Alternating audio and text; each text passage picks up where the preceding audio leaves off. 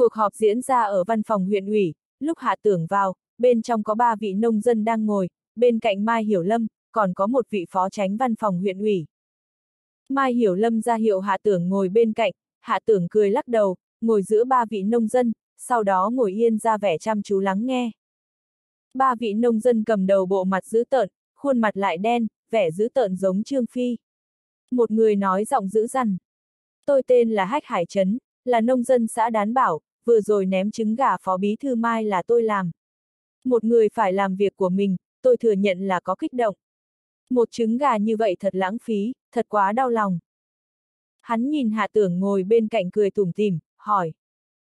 Người trẻ tuổi này là ai? Tôi đến làm chứng. Trong mắt mọi người, quan lại bao che cho nhau là tư tưởng xưa nay, cho nên hạ tưởng nghĩ chưa cần giới thiệu thân phận, chỉ cho thấy lập trường. Hách hải trấn cũng không hỏi nhiều, nhìn hắn một cái, còn nói.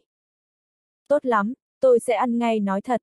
Ba năm trước đây, bí thư lệ lúc ấy vẫn còn là chủ tịch xã đã liên hệ một công ty, nói là ưu đãi cung cấp cây giống cây táo chất lượng tốt, tất cả đều là cây ăn quả cao sản hồng phú sĩ, giá cả cũng không cao, hơn nữa công ty cũng đáp ứng cung cấp cây giống, sau khi cây táo trưởng thành, toàn bộ ấn định giá cả thị trường mà thu mua. Nói là căn cứ nguyên tắc tự nguyện, nhưng một nông hộ bình thường có vài mẫu tốt, đều phải trồng cây ăn quả. Cuối cùng toàn bộ thị trấn ít nhất cũng có hơn 1.000 mẫu ruộng tốt trồng cây ăn quả. Không ngờ rằng trồng loại cây ăn quả trên chưa được bao lâu đã có sinh viên trường nông nghiệp nói, cây giống căn bản không phải hồng phú sĩ, mà là quả hải đường không ai cần đến. Cả trăm hộ tiết kiệm 2 năm mới có tiền mua nhưng tất cả đều là hải đường. Tất cả mọi người mặc kệ, đi tìm chủ tịch xã lệ. Mới đầu chủ tịch xã lệ tìm lý do để không gặp chúng tôi, sau lại thật sự là tìm người liên hệ công ty bán cây giống, miễn phí ghép cây thành hồng phú sĩ. Tuy rằng không phải cây gốc nhưng ghép xong có thể cho ra hồng phú sĩ là tốt rồi. Sau 2 năm, cây ăn quả không có lớn lên, nhưng còn các loại hoa màu khác. Đến năm vừa rồi, cây bắt đầu có trái. Chủ tịch xã lệ cùng với công ty cây giống đến vườn cây để khảo sát. Nhân viên kỹ thuật của công ty nói sang năm sẽ có mùa thu hoạch tốt, vì trái cây càng để lớn càng ngọt. Tốt nhất năm nay không nên trồng trọt gì khác. Chúng tôi là nông dân, nghe táo có thể bán được tiền như lúa mạch, mùa đông năm trước không trồng được lúa mạch, nên hy vọng năm nay sẽ có một mùa bội thu táo. Kết quả hiện tại cây táo chín nhanh, công ty cây giống né tránh, chúng tôi tìm, bọn họ nói năm nay thị trường táo sụt giảm, quyết định không thu táo của chúng tôi. Chúng tôi tìm bí thư lệ, bí thư lệ nói, tất cả đều làm theo quy luật thị trường. Nói xong lời cuối cùng, hách hải chấn hung tợn như Trương Phi bỗng khóc lên. Phó bí thư Mai hãy phân xử, chúng tôi là lão nông dân còn nói lương tâm. Vỗ ngực nói ra, thì dù thế nào cũng phải thực hiện. Đường đường một công ty lớn nói chuyện không giữ lời. Còn có bí thư lệ, là cán bộ quốc gia, cũng trở mặt không nhận trách nhiệm. Hiện tại chúng tôi chậm trễ một năm thu hoạch, năm đó tốn không ít tiền mua cây giống, hiện tại lại không ai mua táo, thật là chết mất. Hách Hải Trấn vừa khóc, hai nông dân đi cùng cũng khóc lên. Họ đều là đàn ông cao to, ba bốn mươi tuổi, khóc nước mắt nước mũi chảy ra như đứa trẻ. Hạ tưởng cảm động, lấy khăn giấy đưa cho mỗi người rồi nói. Nông dân chịu ẩn khuất, khóc đi sẽ dễ chịu một chút. Các anh phản ánh sự thật làm cho người ta giật mình, tôi tin tưởng huyện ủy và ủy ban nhân dân huyện sẽ thận trọng đối với vấn đề của các anh. Nhất định sẽ cho các anh một kết quả xử lý vừa lòng. Đôi mi thanh tú của Mai Hiểu Lâm nhăn lại, mày cũng nổi lên nếp nhăn, cô không thèm để ý sẽ ảnh hưởng hình tượng, trong mắt lóe ra một tia phẫn nộ. Nếu điều các anh phản ánh đúng là thật, hiện tại tôi có thể nói cho các anh, huyện ủy và ủy ban nhân dân huyện đối với hành vi hại nông, nhất định nghiêm khắc trừng phạt, quyết không nương tay. Hách hải trấn bỗng quỳ trên mặt đất. Phó bí thư Mai, chúng tôi tiêu tốn vài năm tâm huyết, lại chậm trễ một năm thu hoạch, ai cũng không cam lòng.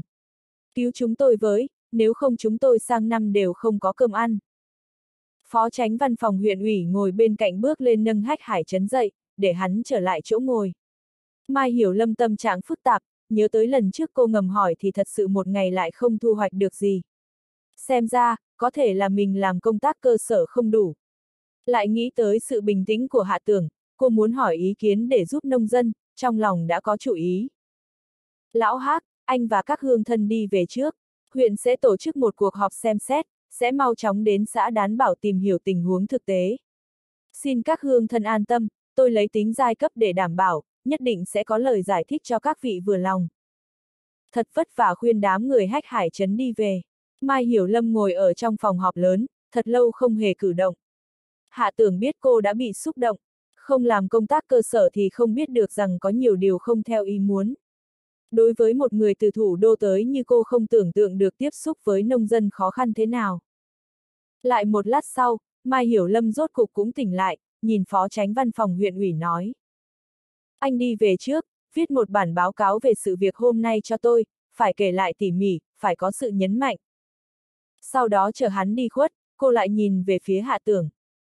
Phó Chủ tịch huyện hạ, tôi có việc muốn mời anh hỗ trợ, anh giúp không? Không đợi hạ tưởng trả lời, cô lại tái phạm tật xấu của mình, cô nói. Cũng không biết anh có bản lĩnh giải quyết vấn đề hay không. Đừng làm cho tôi tìm lầm nhân tài. Hạ tưởng không khách khí nói. Phó Bí Thư Mai nếu không tin tôi, sẽ không mở miệng. Nếu là việc công, đó là nhiệm vụ phải làm. Nếu việc tư, cô nhất định phải suy nghĩ kỹ càng trước khi nói. Văn phòng Mai Hiểu Lâm được bố trí rất đơn giản, cực kỳ bình thường, nhìn không có nét gì là văn phòng của một phụ nữ, một chậu hoa cỏ cũng không có. Mai Hiểu Lâm không ngồi phía sau bàn làm việc của cô mà là ngồi mặt đối mặt với hạ tưởng trên sofa, giọng điệu thành khẩn nói. Phó Chủ tịch huyện hạ, tôi kỳ thật không có ác ý, cũng không có hoài nghi năng lực của anh, hơn nữa ấn tượng xấu đối với anh về việc cửa sổ lần trước cũng đã thay đổi không ít. Tuy nhiên chuyện này không phải việc nhỏ, tôi lần trước cũng ngầm hỏi một lần, không có thu hoạch gì. Tôi mời anh hỗ trợ, không phải lấy thân phận của phó bí thư, mà là lấy một thân phận bạn bè. Anh xem tôi là bạn bè, hãy giúp tôi một lần. Không coi tôi là bạn bè, coi như tôi chưa nói. Nói thật, câu cuối cùng của Mai Hiểu Lâm hơi chói tai khó nghe, hơi ép buộc người khác. Có lẽ chính cô cũng không ý thức, mỗi lần nói chuyện, cuối cùng hay nói một câu vô dụng, kết quả lại thường phản tác dụng, làm cho người nghe cực kỳ không thoải mái. Hạ tưởng suy nghĩ một chút, cuối cùng vẫn quyết định giúp Mai Hiểu Lâm một lần. Hắn là phó chủ tịch huyện, Mai Hiểu Lâm là phó bí thư, cấp bậc ngang nhau, nhưng quyền lực lại kém nhiều lắm. Mai Hiểu Lâm đầu tiên là ủy viên thường vụ, tiếp theo là trong huyện ủy chỉ đứng sau Lý Đinh Sơn. Cô quản lý vấn đề nhân sự và đảng cùng quần chúng, có thể nói là nhân vật có thực quyền. Mà hắn là phó chủ tịch huyện lại được phân công quản lý văn hóa giáo dục, vệ sinh, vừa không có tầm quan trọng, cũng không có thực quyền. Nói cách khác, hắn là một nhân vật cực nhỏ, giới hạn rất nhiều. Nhưng hạ tưởng quyết định giúp Mai Hiểu Lâm, đều không phải là coi trọng Hiểu Lâm quyền cao chức trọng, cũng không phải cố ý dựa vào cô, mà là vì mấy ngàn nông dân và hơn một ngàn mẫu ruộng tốt. Huyện An vốn ruộng tốt ngày càng ít đi, hơn một ngàn mẫu ruộng tốt đem gieo trồng cây ăn quả, kết quả tới lúc cây táo trưởng thành lại không ai thực hiện hứa hẹn thu mua táo. Đây là âm mưu hại nông dân điển hình. Căn cứ kinh nghiệm của hạ tưởng, Lệ Triều Sinh khẳng định đóng vai trò quan trọng trong việc này, còn có công ty trách nhiệm hữu hạn kỹ thuật khoa học nông nghiệp An Lợi cung cấp cây giống kia nữa. Tất cả đều có âm mưu. Ý của hạ tưởng là, việc hại nông dân tuyệt không có thể buông tha. Hắn không phải anh hùng, cũng không phải quan tòa, nhưng có chút bất bình. Nếu để hắn biết được, hắn sẽ cố gắng hết khả năng để đền bù lại tổn thất cho nông dân. Có cán bộ như lệ triều sinh là bất hạnh của dân chúng địa phương. Hơn nữa hắn cũng biết rõ, lệ triều sinh là người của khâu tự phong. Còn có một điểm mấu chốt, là toàn bộ khoáng thạch hàm lượng cao của huyện An lại rất nhiều ở xã Đán Bảo. Mai Hiểu Lâm đang tập trung mời chuyên gia thủ đô đến khảo sát khoáng sản. Đến lúc sự việc đã được duyệt, bắt đầu công trình khai thác, có lệ triều sinh ở đó, dân chúng địa phương được lợi ích thực tế mới là lạ. Hạ tưởng đã có chủ ý nói. Tôi và Phó Bí Thư Mai cũng hữu duyên, ngồi xe có thể ngồi cùng một chỗ, còn vì vậy mà kết bạn, coi như là hiếm có. Cho nên Phó Bí Thư Mai nếu đã mở miệng, lại là bạn bè, tôi cũng không ngại ngùng. Tuy nhiên tôi có một chút ý kiến phải giải thích. Mai Hiểu Lâm quản lý đảng và quần chúng, đáng tiếc cô nói chuyện không hề hàm xúc. Tôi đã nói ở trước mặt tôi không cần ấp a ấp úng, tôi cũng xem anh là bạn bè mới nhờ anh giúp. Nếu anh chỉ là một phó chủ tịch huyện bình thường, tôi sẽ không quan tâm. Hạ tưởng cười khổ trong lòng, lời này thật đúng là khó nghe. Tuy nhiên hắn có thể chịu được, còn có thể cười nói. Tôi chỉ là phó chủ tịch huyện phụ trách văn hóa giáo dục, vệ sinh và du lịch. Sự kiện cây ăn quả xem như nông nghiệp, không thuộc thẩm quyền của tôi, lời nói của tôi danh bất chính ngôn bất thuận, bí thư lệ dù sao cũng là ủy viên thường vụ huyện ủy, là lãnh đạo huyện ủy. Tôi giúp phó bí thư Mai là giúp bạn bè, nhưng vì vậy đắc tội một huyện ủy lãnh đạo. Nếu chẳng may bí thư lệ xử lý tôi, tôi biết lấy lý do gì để nói đây. Mai Hiểu Lâm không đồng ý mỉm cười. Anh cũng nhát gan và sợ phiền phức sao. Lệ triều sinh nếu không có vấn đề, hắn ta gây phiền toái với anh làm gì. Nếu hắn có chuyện, phiền toái của chính hắn còn xử lý không được, còn có thời gian tìm anh sinh sự sao.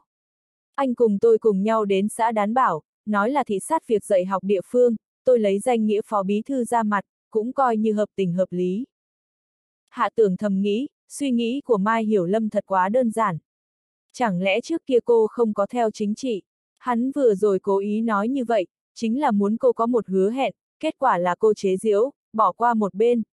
Lệ Triều Sinh là người của Khâu Tự Phong, Mai Hiểu Lâm lại là vị hôn thê của Khâu Tự Phong, tôi và cô cùng nhau đi xuống tra người của hắn, Khâu Tự Phong nếu không hận tôi thì hắn chính là thánh nhân. Lệ Triều Sinh nếu biết tôi kiểm tra ở sau lưng, thế nào cũng phải tìm tôi chỉ tội. Hơn nữa Mai Hiểu Lâm còn đề xuất lấy danh nghĩa thị sát đi xuống, chẳng phải là bị những người khác an bài xoay quanh, còn muốn điều tra chân tướng gì. Chỉ là vui chơi giải trí một chút rồi trở về. Cho dù cô tiếp xúc với nông dân, cũng là được an bài trước để lừa gạt, làm sao nói thật được. Hạ tưởng buồn bã phát hiện, Mai Hiểu Lâm chính là nhà chính trị trong sáng. Trước kia Phó Bí Thư Mai không có đi công tác cơ sở sao? Hạ tưởng hỏi thăm dò. Không có, trước kia tôi làm ở vụ tuyên truyền pháp chế của Bộ Tư pháp, sau lại trực tiếp đến huyện An làm Phó Bí Thư huyện ủy. Sao vậy, ý của anh là tôi không có kinh nghiệm đi công tác cơ sở sao? Có kinh nghiệm hay không anh cũng đừng lo, quan trọng là tôi tin tưởng có quyết tâm làm một bí thư tốt. Mai Hiểu Lâm vẻ mặt kiên quyết nói. Có tin tưởng có quyết tâm là chuyện tốt, cuộc sống có rất nhiều phức tạp, không phải chỉ bằng có tin tưởng có quyết tâm là có thể thành công, còn phải có thủ đoạn có trí tuệ mới được. Hạ tưởng xem như hoàn toàn hiểu được, so sánh với khâu tự phong, Mai Hiểu Lâm xuống đây hoàn toàn là để đánh bóng. Cô vừa không có kinh nghiệm chính trị, lại không có thủ đoạn đấu tranh, trước kia lại công tác ở bộ môn tư pháp. Không chừng cô còn khờ dại cho rằng, pháp luật có thể giải quyết hết thảy tranh cãi, không biết rằng, ở cơ sở, quyền lớn hơn pháp là hiện tượng rất phổ biến. Thậm chí có thể nói, ít tồn tại quyền lực tuyệt đối công chính không can thiệp tư pháp. Hạ tưởng không muốn nói ra lý do thật sự với Mai Hiểu Lâm, hắn vươn một ngón tay. Nếu tôi lấy thân phận bạn bè trợ giúp Phó Bí Thư Mai, tôi có một điều kiện, là chúng ta phải đi xã đán bảo nên lấy thân phận cá nhân đi, không kinh động bất cứ ai, không lấy thân phận chính thức, như vậy mới mới có thể tra được tình huống thật chương 234, Tống Chiêu Độ có ý tưởng tiến bộ. Anh nói là cải trang vi hành. Mai Hiểu Lâm mở to hai mắt. Biện pháp của anh đã quá cũ.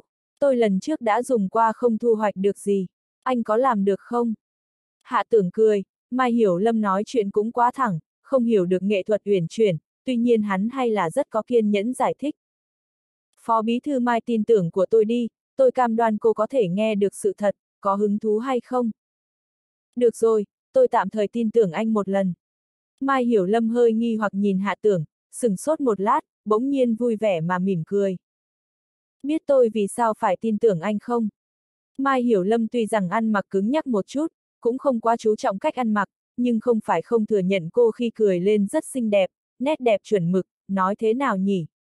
Là nụ cười của đoan trang thục nữ, không lộ răng nhiều, vẻ mặt cũng biểu lộ vừa phải, không quá nhiệt tình, lại không mất lễ tiết, vừa nhìn là có thể khẳng định cô trước kia đã được dạy dỗ kỹ lưỡng quy tắc thục nữ.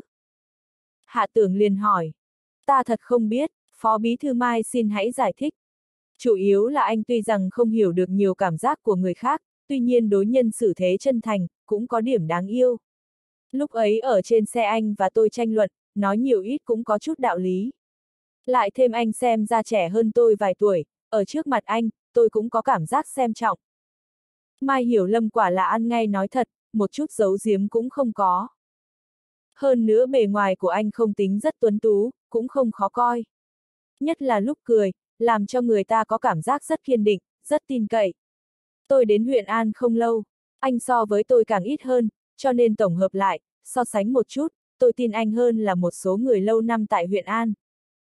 Hạ tưởng muốn cười lại cười không nổi, Mai Hiểu Lâm mặc kệ tốt xấu muốn nói gì thì nói cái đó. Tính cách của cô không biết có thể đi được bao xa trong quan trường. Người nhà cô đưa cô xuống dưới để đánh bóng cũng không phải là một quyết định thông minh. Mai Hiểu Lâm thích hợp công tác nhất chính là ngồi ở trong phòng làm việc rộng mở, làm công tác văn tự hoặc nghiên cứu sự vụ, cô không thích hợp ở cơ sở và là nhân vật giao tiếp muôn hình muôn vẻ. Cảm ơn sự tín nhiệm của Phó Bí Thư Mai, ưu điểm lớn nhất của con người là sự thành thật, đối với bạn bè thì từ trước đến nay tôi nói một thì không phải hai. Nếu chúng ta dùng thân phận bạn bè nói chuyện với nhau, tôi cũng hy vọng về sau Phó Bí Thư Mai đối với tôi chân thật, đối với sự việc trên không giấu giếm, chúng ta chung sức hợp tác. Hạ tưởng không để lỡ cơ hội ám chỉ Mai Hiểu Lâm, hy vọng cô có thể lộ ra một ít vấn đề cá nhân của cô. Cũng không biết Mai Hiểu Lâm nghe có hiểu không, tuy nhiên cuối cùng cũng nói một câu khiến Hạ tưởng cảm thấy vui mừng. Phó Chủ tịch huyện Hạ yên tâm, anh nếu giúp tôi, nếu có vấn đề gì, tôi sẽ thay anh ra mặt. Xem như một hứa hẹn, Hạ tưởng không dám hỏi lại Mai Hiểu Lâm, nếu lệ triều sinh lấy thân phận ủy viên thường vụ của muốn tìm mình gây phiền toái, cô sẽ thay mình đối phó.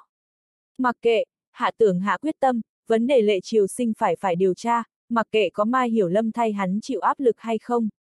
Nếu hắn gặp phải, cũng sẽ âm thầm tự mình điều tra rõ ràng, mặc dù vì vậy mà đắc tội lệ triều sinh và khâu tự phong, hắn cũng không sợ.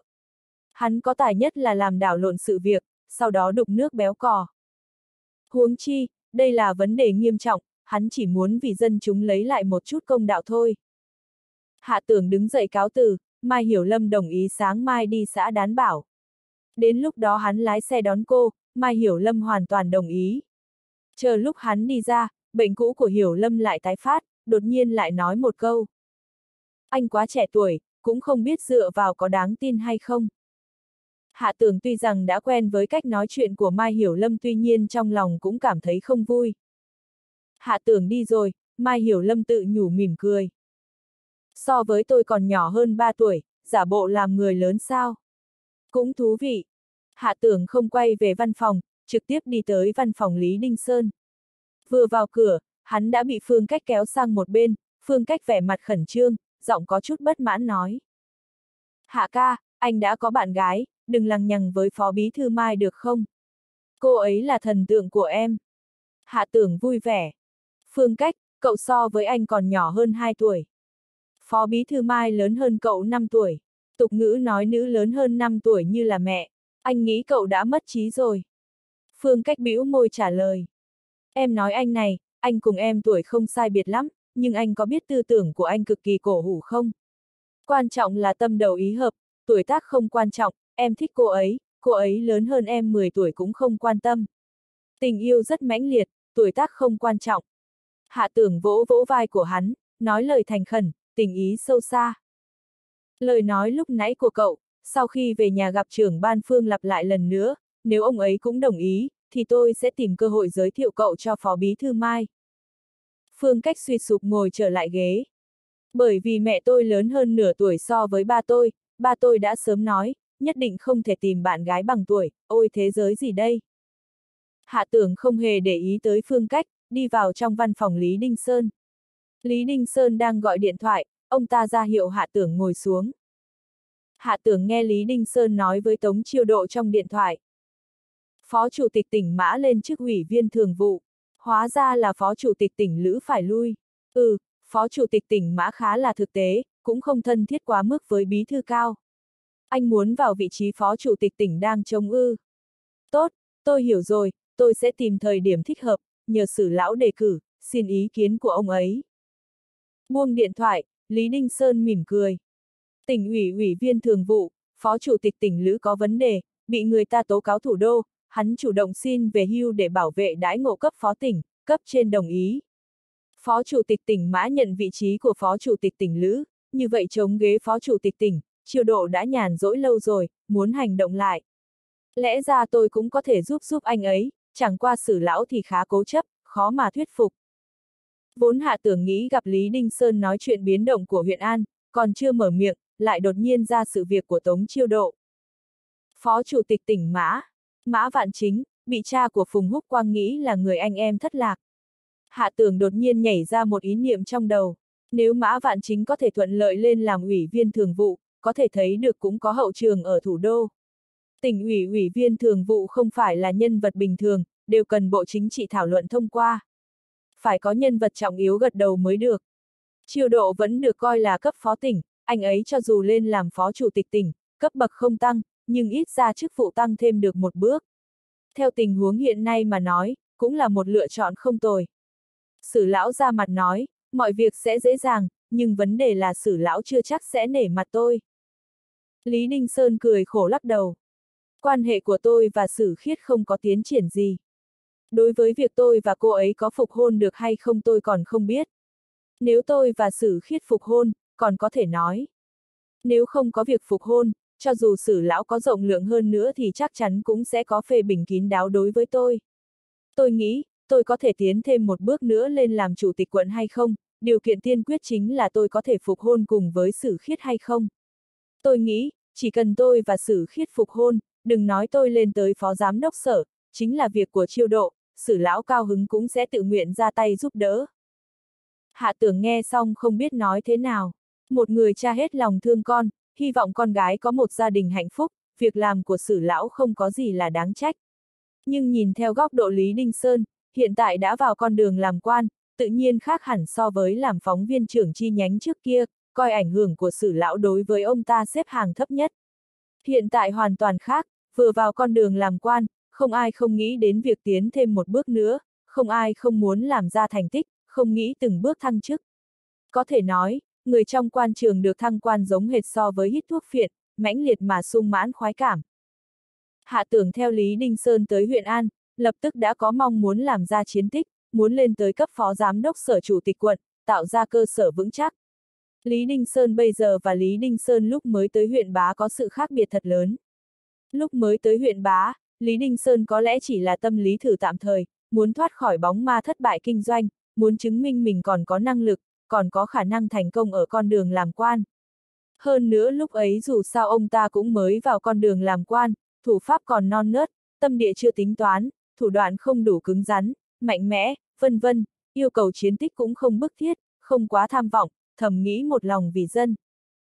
Trải qua vài năm tôi luyện, Lý Đinh Sơn đã nhanh chóng thành thục, ở huyện Bá làm ra thành tích thật lớn, có cũng đủ kinh nghiệm chính trị, tất nhiên việc thăng quan trở thành một loại thừa nhận năng lực của chính mình. Nếu không thăng quan, ngược lại sẽ đả kích nghiêm trọng tính tích cực. Mặc dù hiện tại bản tính Lý Đinh Sơn chưa thay đổi, một lòng vì dân làm việc, nhưng đó là bên ngoài, trong thâm tâm vẫn mong chờ việc được thăng quan hơn là ở lại huyện bá rất nhiều. Hạ tưởng cũng có thể hiểu tâm lý của ông ta, chính mình chưa bao giờ có cấp bậc cũng đã lên tới phó huyện, mà ông ta đến bây giờ còn ở cấp huyện, bề ngoài không nói, nhưng trong lòng khẳng định sẽ có so sánh nhất định về sự chênh lệch này. Cho nên hiện tại đối với sự lựa chọn trọng đại trước mắt, việc phục hôn và lên chức, Lý Đinh Sơn không còn mạnh mẽ nói không chấp nhận phục hôn với sử khiết. Tháo độ do dự của ông ta đã thuyết minh rằng ông ta đã sinh ra dao động, đáp ứng sử lão chỉ còn là vấn đề thời gian. Sử lão là người thông minh, biết quan trường chính là một nơi danh lợi khổng lồ, một khi tiến vào, không ai có thể ngăn cản sự hấp dẫn của nó. Hiện tại Lý Đinh Sơn đang rơi vào không thể tự thoát ra được. Tống Chiêu Độ cũng là người thông minh, ông ta cũng rõ ràng sau khi Lý Đinh Sơn tiến vào quan trường, khẳng định là không trở ra. Cuối cùng Lý Đinh Sơn và Sử Lão sẽ càng ngày càng gần, liên hệ càng ngày càng chặt chẽ, sau đó phục hôn với Sử Khiết. Tống Chiêu Độ cũng biết Sử Lão không có hứng thú đối với mình, nhưng ông ta tin tưởng cuối cùng Sử Lão là sẽ thúc đẩy mạnh mẽ Lý Đinh Sơn theo con đường chính trị, rồi lúc quan trọng sẽ ra giúp mình một phen. Trong cuộc sống một con người, có rất nhiều cơ hội quan trọng, có nhiều vấn đề quyết định cả vận mệnh. Chỉ cần giúp ông ta một lần, một lần cũng đủ khiến ông ta hoàn toàn thoát khỏi vận mệnh trầm luân. So với Tống Chiêu Độ và Sử Lão, trí tuệ về chính trị của Lý Đinh Sơn còn hơi có một chút khiếm khuyết. Hạ tưởng không khỏi tiếc nuối mà nghĩ, chờ sau khi Lý Đinh Sơn phát triển vững chắc, hồi tưởng lại lúc khó khăn phải đưa ra sự lựa chọn, không biết sẽ có cảm tưởng gì. Tuy nhiên cuộc sống không có giả thuyết, cũng không có thể quay đầu lại, nếu không có lựa chọn hiện tại, làm thế nào mà có thay đổi về sau. Được tái sinh, hạ tưởng biết rõ rằng con người không làm chủ được hơn so với bất cứ kẻ nào khác. Có đôi khi một bước đi nhầm, thua toàn bộ, tuyệt đối không có khả năng đi lại. Nếu Mã Vạn Chính lên làm ủy viên thường vụ tỉnh ủy, hạ tưởng liền lại nghĩ tới Phùng Húc Quang. Nghĩ thầm rằng tìm một cơ hội để Phùng Húc Quang và Mã Vạn Chính gặp mặt. Nếu chẳng may Mã Vạn Chính thật sự là chú thất lạc nhiều năm của Phùng Húc Quang, mặc kệ ông ta có chịu nhận hay không thì cuối cùng cũng có thêm một tầng quan hệ. Lấy giao tình của hắn và Phùng Húc Quang, khả năng thừa cơ tiếp cận được Mã Vạn Chính rất lớn. Kể từ đó, hắn còn có thêm được mối quan hệ với ủy viên thường vụ tỉnh ủy ngay tại tỉnh. Đương nhiên việc này cần bàn bạc kỹ hơn, hạ tưởng thu hồi ý tưởng, tiến lên đưa Lý Đinh Sơn một ly nước, nói. Vì đứa nhỏ cũng tốt, vì an ủi xử lão cũng tốt, phục hôn cũng không phải là việc quá khó khăn. Bí thư Lý và cô Sử Khiết cũng từng chung sống với nhau, tính tình của nhau cũng đã hiểu, sau khi phục hôn có thể lại có xung đột, nhưng có thể kiềm chế được, dù sao cũng phạm sai lầm một lần, không ai muốn tái phạm lại lần nữa. Thêm nữa bí thư Lý hiện tại là bí thư huyện ủy, về sau phải điều đến ở thành phố làm chủ tịch quận, công việc sẽ bận rộn, cô xử Khiết đến lúc đó cũng sẽ hiểu ngài, thấy ngài bận rộn mệt mỏi, cô ấy cũng sẽ thông cảm quan tâm ngài nhiều hơn. Audio điện tử võ tấn bền có một câu hạ tưởng không nói ra, chính là hắn tin tưởng Lý Đinh Sơn làm quan càng thuận lợi, địa vị càng ngày càng cao. Sử khiết sẽ càng ngày càng ngưỡng mộ trước dáng vẻ bệ vệ của Lý Đinh Sơn. Con người là như thế, vợ chồng hai người nhất định sẽ có một người mạnh mẽ, cứng rắn và một người yếu đuối, không có khả năng hai người hoàn toàn bình đẳng. Cái này giống như trong một công ty, nếu là hai người trong công ty, mỗi người chiếm cổ phần 50%, ai cũng không nghe ai, ai cũng không có cổ phần khống chế, có quyền tuyệt đối, như vậy công ty khó thoát khỏi vận mệnh thất bại. Lý Ninh Sơn chậm rãi uống một ngụm nước, thật lâu không nói gì, trong ánh mắt hiện lên một tia bất đắc dĩ, trên mặt cũng toát ra sự tự chế giễu. Ông ta buông ly nước, thở dài nói. Tôi chỉ có một con đường thỏa hiệp để đi sao? Đây cũng không phải là thỏa hiệp, cái này gọi là toàn diện suy xét. Có đôi khi một việc nhìn qua rất đơn giản, kỳ thật lại mang đến nhiều ảnh hưởng phức tạp, cho nên phải cân bằng các mặt của hậu quả, cuối cùng cho ra một kết luận phù hợp ích lợi lớn nhất. Hạ tưởng rất thông minh thay đổi đề tài đúng lúc, hắn tin tưởng trong lòng Lý Đinh Sơn đã có quyết định, nói thêm vào chỉ để cho ông ta một lý do thôi, hắn lập tức thuận thế nói đến chuyện của huyện An. Phó Bí Thư Mai tìm tôi giúp cô ấy làm một việc, tôi phải cùng ngài thương lượng một chút. Lý Đinh Sơn sừng sốt. Nói như thế nào? Phó Bí Thư Mai muốn tôi âm thầm giúp cô ấy điều tra lệ triều sinh. Hạ tưởng đã kể lại chuyện nông dân đến bao vây cửa tòa nhà huyện ủy. Lý Đinh Sơn có vẻ đăm chiêu nói. Căn cứ tin tức tin cậy cho biết, gần đây bởi vì hợp tác chính trị, hai gia đình của Mai Hiểu Lâm và Khâu Tự Phong đi lại khá gần. Theo sử lão phân tích, hai gia đình khả năng có đám hỏi chính trị. Cậu hiện tại giúp Mai Hiểu Lâm cũng có thể là giúp Khâu Tự Phong. Hạ tưởng hiểu sự lo lắng của Lý Đinh Sơn, liền hỏi. Bí thư Lý cảm thấy Mai Hiểu Lâm đối nhân xử thế như thế nào? Lý Đinh Sơn lo nghĩ. Cảm giác không phải là một người phức tạp, ý tưởng có khi đơn giản, có một chút khuynh hướng chủ nghĩa lý tưởng. Đúng vậy, bí thư Lý nhìn người rất chuẩn. Mặc kệ việc dàn xếp của hai gia đình, chỉ xem tính cách của cô ấy và tính cách của chủ tịch huyện khâu khác nhau rất nhiều. Tính cách hai người bọn họ khác nhau nhiều lắm, cho dù vì ích lợi gia đình không thể không thỏa hiệp, nhưng một người theo chủ nghĩa lý tưởng, thường cũng có một mặt kích động. Tôi cho rằng, Phó Bí Thư Mai sẽ không ngại ngần, kiên trì giữ ý kiến của mình. Hạ tưởng nói ra trong lòng chân thật ý tưởng. Lý Ninh Sơn trầm tư một lát, gật đầu đồng ý với phỏng đoán của hạ tưởng. Lệ Triều Sinh là người của khâu tự phong, mặc dù hơi mạo hiểm, nhưng mặc kệ xuất phát từ việc giữ gìn ích lợi của thôn dân hay là vì xóa sạch phụ tá đắc lực của khâu tự phong, đều đáng giá thử một lần. Tiểu hạ, cậu phải cẩn thận một ít, đừng mắc bẫy của đối phương. Hạ tưởng trở lại phòng làm việc, gọi điện thoại lần lượt cho Tào Thù Lê và Liên Nhược Hạm. Đối với Tào Thù Lê nói là nhớ, đối với Liên Nhược Hạm nói lời cảm ơn chiếc Land Rover của cô. Tào Thù Lê dặn dò hạ tưởng ngày nắng nóng nên uống nhiều nước, phải chú ý để phòng trúng gió.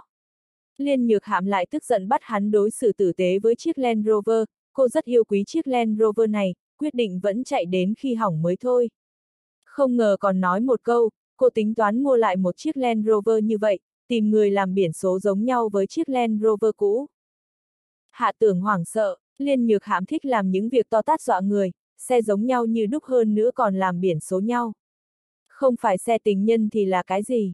Hắn vội ngăn liên nhược hạm, bắt buộc cô tùy tiện mua một chiếc xe bình thường là được. Liên nhược hạm không trả lời hắn, lại nói. Liên viện trong công viên rừng rậm xây dựng tốt lắm, trang hoàng cũng xong rồi. Anh thích thương hiệu nội thất gì? Em mua cho anh.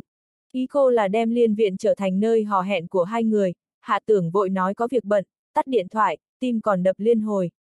Liên nhược hạm lại nữa rồi, chỉ có điều cô không thể để gia đình biết được. Hắn lắc đầu, bất đắc dĩ cười, liên nhược hạm thật sự là một cô bé bốc đồng, nếu không có gia đình kiềm chế cô, có trời biết cô sẽ dám làm đến việc gì. Buông điện thoại, hắn liền nghĩ tới Phùng Húc Quang và Mã Vạn Chính, suy nghĩ nên an bài một cơ hội thích hợp thế nào, để Phùng Húc Quang và Mã Vạn Chính gặp mặt, như là sự ngẫu nhiên, hai người gặp nhau xem có quan hệ huyết thống hay không, có thể vừa gặp là hiểu ngay. Tuy nhiên giữa hắn và Mã Vạn Chính đừng nói có quan hệ, ngay cả một chút quen biết cũng không có. Hơn nữa hắn chỉ là một phó chủ tịch huyện còn con, cho dù phó chủ tịch tỉnh Mã công tác thị sát, cũng không tới phiên hắn tiếp khách, làm sao bây giờ? Khi hết đường xoay sở, bỗng nhiên điện thoại vang, là một dãy số xa lạ, hạ tưởng đang tâm phiền ý loạn, vốn không định nghe, mặc cho di động vang không ngừng. Không ngờ đối phương thật có kiên nhẫn, không gọi được lần thứ nhất, lại gọi tiếp lần thứ hai, hạ tưởng giơ tay lấy điện thoại, tức giận hỏi. Ai đó? Phó chủ tịch huyện hạ thời tiết nóng quá khiến anh bực mình, hay là gặp điều gì phiền lòng à? Trong điện thoại là một giọng phổ thông mềm mại, ngọt ngào, làm cho người ta có cảm giác tươi mát ngọt ngào giống như kẹo tươi mát ngon miệng. Để tôi đoán xem, khẳng định là việc công, tôi đoán không phải tại tôi làm phó chủ tịch huyện hạ tức giận. chương 235, đồng hành cùng phó bí thư Mai. Hạ tưởng thật không ngờ chính là nghiêm tiểu thì gọi điện thoại tới. Việc hắn trực tiếp liên hệ được với Cao Kiến Viễn, đa phần nhờ sự ra mặt của Phạm Tranh, nghiêm tiểu thì và hắn chưa từng có điện thoại liên hệ với nhau. Hôm nay là lần đầu tiên. Hóa ra là Tổng Giám Đốc Nghiêm, thất kính, thất kính. Hạ tưởng dùng nửa giọng điệu trêu chọc nói. Chỉ một câu nói của tôi đã đoán được tôi đang bực bội. Tổng Giám Đốc Nghiêm thật quá lợi hại. Tôi bây giờ đã bình tĩnh lại rồi, lúc nãy hơi lớn tiếng một chút. Nghiêm tiểu rất thông minh, nhanh chóng thay đổi đề tài, cười nói. Tôi tuy là có quan tâm phó chủ tịch huyện hạ một chút, nhưng không có ác ý gì đâu. Phó chủ tịch huyện hạ, tôi nghe nói huyện An có khu du lịch Tam Thạch không tồi, tôi muốn đi leo núi, nghịch nước, không biết đến lúc đó phó chủ tịch huyện hạ có chịu đón tiếp theo leo núi cùng tôi hay không. Nghiêm tiểu thì khẳng định không phải đến chỉ để du sơn ngoạn thủy, cô tuyệt đối là có dụng ý khác. Nghiêm tiểu thì là em họ Phạm Tranh, lại là người phát ngôn của Cao Kiến Viễn, không thể không nể mặt cô, hạ tưởng liền trả lời. Em họ tới chơi, làm sao có thể không nhiệt tình. Có thể cùng làm bạn đưa người đẹp đi núi cũng là vinh hạnh, tất nhiên là rất hoan nghênh. Nghiêm tiểu thì cười, tiếng cười trong như tiếng chuông bạc. Tôi mới phát hiện hóa ra phó chủ tịch huyện hạ cũng giỏi ăn nói như vậy. Thật không dám, đến lúc đó đừng bỏ mặc tôi nha. Giọng nói của cô có lực xuyên thấu thật lớn, theo điện thoại truyền đến, hạ tưởng có thể cảm nhận được cô hoàn toàn khác các cô gái phương Bắc, cô cười dịu dàng nói.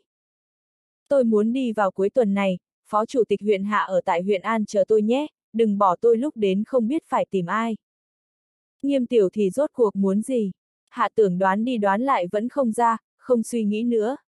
Còn có việc của mã vạn chính, cũng cần tìm kiếm thời cơ, rồi tính sau. Buổi chiều phó trưởng phòng điêu hoa văn chủ trì công tác của phòng vệ sinh đến báo cáo công tác, thái độ cực kỳ lễ phép.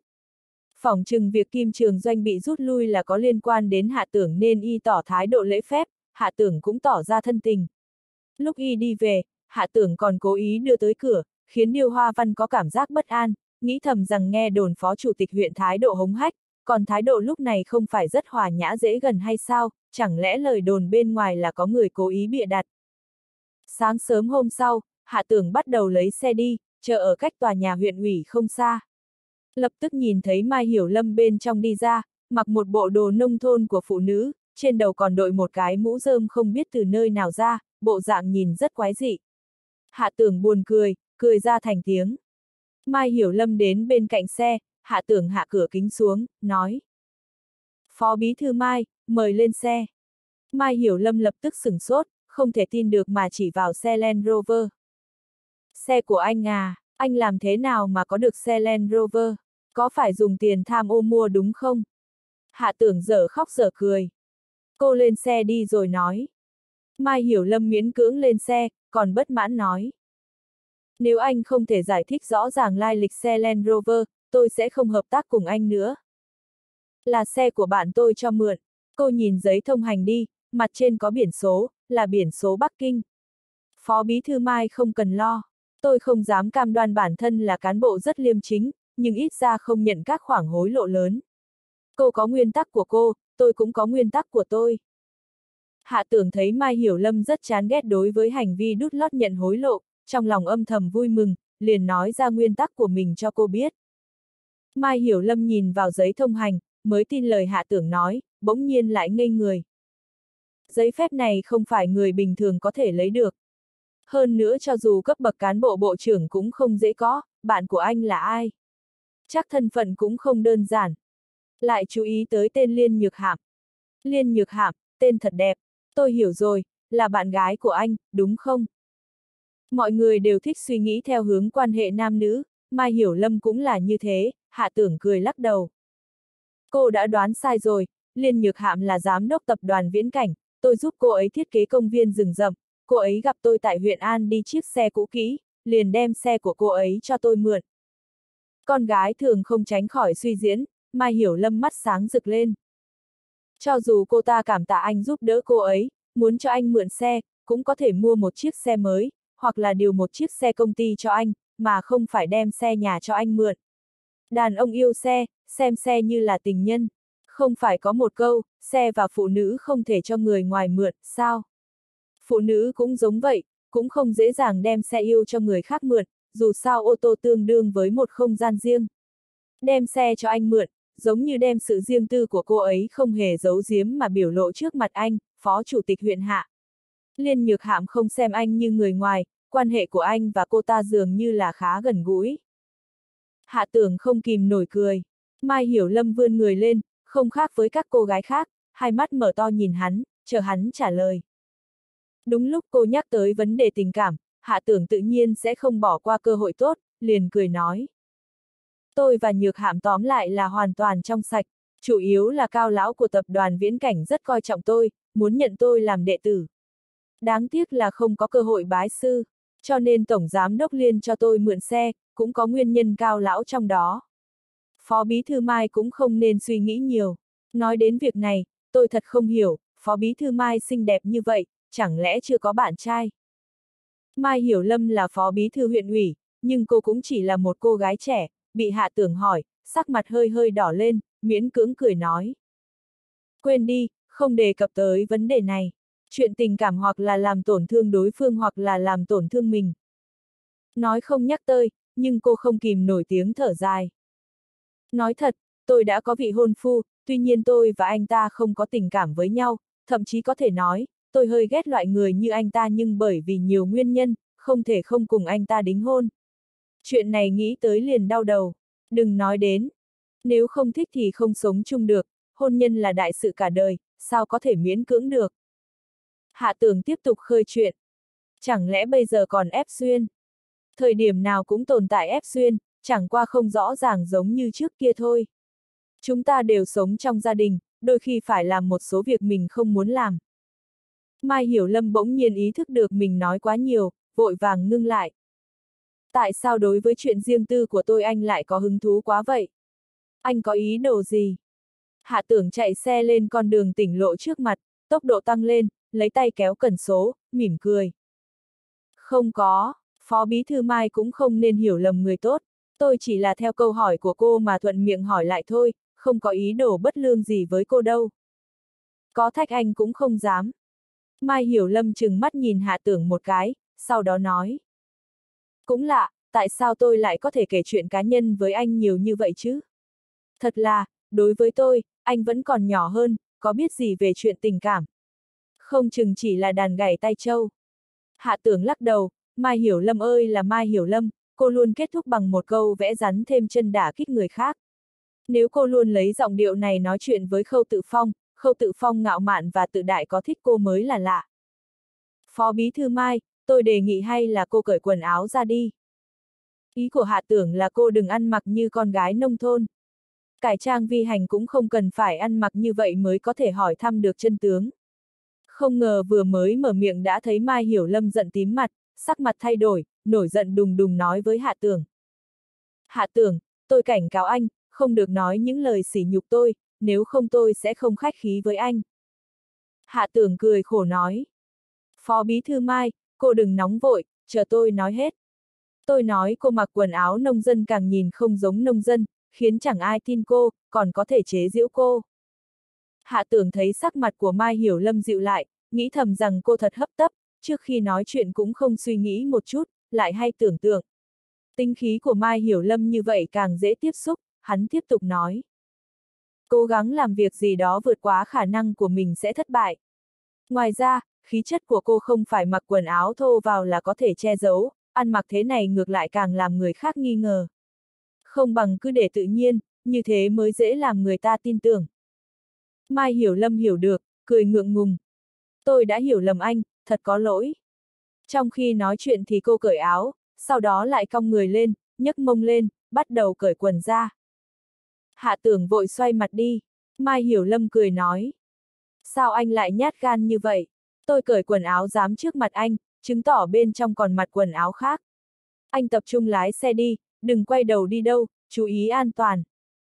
Hạ tưởng liền cười. Tôi không phải nhát gan, mà sợ cô quá nhạy cảm, dù sao động tác của cô cũng không lịch sự cho lắm. Dừng xe lại. Mai Hiểu Lâm đột nhiên la lớn, khiến hạ tưởng giật mình, vội vàng lái xe dừng lại bên đường rồi tắt máy. Cái quần của Mai Hiểu Lâm vướng vào đai an toàn, không thể đứng lên cũng như ngồi xuống được. Hạ tưởng vội nhảy xuống xe, chạy vòng qua, mở cửa xe, giúp Mai Hiểu Lâm cởi đai an toàn. Bởi vì Mai Hiểu Lâm cong người, nửa thân trên nhổm dậy, hạ tưởng không thể không đè lên người Mai Hiểu Lâm, hơi thở của Mai Hiểu Lâm phả vào mũi hắn, hắn lại không kìm nổi, hắt xì một cái. Cũng bởi vì hắt xì quá mạnh, hơi bay vào trong lòng ngực của Mai Hiểu Lâm. Mai Hiểu Lâm, ai ra, một tiếng, đặt mông ngồi trở lại chỗ ngồi. Cũng bởi vì dùng sức quá mạnh, cái quần rách làm đôi.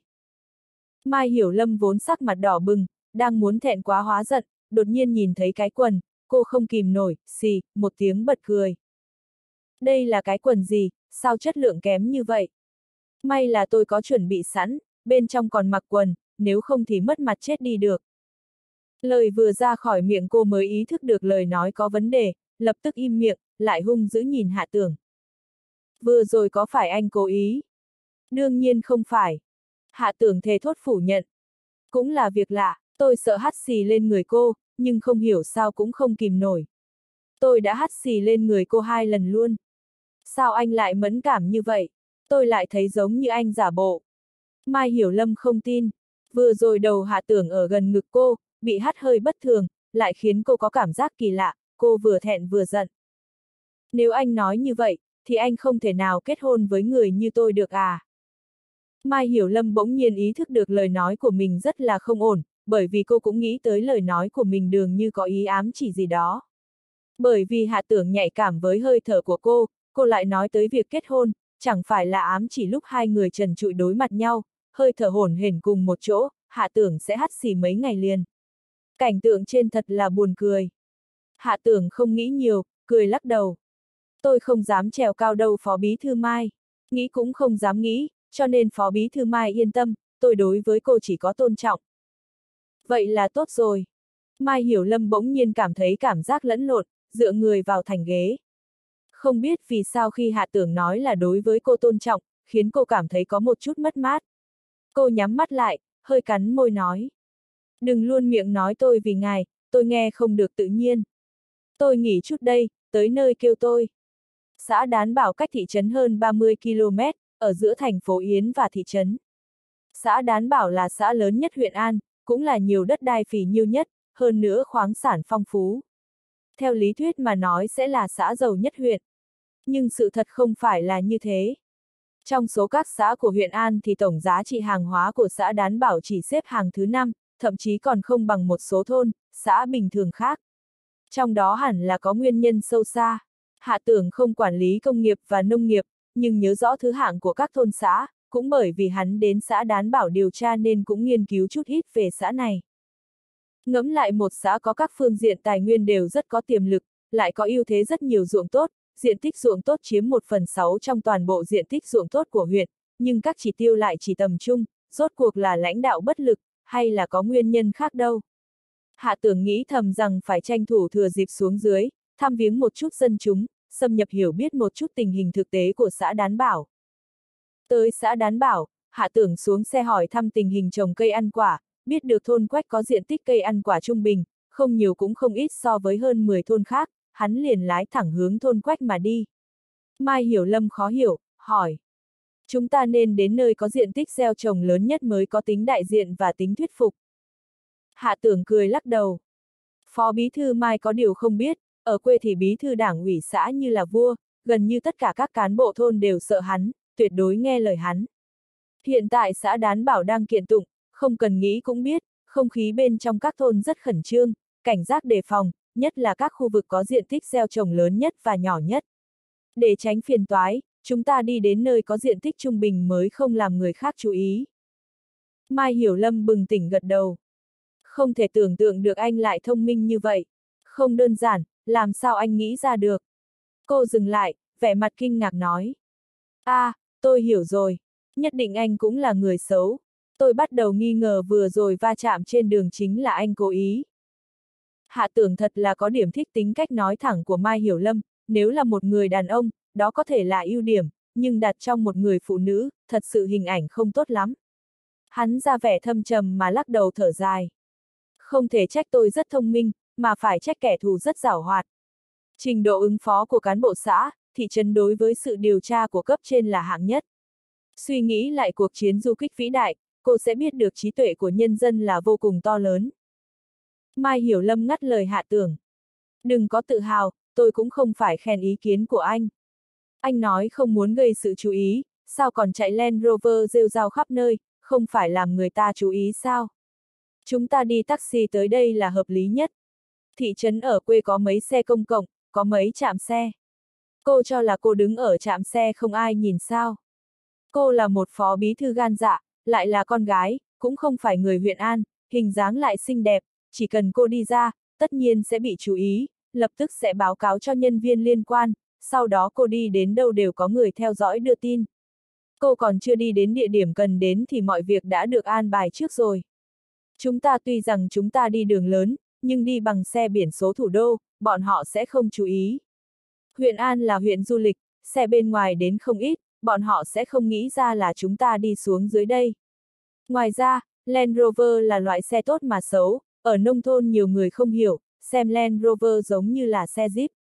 Người làm quan, đều ngồi xe ô tô, không ngồi xe Jeep. Hạ tưởng chậm rãi nói, một hơi nói xong, lại nhìn Mai Hiểu Lâm một cái.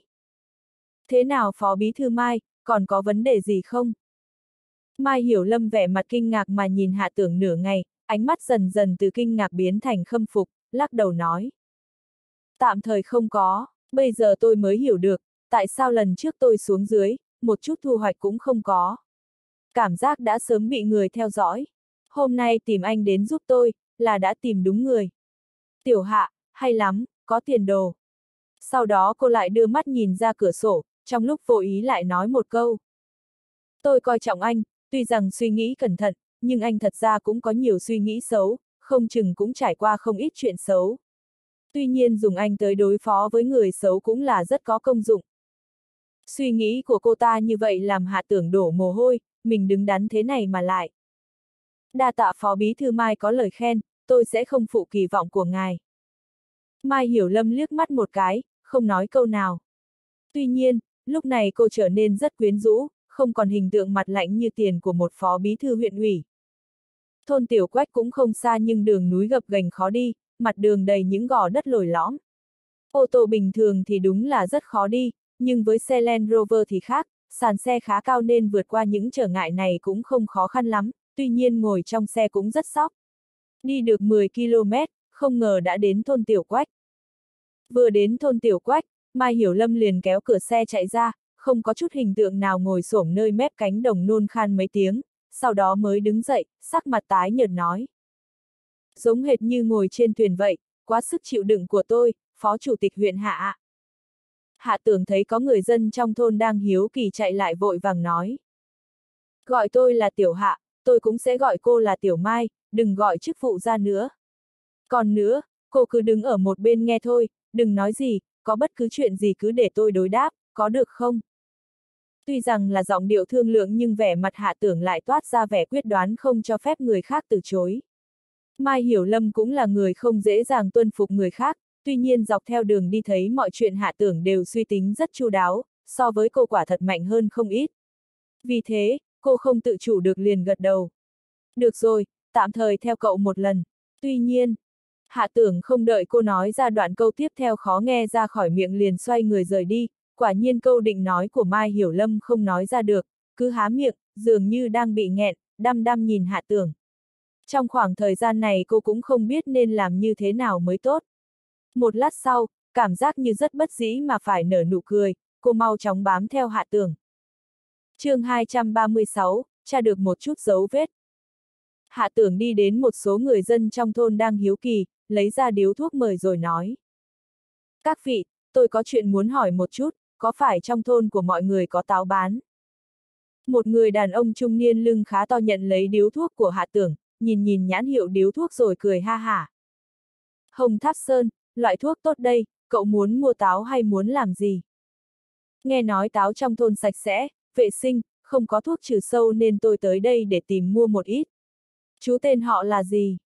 Hạ tưởng thừa cơ hội lợi dụng làm quen. Họ tôi là Âu Dương, tên gọi Thiết Y. Người đàn ông trung niên cười tủm tỉm châm điếu thuốc lá, rất hưởng thụ rít một hơi. Đúng là thuốc tốt, đưa thuốc này ra mời mọi người thì cũng dũng cảm đấy. Tôi nói này chàng trai, nếu cậu có ý định mua để ăn thì cũng chỉ nên mua mấy cân thôi. Đi, đến nhà tôi mà lấy, tôi cho cậu hái mấy cân, dù sao cũng không có nguồn tiêu thụ, sớm muộn gì cũng thối nát hết. Lúc này Mai Hiểu Lâm đứng ở phía sau hạ tưởng, nghe thấy hắn nói ba xạo làm quen với người dân trong thôn thì trong lòng cô cũng khâm phục, công tác cơ sở của hắn đúng là rất tốt. Hạ tưởng ngạc nhiên nói, loại táo tốt như vậy mà không có ai mua à?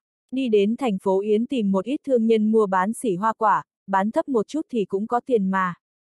Âu Dương Thiết Y vỗ đùi. Ôi, đừng nói nữa chàng trai, cậu cùng đi đến nhà tôi nhìn là sẽ biết. Ông ta quay đầu lại, thấy Mai Hiểu Lâm đang rảo nhanh bước theo sau hạ tưởng liền mỉm cười nói. Là đối tượng của cậu à? dáng dấp cũng rất tốt, đừng có giống như giống táo của chúng tôi là được. Hạ tưởng nghe xong thấy không hiểu ra sao cả, vẻ mặt của Mai Hiểu Lâm cũng tỏ vẻ rất khó hiểu.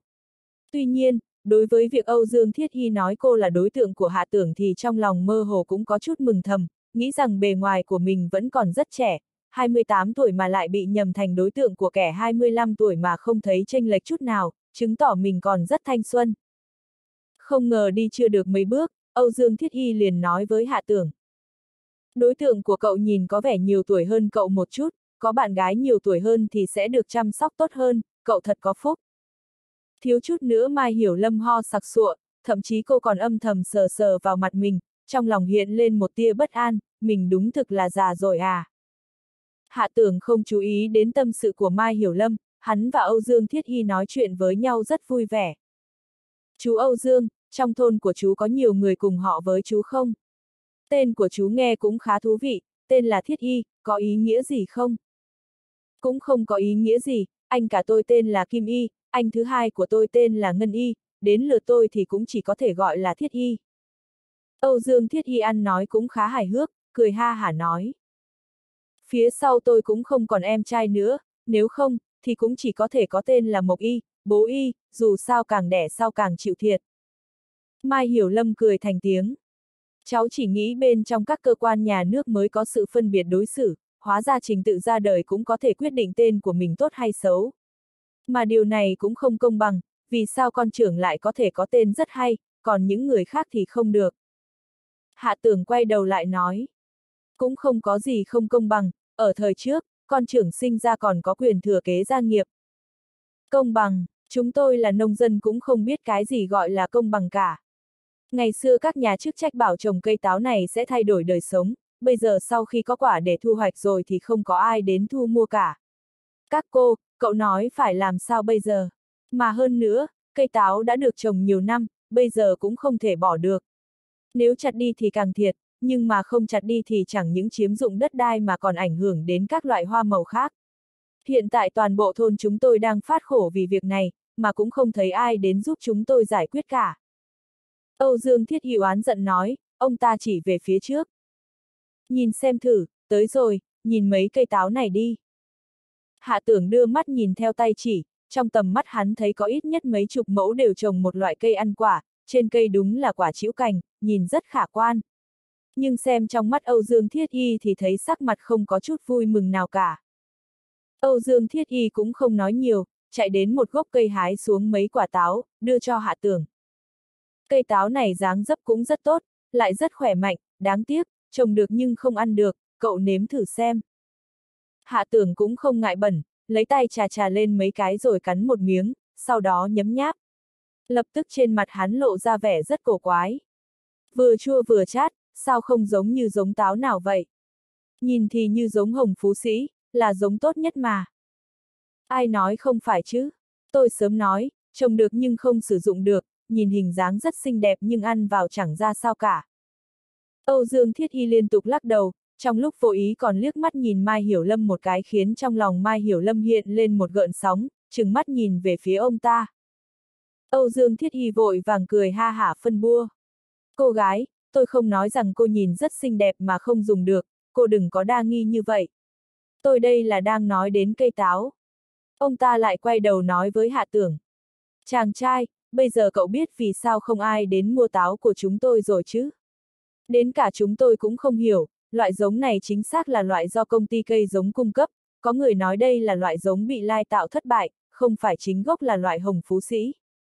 Dù sao chúng tôi nghe cũng không hiểu những lời này, chỉ biết rằng, vài năm nay công sức của chúng tôi trở thành dã tràng xe cát.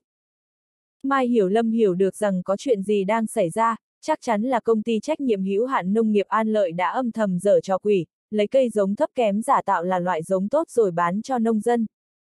Trong quá trình cây phát triển sau này, tuy rằng đã trải qua một thời gian chiết cây để cứu vãn một bộ phận, nhưng có lẽ là lực lượng kỹ thuật không tốt, hoặc là nguyên nhân khác, tóm lại, đợi lúc cây ra quả rồi mới phát hiện quả táo khó ăn, không tiêu thụ được. Dĩ nhiên công ty An Lợi không muốn gánh chịu tổn thất, vì thể đẩy chọn gánh nặng này cho người nông dân, cự tuyệt mua lại trái táo. Xét cho đến cùng đây là do công ty An Lợi làm hại đến người nông dân, mà Lệ Triều Sinh là người đưa ra và triển khai chính sách này, là người lãnh đạo vì thế ít nhất y cũng phải bị liên đới trách nhiệm. Trong lòng Mai Hiểu Lâm đã có được kết luận, vì thế cô âm thầm kéo tay áo Hạ Tưởng, muốn cùng hắn quay trở về. Hạ Tưởng khoát tay về phía cô, nhỏ giọng nói. Đừng nóng vội, tiếp tục xâm nhập vào tình huống, không thể cưỡi ngựa xem hoa được. Mai Hiểu Lâm không phục. Sự việc đã rõ ràng trước mắt rồi, là do công ty An Lợi có vấn đề. Chúng ta sau khi trở về sẽ nghiên cứu một chút các đối sách. Có đúng là sự việc này do một mình công ty An Lợi làm ra không? Hạ tưởng hỏi với vẻ đầy thâm ý. Làm thế nào mà cô truy cứu được trách nhiệm của công ty An Lợi? Mai Hiểu Lâm tức giận lộ ra dáng vẻ của một phó bí thư. Công ty An Lợi đã hại người nông dân như vậy, khó thoát khỏi trừng trị của pháp luật, tôi sẽ đề nghị người nông dân đi tố cáo bọn chúng. Hạ tưởng không cho là đúng mà mỉm cười. Công ty An Lợi không có ký kết hợp đồng nào với người chồng, cô dựa vào cái gì mà đi thư kiện người ta. Mai Hiểu Lâm sửng sốt, có chút không thể tin được. Không thể có trường hợp ấy, không ký kết hợp đồng mà lại điều chỉnh loại cây trồng thì những người nông dân này cũng quá khinh suất. Bọn họ không phải là khinh suất, bọn họ là tin tưởng vào đảng, tin tưởng vào chính quyền. Hạ tưởng vẻ mặt trầm trọng lắc đầu rồi xoay người hỏi Âu Dương Thiết Y. Lúc đấy các chú có ký hợp đồng thu mua nào với công ty An Lợi không? Không có, ký hợp đồng gì. Lúc đấy bí thư lệ dẫn người tới, bí thư lệ đã đảm bảo với chúng tôi thì sao chúng tôi lại có thể không tin. Kết quả thì tốt rồi, bây giờ bí thư lệ không thừa nhận năm đó hắn ta đã thốt lời đảm bảo với chúng tôi, lại còn lật lọng bảo loại cây ăn quả này là hành vi buôn bán tự phát, chính quyền không chịu trách nhiệm, chỉ phụ trách việc phối hợp giải quyết hậu quả. Âu Dương Thiết Hy nói tới đây, cánh tay đánh mạnh xuống. Phối hợp cái rắm, đây chỉ là nói xuông, nói cho sướng mồm, hoàn toàn xem chúng tôi như là những đứa ngốc để đùa giỡn. Lúc này, ở tại huyện về cơ bản là không tìm thấy bí thư lệ, lên thành phố Yến tìm công ty An Lợi thì người ta nói năm đó bọn họ chỉ cung cấp cây giống, không ký kết hợp đồng thu mua lại quả táo. Bây giờ đúng là, về cơ bản không ai quản sự sống chết của chúng tôi. Hạ tưởng không nói lời nào, liếc mắt nhìn Mai Hiểu Lâm một cái. Cuối cùng Mai Hiểu Lâm cũng hiểu được một phần. Lệ Triều Sinh là người lập ra quyết sách này, chỉ sợ là còn có giao dịch gì phía sau với công ty An Lợi. Hiện tại cô càng lúc càng nhìn không thấu được hạ tưởng. Hắn không chút hoang mang, rất nhanh chóng tìm ra được điểm mấu chốt của vấn đề nhưng lại không kết luận một cách vội vàng, luôn có bộ dạng, tư thái như đã định liệu từ trước. Lúc mới gặp, cô cứ tưởng rằng hắn ta giả bộ như vậy, bây giờ mới biết được rằng hóa ra hạ tưởng đúng là rất điềm đạm và chắc chắn. Lại nhớ tới lần đầu tiên cô ngầm tìm hiểu tình hình mà không thu hoạch được gì, trong lòng cô thêm rõ ràng đạo lý rằng, trong công tác cơ sở thì không thể ngay lập tức mà hỏi han các sự tình được, mà đầu tiên phải hòa mình cùng với người dân trong thôn, từ từ chậm rãi moi tin tức từ trong miệng bọn họ. Có đôi khi không phải người dân không muốn nói ra hoặc không thể nói, mà để người ta nói ra thì cần một người nào đó chậm rãi dẫn dắt đưa đường. Hạ tưởng đúng là có trình độ, so với cô còn ít hơn 3 tuổi nhưng kinh nghiệm thì phong phú hơn nhiều. Hiện tại, cặp mắt của Mai Hiểu Lâm nhìn hạ tưởng đã có ý tứ khác hẳn ngày xưa. Trong thôn có tổng cộng bao nhiêu mẫu vườn trồng loại cây này? Hạ tưởng lại hỏi, cũng không quên đưa thêm một điếu thuốc cho người đàn ông này. Tổn thất có lớn không? Thôn chúng tôi là thôn miền núi, trước đây thì cũng được.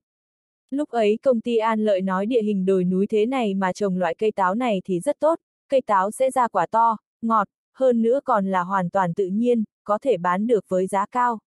Kết quả là người dân trong thôn nghe xong, gần như người nào cũng để sử dụng các mẫu ruộng tốt nhất để trồng loại táo này. Âu Dương Thiết Y vừa châm điếu thuốc lá, vừa than thở nói. Muốn nói tới tổn thất thì đúng là không thể tính được. Đầu tiên là tốn không ít tiền mua cây giống ở lúc trước, qua mấy năm nay bỏ công bỏ sức cần cù chăm bón thế mà đến vụ thu hoạch này lại xem như mất trắng. Hơn nữa, mấy năm trước còn nghe công ty An Lợi nói, hễ là vườn trái cây thì không được trồng các loại hoa màu khác, để tôi tính thử xem nào. Âu Dương Thiết Y ngồi xổm trên mặt đất, cầm một cành cây vạch tới vạch lui trên đất, trong miệng lẩm nhẩm. Một lát sau, ông ta ngẩng đầu lên. Gia đình người khác thì tôi không rõ lắm, tôi chỉ tính trong nhà tôi thôi. Nhà tôi tổng cộng có 3 mẫu, sau mấy năm qua thì ít nhất cũng tổn thất 5.000 tệ. 5.000 tệ, hạ tưởng hít sâu một hơi, đối với người dân thôn Tiểu Quách mà nói thì 5.000 tệ là một khoản tiền rất lớn. Cho dù ngay cả đối với hắn, chỉ trông vào đồng tiền lương thôi thì số tiền trên cũng là một số tiền đáng kể. Ba mẫu tổn thất 5.000 tệ, như vậy toàn bộ ngàn mẫu trong thôn này, tính sơ sơ thì tổn thất cũng phải là 15 triệu tệ. Đây chỉ là những tổn thất có thể dễ dàng liệt kê được, còn những tổn thất khác thì chưa tính. Nếu tính tổng cộng như vậy thì độ tổn thất cũng phải vượt qua 30 triệu. Hạ tưởng cảm thấy phẫn nộ với cách kiếm tiền bằng cách cướp đoạt của cải từ trên tay những người nông dân như thế này, đối với những loại cán bộ kiểu này phải băm vằm ra thành trăm mảnh. Mặc dù hắn cũng đang còn không rõ ràng lắm rốt cuộc lệ triều sinh đứng ở giữa thu hoạch được bao nhiêu ưu đãi, nhưng có thể khẳng định được rằng lệ triều sinh và công ty an lợi chắc chắn có giao dịch ở phía sau mà tuyệt đối không để ai biết được. Hơn nữa, nói không chừng thì sự kiện cây ăn quả này chỉ là một góc của tảng băng mà thôi. Trên đường trở về, sắc mặt Mai Hiểu Lâm không tốt lắm, quay đầu nhìn về phía ngoài xe, Thủy Trung không nói câu nào. Thời điểm xe chạy đến thị trấn, bỗng nhiên cô nói. Sự tình còn nghiêm trọng hơn nhiều so với tưởng tượng của tôi. Phó Chủ tịch huyện Hạ, cậu nói xem bước tiếp theo nên làm cái gì bây giờ? Có nên tìm lệ triều sinh nói chuyện không? Tạm thời là không cần để tránh rút dây động rừng. Tôi đề nghị Phó Bí Thư Mai trước tiên áp chế chuyện này lại đã, không để cho bất kỳ ai nhắc tới. Sau đó tiếp tục âm thầm điều tra các chi tiết về công ty An Lợi. Hạ tưởng rất hiểu tình huống của vấn đề lúc này. Công ty An Lợi là một công ty kỹ thuật nông nghiệp được đăng ký thành lập ở thành phố Yến, thời gian thành lập cũng không dài. Thời điểm mà bán cây giống cho người dân trong thôn có lẽ cũng là thời điểm mới thành lập. Cửa để đột phá có lẽ là phải tìm ở công ty An Lợi. Trước hết không nên đụng chạm đến lệ triều sinh, y là người lão luyện trong chốn quan trường, chúng ta đấu không lại hắn. Ban đầu hạ tưởng muốn nói chính là Mai Hiểu Lâm đấu không lại lệ triều sinh, tuy nhiên vào lúc cuối lại sửa thành chúng ta để có vẻ dễ nghe hơn một ít. Mai Hiểu Lâm vẻ mặt tức giận, hung hăng vỗ cửa kính xe. Rất đáng hận, không còn chút tình người nào cả, không có chút lòng nào vì dân mà tạo phúc một phương. Tôi thấy bọn người này chính là một lòng vì cá nhân mình tạo phúc, nói bọn họ là đồ rác rưởi thì cũng không quá đáng. Mai Hiểu Lâm tức giận, ánh mắt trừng lên thật to, trong mắt lộ ra vẻ giận dữ, cái miệng mím chặt lại, bộ dáng lại có thêm mấy phần rất đáng yêu. Tuy nhiên, với sự chính nghĩa của cô ta như vậy thì hạ tưởng không thể không có chút thiện ý, đành phải nhắc nhở một chút. Phó Bí Thư Mai vì dân vì nước là chuyện tốt, nhưng phải chú ý đến phương thức làm việc. Có đôi khi có tấm lòng tốt chưa chắc đã xử lý được tốt sự việc, phải cẩn thận hơn nữa, phải nắm được nhược điểm của đối phương, không ra tay thì thôi, khi ra tay rồi phải không để đối phương có sức phản kích lại. Chỉ cần để lại cho đối phương một chút hơi tàn thôi thì không chừng sau này đối phương sẽ phản kích lại, lúc này thì trở thành bị hại. Không cần cậu nhắc nhở, tôi tự biết sự nặng nhẹ. Tôi cũng không còn là một cô bé, điều gì tôi cũng đều hiểu được. Mai Hiểu Lâm bất mãn đáp lời hạ tưởng, cô còn nói thêm. Tôi biết lệ triều sinh là người của khâu tự phong.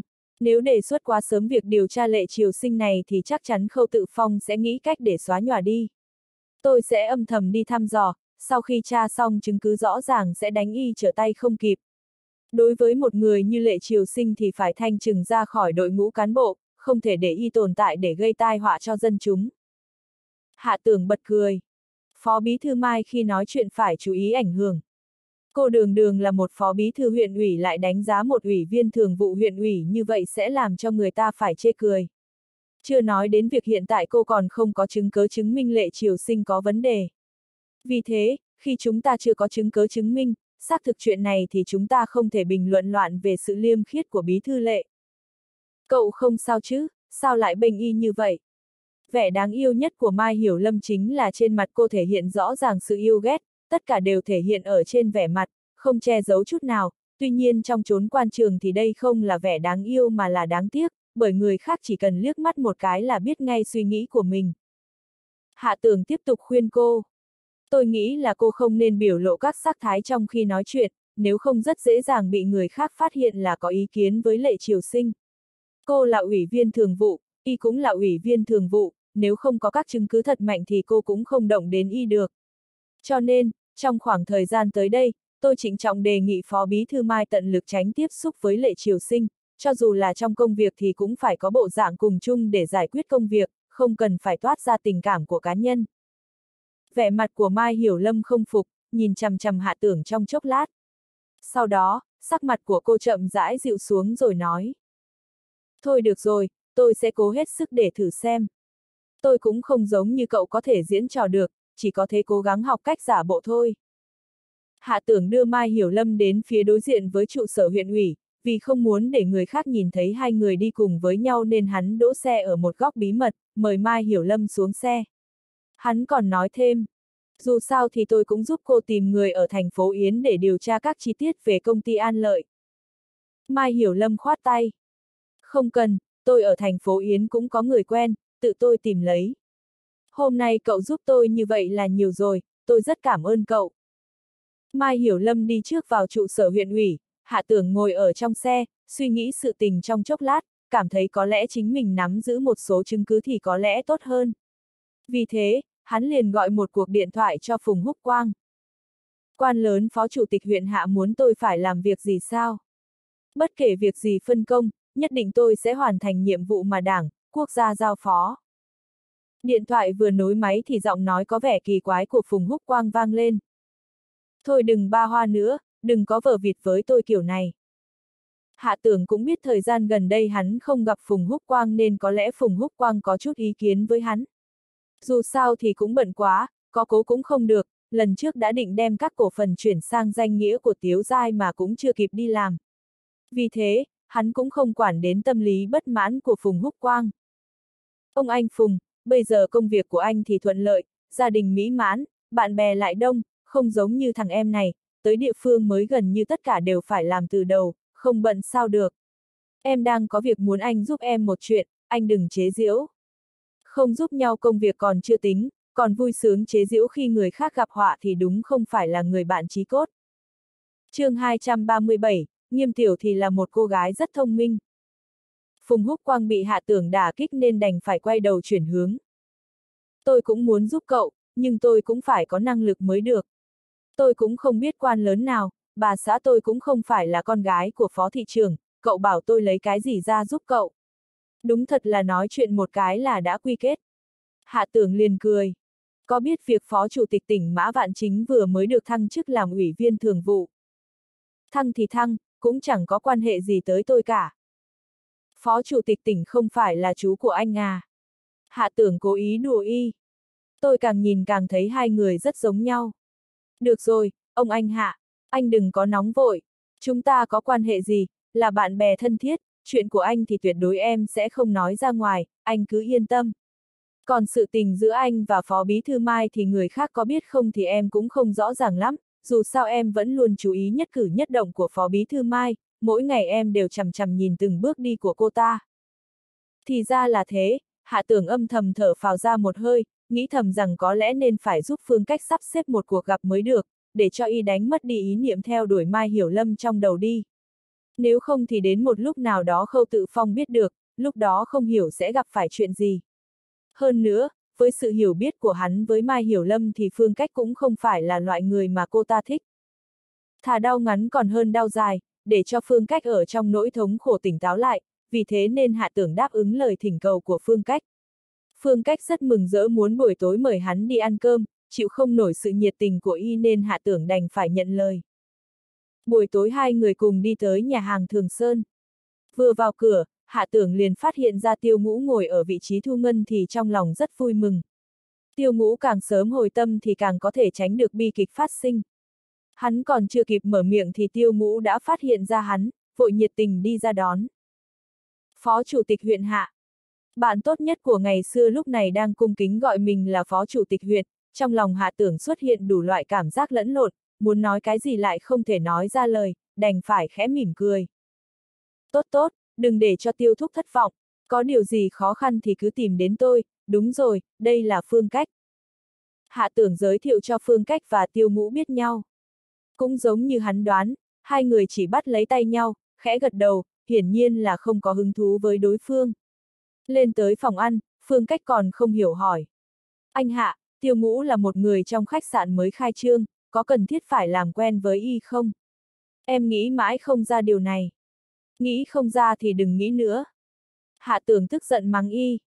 Hiện tại cậu có tính cách luôn kích động như một thiếu niên ở trường cấp 3, thế cậu tưởng cậu có bao nhiêu phần thành thục. Một người không vì vị trí quan có cao đến đâu, quyền lực lớn như thế nào, cái quan trọng là người đó đi đến đâu cũng đều phải có bạn bè, người dạng nhân tài như vậy mới chính là trình độ làm người cao nhất.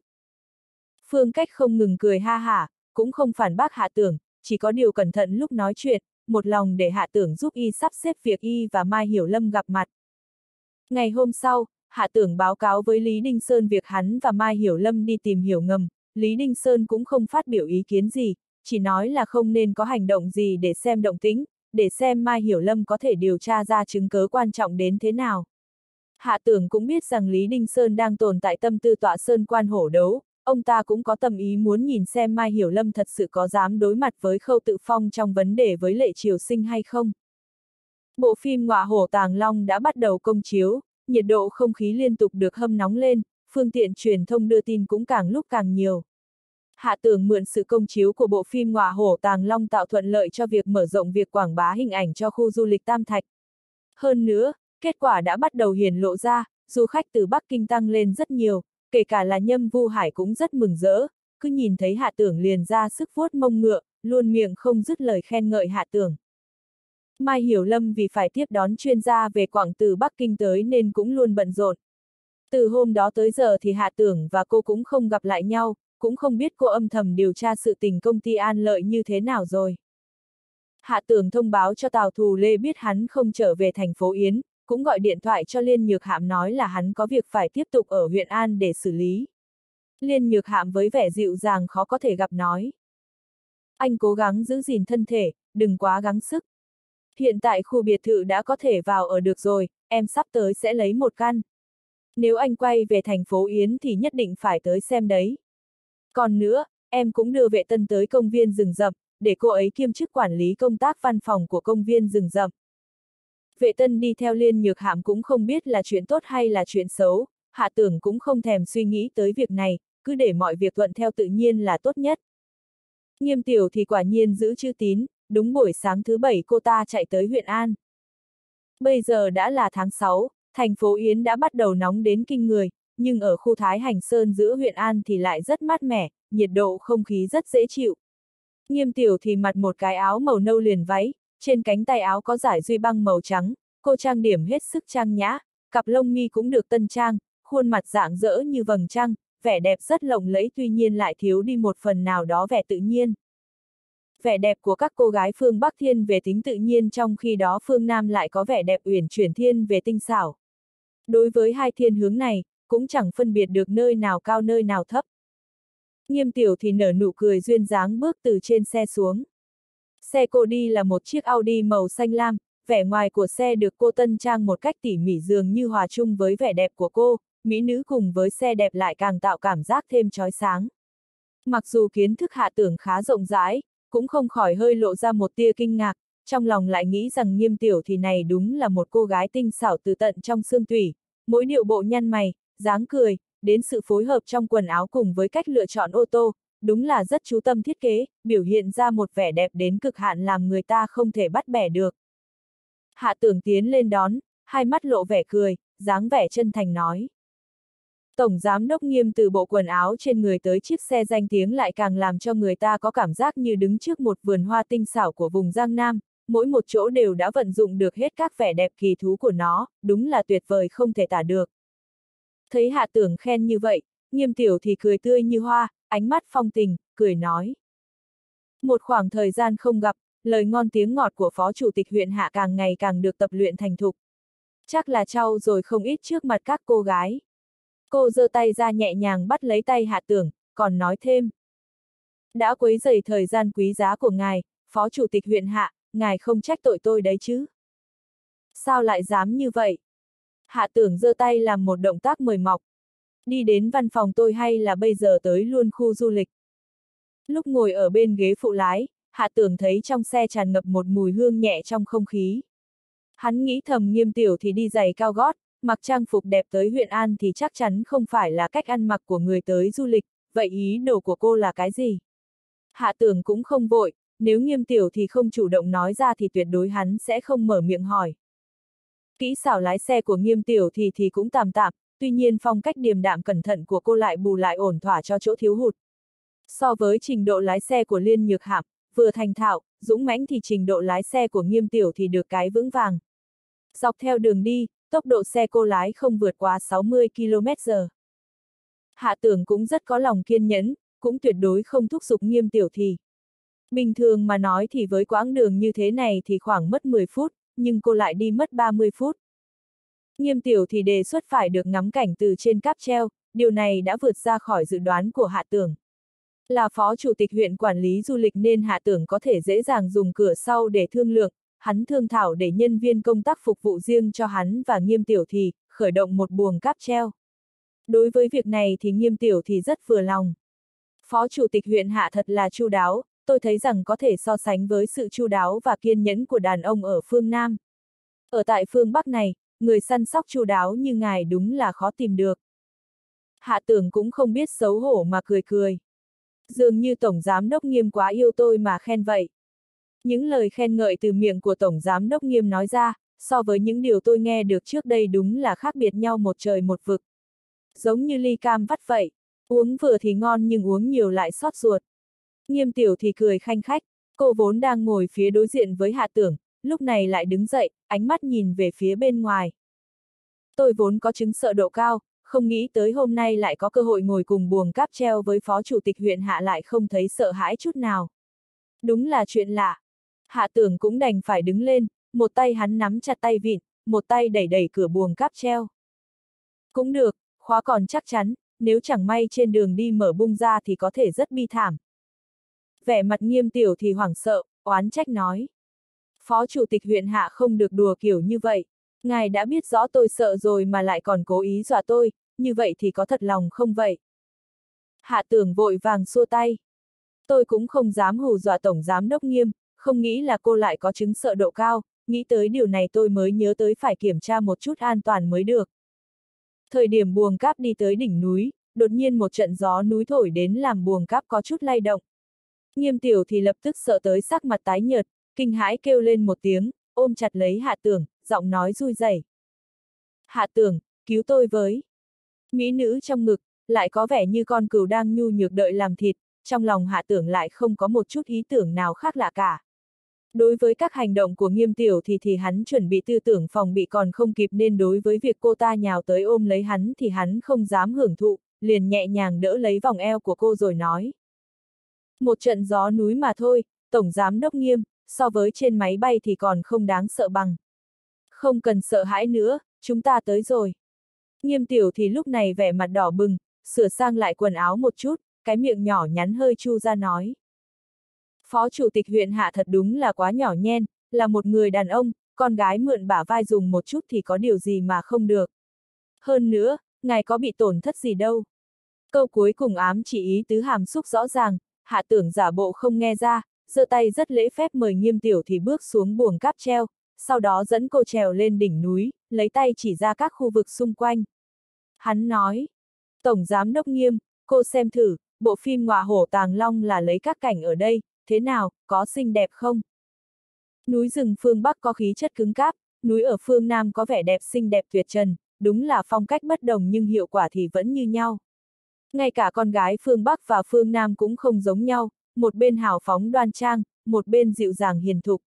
Là người phải có ánh mắt xa rộng, tầm nhìn phải thu được hết nguồn nước từ trên núi phương Bắc và phương Nam trong đáy mắt thì mới là người có tấm lòng cao cả được. Nghiêm tiểu thì như tự tâm sự, đôi mắt đẹp trong suốt có chút lóe sáng, hai mắt nhìn chằm chằm vào hạ tưởng.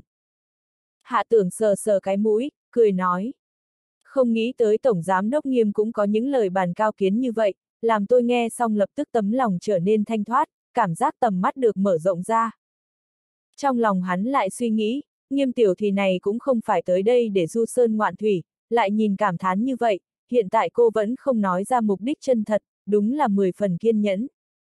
Nghiêm tiểu thì gặp hạ tưởng giả bộ nghe xong không hiểu, trong mắt không khỏi hiện lên một tia thất vọng, tuy nhiên lập tức lại khôi phục lại thái độ bình thường, bước tới bước lui trên đỉnh núi, chơi đùa rất vui vẻ. Hạ tưởng ở một bên tiếp khách, làm vai trò của một hướng dẫn viên du lịch miễn phí. Nghiêm tiểu thì ở mỗi chỗ đều lưu luyến rời đi, ngắm nghía rất say mê, dường như không hề có chuyện gì quan trọng cả.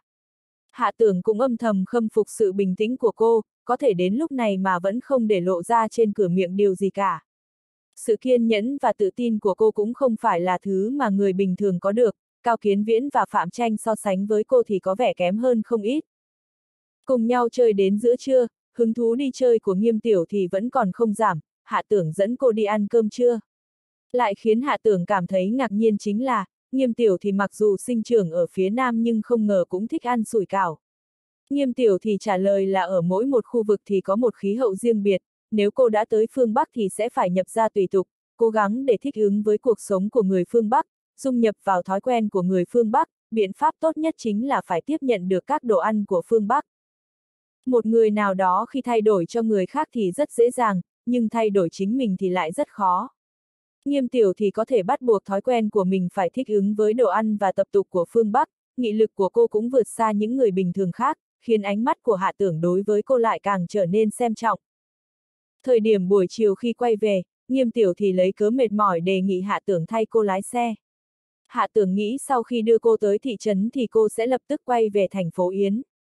Không ngờ vừa đến thị trấn, nghiêm tiểu thì lại đề nghị hạ tưởng thu xếp cho cô ở lại, nói cô không muốn lái xe quay về thành phố Yến bây giờ, có gì thì ngày mai lại đi.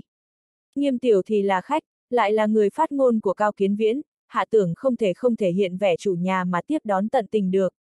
Hắn lại thu xếp giúp cô ở tại nhà khách của huyện ủy.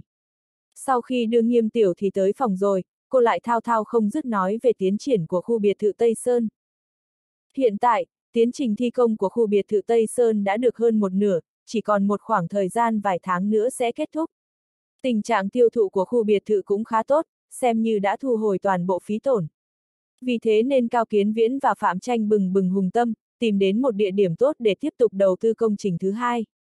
Hạ tưởng đã đề xuất rất nhiều chi tiết cải tiến, ví dụ như dòng suối nhỏ chảy lượn lờ qua khu biệt thự, lại như lấy núi đá nguyên khối điêu khắc thành một số ghế dài để người đi có thể ngồi nghỉ ngơi, lại còn gieo trồng một ít cây ăn quả để làm đẹp cho dòng nước từ trên núi chảy xuống. Những điều này đạt được rất nhiều sự khen ngợi từ những gia đình sống ở khu biệt thự, rất nhiều người chủ yếu là coi trọng cách suy nghĩ lý thú, cách bố cục khác lạ mà mới hạ quyết định mua nhà ở đây. Có thể nói, trong việc xúc tiến tiêu thụ khu biệt thự Tây Sơn thì hạ tưởng cũng không thể nói là không đóng phần lớn công sức được. Tài ăn nói của nghiêm tiểu thì rất tốt, liên tiếp nói ra rất nhiều chuyện. Ngay cả hạ tưởng cũng cảm thấy thán phục, những việc tưởng như không có gì hay, nghe qua lời nói của cô lại trở thành hấp dẫn, mà nói liên tục không thấy mệt mỏi chút nào cả. Rốt cuộc thì nghiêm tiểu thì có lẽ là có chút mỏi mệt, cô ngượng ngùng nhìn hạ tưởng cười cười rồi nói. Phó chủ tịch huyện hạ có lẽ bị làm phiền rồi. Thật ra, tôi phải đi thẳng vào ý đồ đến đây của tôi, tuy nhiên ở một chỗ trò chuyện với phó chủ tịch huyện hạ rất thích nên tôi lại quên lãng đi công việc của mình. Ngài không trách tôi chứ?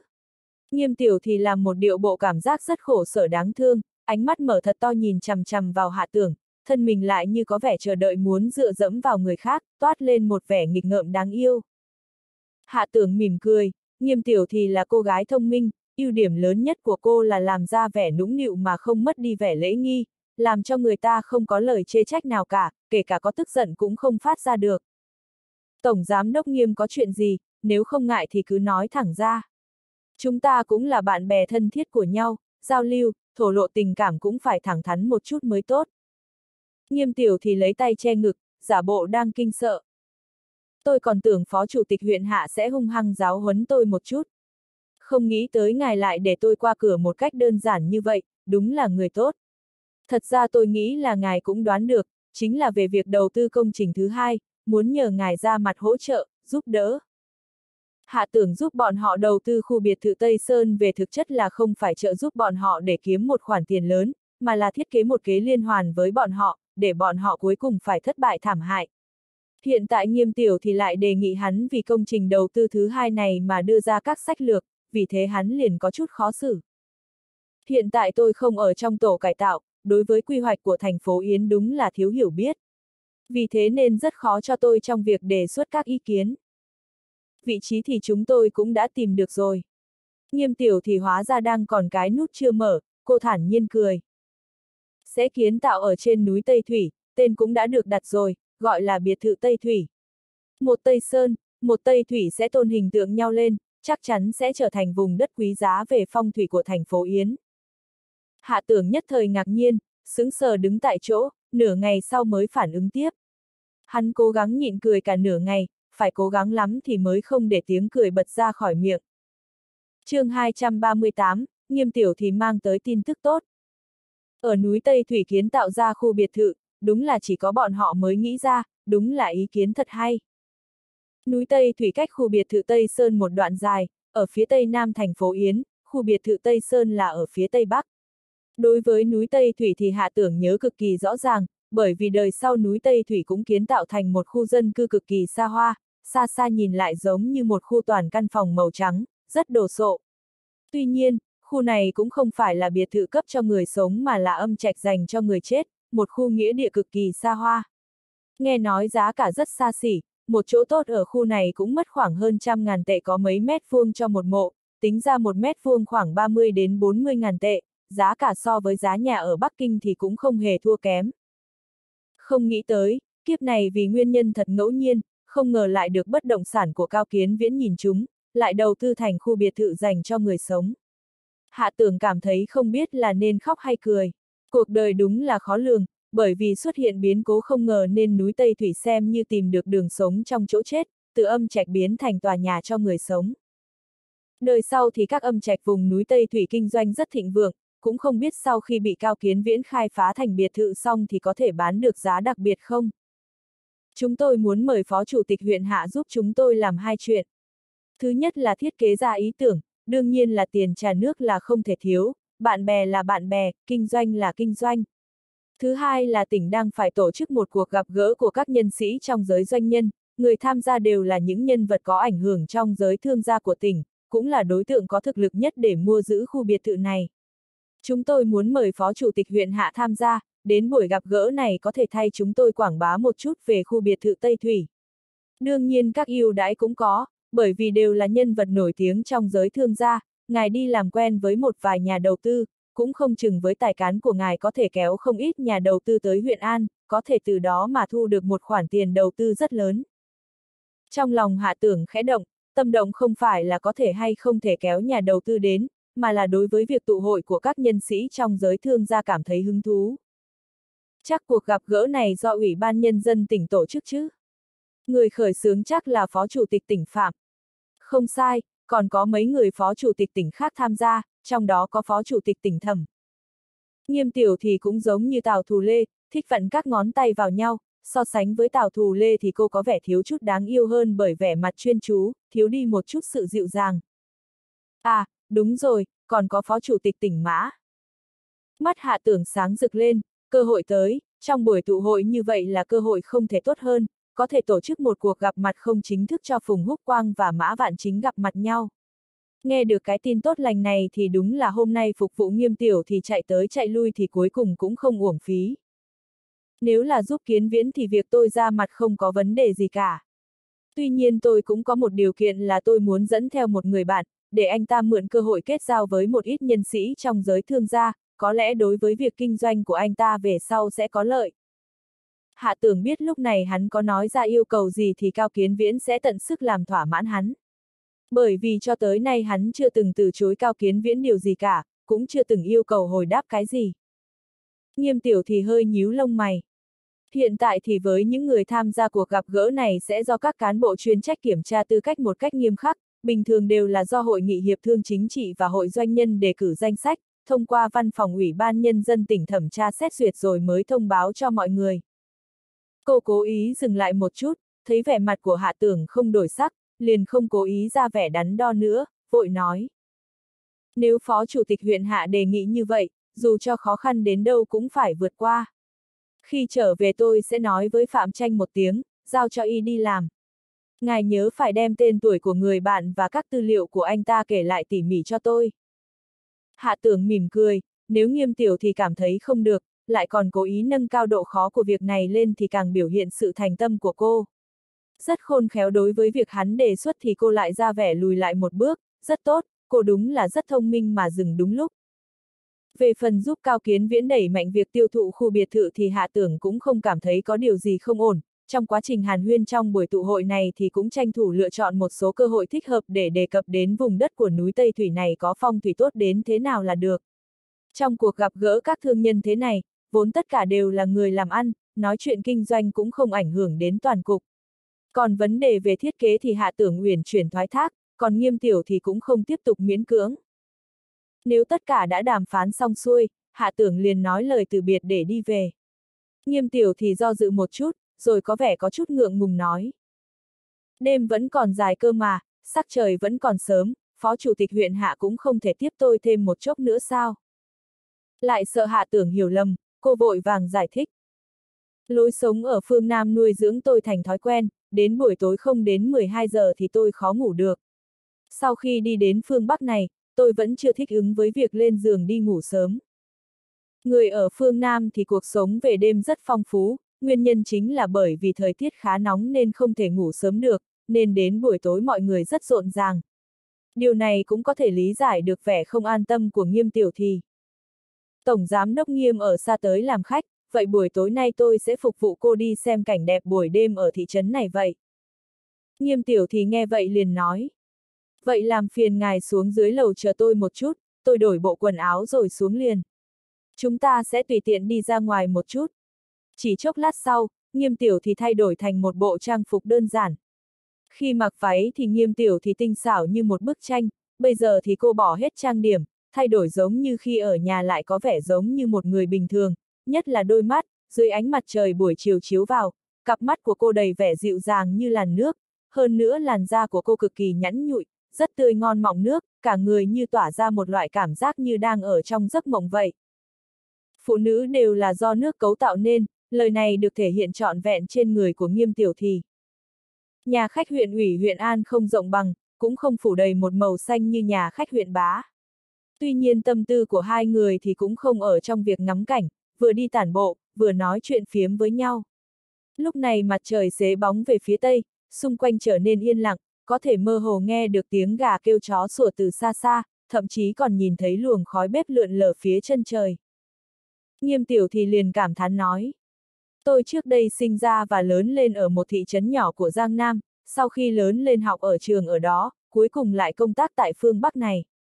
Rất lâu rồi tôi không quay về thị trấn nhỏ đó nữa, thời gian bôn ba càng lâu thì càng thêm hoài niệm thời gian nhàn nhã khi ở thị trấn đó. Hơn nữa, vào mỗi giờ cơm như thế này, khói bếp trong thị trấn nổi lên bốn phía, mọi chốn mọi nơi đều vang lên tiếng gọi con nhỏ trở về nhà ăn cơm, nghĩ đến đây lại càng làm cho lòng tôi thêm đắm đuối.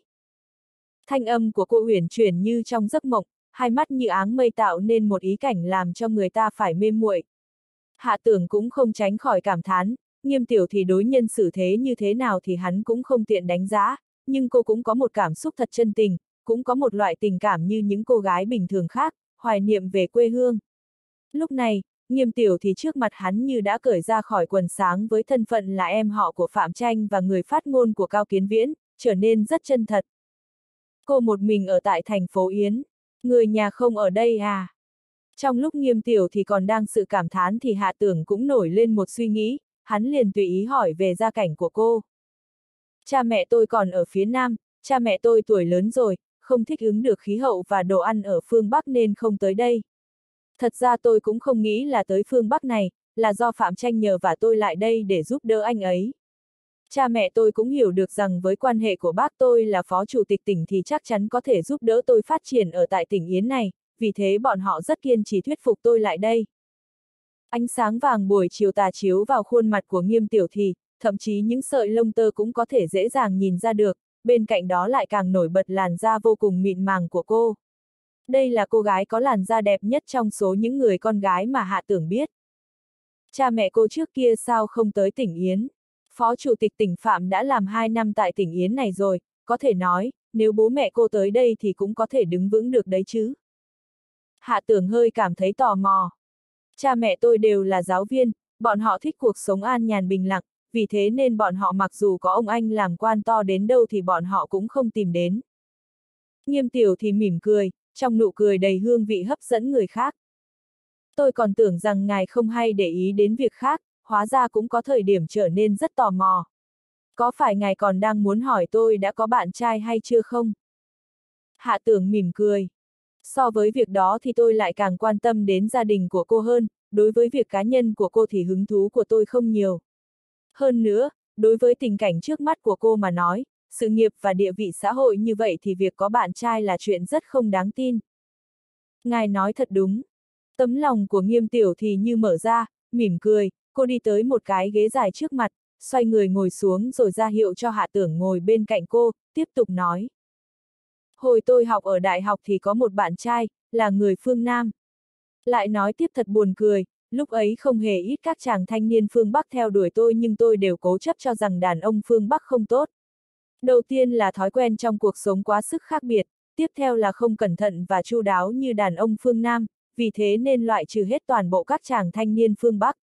Kết quả đáng xấu hổ, tự mình tuyển chọn trong vạn thanh niên phía Nam được một người thì lại phát hiện ra khuyết điểm của anh ta rất nhiều, ví dụ như ích kỷ quá mức, không vị tha, lại khôn khéo quá, rất keo kiệt. Thời điểm nghiêm tiểu thì nói chuyện thì ánh mắt cứ nhìn chằm chằm vào hạ tưởng, cô không vặn hai tay vào với nhau nữa. Sau khi liệt kê hết các khuyết điểm của người bạn trai trước của cô ra, lại tự mỉm cười giễu cợt mình. Sau khi tôi đi đến phương Bắc, lúc đó mới phát hiện nhận thức trước kia của mình quá sức nông cạn. Đàn ông phương Nam quá cẩn thận nên đến mức keo kiệt, lề mề nên không đủ hào phóng. Đàn ông phương Nam quá mức khôn khéo nên luôn phải suy tính, so đo mọi chuyện để rõ ràng ra. Ngược lại đàn ông phương Bắc thì lại có rất nhiều ưu điểm mà trước kia tôi không phát hiện ra được, ví dụ như có thể kiên nhẫn mà không mất sự cẩn thận, trong vẻ hào phóng để lộ ra sự sảng khoái, cho dù là tức giận hay keo kiệt cũng thể hiện luôn ra ngoài, làm cho người ta cảm nhận được con người thực của họ. Hạ tưởng liền cười. Không phải đâu, mà sao cách nhìn nhận của cô lại biến hóa lớn như vậy? Có phải ước đoán quá chủ quan hay không? Mà tại sao lại phân biệt Nam hay Bắc, người tốt thì chẳng kể Nam Bắc gì cả? Nói là nói như vậy, có lẽ là tôi chưa gặp được người đàn ông phương Nam tốt nhất mà lại gặp người đàn ông tốt nhất phương Bắc. Có khi ngẫm lại, tôi đúng thật là khá hâm mộ liên nhược hàm, cô ta tùy tâm tùy ý, dám yêu dám hận, tính cách như vậy thì các cô gái phương Nam chúng tôi rất khó làm được. Nghiêm tiểu thì nói xong rồi đứng lên. Tốt rồi, cảm ơn Phó Chủ tịch huyện Hạ Kiên nhẫn nghe tôi nói nhiều như vậy. Ngài là một người nghe đủ tư cách, cũng như trong mắt tôi ngài là người đàn ông tốt nhất phương Bắc. Hạ tưởng mặc dù da mặt rất dày nhưng cũng chịu không nổi sự khen ngợi của nghiêm tiểu thì, liền có vẻ hơi ngượng ngùng nói. Để tôi mời cô ăn một bữa cơm, cô không đến mức chụp cho tôi một cái mũ to như vậy chứ. Người đàn ông tốt nhất phương Bắc, danh hiệu này rất dọa người, nếu truyền ra ngoài thì tôi sẽ trở thành kẻ địch của toàn bộ đàn ông phương Bắc, cuộc sống tôi ở phương Bắc lúc này không thể yên ổn được. Nghiêm tiểu thì nở nụ cười rất vui vẻ. Vậy anh có thể chạy trốn tới phương Nam, nếu muốn đi tới nơi nào thì tôi sẽ cùng đi với anh. Câu nói này thể hiện nội dung quá mức trắng trợn, hạ tưởng không đáp trả câu nói của cô, lại nhìn trời nhìn đất rồi nói. Đến giờ ăn tối rồi, ăn cái gì đây? Tôi mời cô ăn tối, như thế cũng tốt, để ngăn chặn sự truyền bá của cô vậy. Sáng sớm hôm sau, nghiêm tiểu thì liền quay trở về thành phố Yến. Sau khi tiến bước cô trở về, hạ tưởng cũng không có tâm tư và thời gian để quay về thành phố Yến, liền gọi một cuộc điện thoại cho Phùng Húc Quang, nói ra một số tin tức. Phùng Húc Quang khá cao hứng nói. Đây là chuyện tốt, mặc kệ là có thể nhận được người thân hay không thì ít nhất cũng có thể kết bạn được với một số người trong giới doanh nhân của tỉnh Yến. Như vậy tôi cũng có thể được xếp hạng vào trong danh sách những người nổi tiếng rồi, rất may là có cậu. Ông em hạ, không nhiều lời cảm tạ, khi quay về tôi sẽ mời ông em đi ăn lẩu băng truyền. Hạ tưởng lại cười mắng y mấy câu, sau đó lại gọi điện thoại cho nghiêm tiểu thì, đầu tiên là ân cần thăm hỏi một vài câu, sau đó lại đem các tư liệu của Phùng Húc Quang nói ra. Nghiêm tiểu thì nói làm hạ tưởng rất yên tâm, cô khẳng định là có thể làm tốt chuyện này, cuối cùng lại cường điệu nói. Tuy nhiên Phó Chủ tịch huyện Hạ có thời gian thì quay về thành phố Yến thì phải nhớ tìm tôi để nói chuyện phiếm. Ngày hôm qua tôi và anh nói chuyện, tán gẫu một lúc như vậy làm tôi thấy rất vui vẻ. Buổi chiều Hạ Tưởng liền đi tìm phương cách lái xe cho hắn và Lý Đinh Sơn cùng nhau đi một vòng xung quanh thị trấn. Hiển nhiên Lý Đinh Sơn không hứng thú mấy đối với việc du ngoạn Sơn Thủy, từ thái độ có thể thấy đang có rất nhiều tâm sự. Hạ tưởng nghĩ là vấn đề của sử khiết với ông ta lại phức tạp nên cũng không mở miệng khuyên. Có một số việc chỉ dựa vào mình tự giải quyết, người ngoài dù sao cũng là người ngoài, không thể giải được. Buổi tối, thời điểm ăn cơm cùng nhau, Lý Đinh Sơn nói ra lo lắng của ông ta. Phó Bí Thư Mai mời chuyên gia từ Bắc Kinh tới, đang cùng với Phó Chủ tịch huyện Cường đi đến khảo sát thực địa tại vùng núi Khoáng Thạch. Vốn tôi tưởng rằng Chủ tịch huyện Khâu không có nhiều hứng thú đối với việc khai thác mỏ, không ngờ tới là y thể hiện thái độ ủng hộ một cách mạnh mẽ, nếu vậy sự tình này trở nên không dễ làm rồi. Nếu trên hội nghị thường vụ thảo luận, có sự liên kết của Phó Bí Thư Mai và Chủ tịch huyện Khâu thì khả năng thông qua rất lớn. Một phiếu phủ quyết của tôi có khả năng không được mọi người để ý lắm.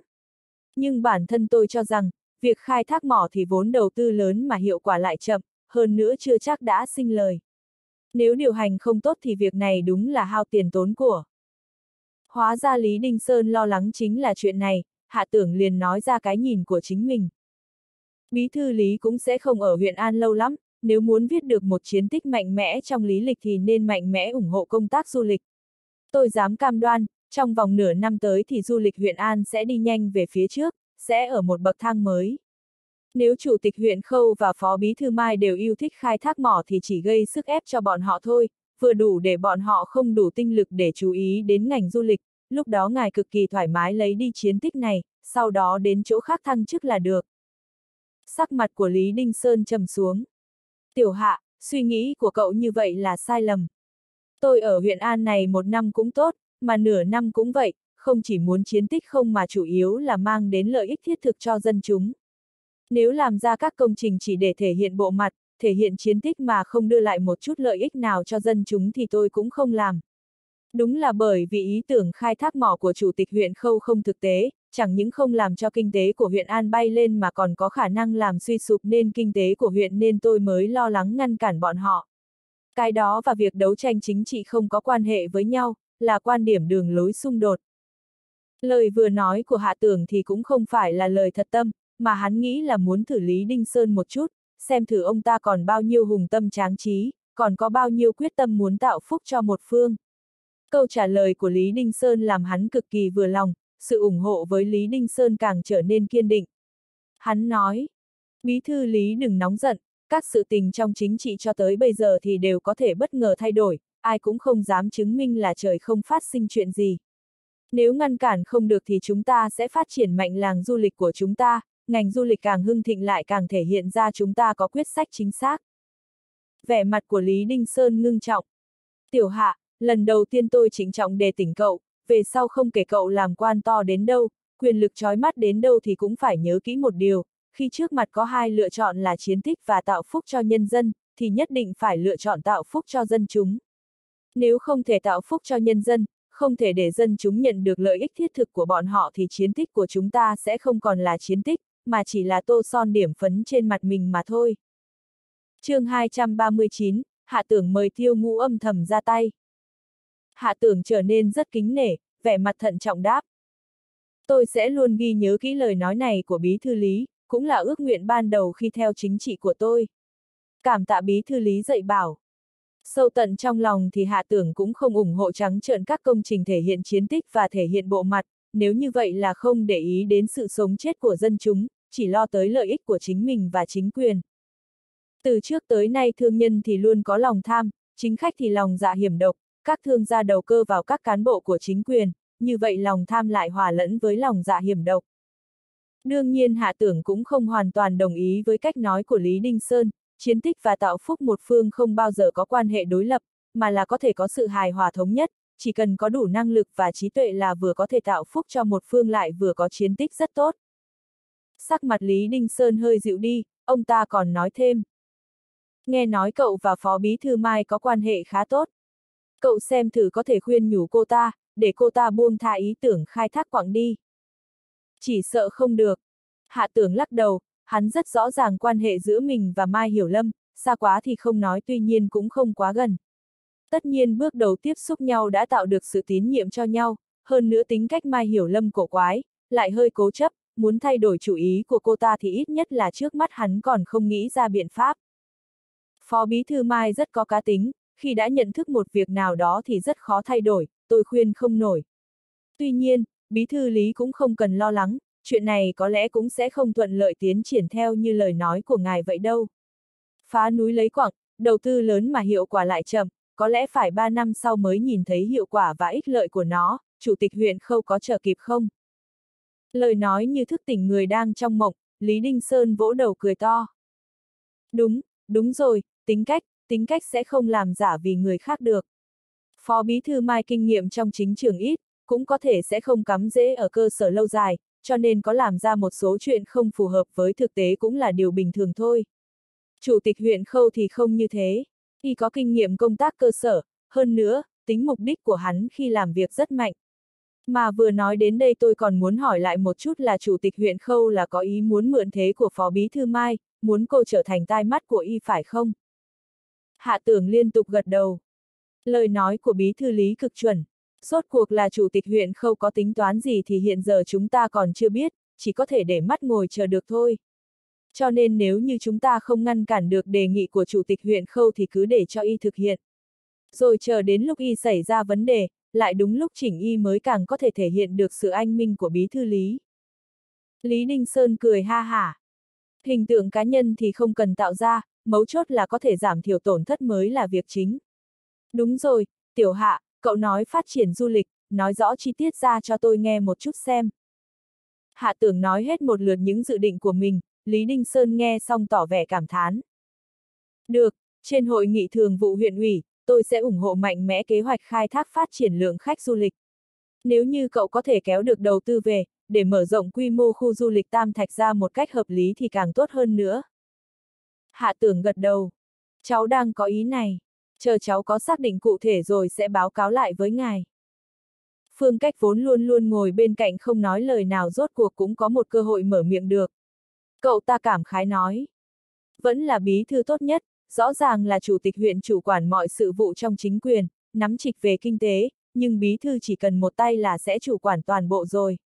Cho nên nói là không quản, nhưng lại có thể khắp nơi chen tay vào được. Theo cháu thì về sau trực tiếp bỏ luôn nhóm đảng ủy này đi, chỉ cần trực tiếp thiết lập một cơ cấu chính quyền là đủ rồi. Bí thư làm chủ tịch huyện luôn, còn chủ tịch huyện chính là phó chủ tịch huyện huyện, chẳng phải như thế thì tốt hơn sao? Lý Ninh Sơn cười ha hả. Đừng có nói lung tung. Tiểu Phương, lời cháu nói vừa rồi không giống như lời của con một vị trưởng ban tổ chức cán bộ nên nói. Nếu như không có sự tồn tại của đảng ủy thì trưởng ban tổ chức cán bộ cũng không cần thiết phải lập ra làm gì nữa. Ơ thế thì không được, thôi cứ thế này là tốt nhất. Phương cách cười xấu hổ. Ba cháu nếu không làm quan thì cháu còn chơi bời gì được nữa. Tất cả mọi người đều cười vì câu nói đó. Trong phòng hội nghị về công tác của Ủy ban Nhân dân huyện, Khâu Tự Phong chính thức đưa ra ý tưởng về khai thác khoáng sản ở huyện An. Trong tình hình tất cả những phó chủ tịch huyện khác đều cực lực ủng hộ, hạ tưởng có muốn phản đối cũng chẳng ăn thua gì, đành phải thuận theo số đông, cũng tỏ vẻ ủng hộ, nhưng lại không có phát biểu bất cứ ý kiến gì cả. Cường Giang Hải đối với hạ tưởng có nhìn trái nhìn phải cũng đều thấy không thuận mắt, thấy hạ tưởng không phát biểu ý kiến gì, gã liền chào phúng nói. Phó Chủ tịch huyện Hạ làm sao lại không có ý kiến gì với kế hoạch của Chủ tịch huyện Khâu như thế? Có phải là làm những chuyện đầu cơ trục lợi thì còn tạm được chứ còn vừa gặp phải những chuyện trọng đại là thúc thủ vô sách, bó tay không có cách nào cả. Hạ tưởng vẻ mặt không vui nói. Phó Chủ tịch huyện Cường nói thế thì không đúng. Chủ tịch huyện Khâu vì sao lại là lãnh đạo của chúng ta? Đó là bởi vì anh ấy nhìn xa trông rộng, có thể nghĩ đến những biện pháp mà chúng ta không thể nghĩ đến được, nhìn đến những điểm mà chúng ta không thể nhìn thấy được. Nếu mọi chuyện tôi cũng đều có thể theo sát được chủ tịch huyện khâu thì chẳng hóa ra là năng lực của tôi sắp vượt qua chủ tịch huyện khâu rồi sao? Bây giờ tôi cũng không có trình độ như thế được, có điều tôi chắc là nhớ rõ, hình như cứ sau mỗi lần chủ tịch huyện khâu lên tiếng là phó chủ tịch huyện cường đều có không ít điểm phải bổ sung. Tôi nghĩ là phó chủ tịch huyện cường không hổ là họ cường, năng lực cũng quả nhiên là rất mạnh. Cường Giang Hải lại một lần nữa bị hạ tưởng làm cho tức đến vỗ bàn nhảy dựng lên. Hạ tưởng, cậu đừng có đưa đẩy ly rán. Hạ tưởng tuyệt đối không bực tức, cười nói. Tôi không lên tiếng thì anh không để yên. Tôi vừa nói nói anh lại bực mình, sao mà phải khổ thế chứ? Khâu tự phong tức giận, sắc mặt xanh mét, hung hăng chừng mắt lườm cường Giang Hải một cái. Về sau nói chuyện phải chú ý đúng mực, đừng tự làm mình mất mặt. Rồi lại quay sang hạ tưởng nghiêm khắc nói. Tiểu hạ về sau cũng cần chú ý, nói chuyện đừng có nghĩ cái gì thì nói cái đó như thế. Thịnh đại cố nén mới không cười phì ra tiếng. Không chịu nổi việc phương cách cứ kỳ kèo mãi, hạ tưởng đành phải ra mặt tìm Mai Hiểu Lâm, bảo là muốn mời cô ăn cơm. Hắn định là lấy danh nghĩa mời cô ăn cơm rồi tìm cơ hội để cho phương cách gặp mặt cô một lần, cũng coi như là thực hiện được lời hứa rồi. Hạ tưởng vốn cho rằng Mai Hiểu Lâm sẽ từ chối ngay, không ngờ cô lại thật vui vẻ đáp ứng. Vừa lúc tôi cũng có việc cần tìm anh, vậy sau khi hết giờ làm thì anh đi ra quán đới chờ tôi đi. Quán đới là một quán ăn nhanh đặc sắc ở huyện An, chủ yếu là đồ ăn nướng, không ngờ là sức thưởng thức của Mai Hiểu Lâm cũng rất lạ. Sau khi hết giờ làm, hạ tưởng đến lầu hai quán đới trước, vừa mới ngồi xuống đã nhanh chóng gửi tin nhắn cho Phương Cách, bảo cậu ta nửa tiếng sau, vô tình, cùng đến đây. Mai Hiểu Lâm tới đúng hẹn. Cô mặc một bộ váy liền áo bằng vải cotton màu xanh, không phải màu xanh hy vọng mà là màu xanh đậm. Bộ váy liền áo hơi bó eo khi mặc trên người cô lại làm cô có vẻ đẹp rất trí thức, làm cho hạ tưởng cảm thấy trước mắt sáng ngời. Bắc Kinh là dưới chân thiên tử, là thủ đô, có bao nhiêu người giàu có, quyền quý cao sang, có thể sinh ra và nuôi dạy một cô gái kiệt xuất thì tự nhiên cũng sẽ có khí chất không giống người thường. Mai Hiểu Lâm cũng thấp thoáng toát ra khí chất cao quý, nhưng sự cao quý của cô nội liễm mà hàm xúc, hoàn toàn không giống như sự mạnh mẽ và thoát tục khỏi nhân gian của Liên Nhược Hạm. Khí chất của cô có sự bình thản, công chính, có cả ý tứ thản nhiên, bao dung. Hoặc là nói, Liên Nhược Hạm cao quý như bầu trời sáng trăng, làm cho người ta có cảm giác mong muốn mà không thể đụng vào được. Còn sự cao quý của Mai Hiểu Lâm thì như hoa tuyết liên trên núi cao, tuy rằng cũng tỏa ra khí thức trong trẻo nhưng lạnh lùng đấy, nhưng đã rơi vào chốn nhân gian rồi, không phải là có thể với tay lấy là được nhưng cũng bay lơ lửng xa tận cuối chân trời. Hạ tưởng nghĩ thầm nếu như Mai Hiểu Lâm mặc lễ phục thì trên người cô tỏa ra khí chất rất là ung dung, đẹp đẽ và quý giá. Mai Hiểu Lâm chân thành ngồi vào chỗ của mình, lặng yên cười, nói. Phó Chủ tịch huyện Hạ hẹn ăn cơm, có phải là có chuyện gì khác muốn nói hay không? Hạ tưởng cười lắc đầu. Ăn cơm là ăn cơm thôi, tôi cũng không có ý tưởng gì khác cả. Có điều khi tôi gọi điện thoại thì lại nghe Phó Bí Thư Mai nói là có chuyện muốn tìm tôi. Thế chúng ta cứ vừa ăn vừa nói chuyện nhé.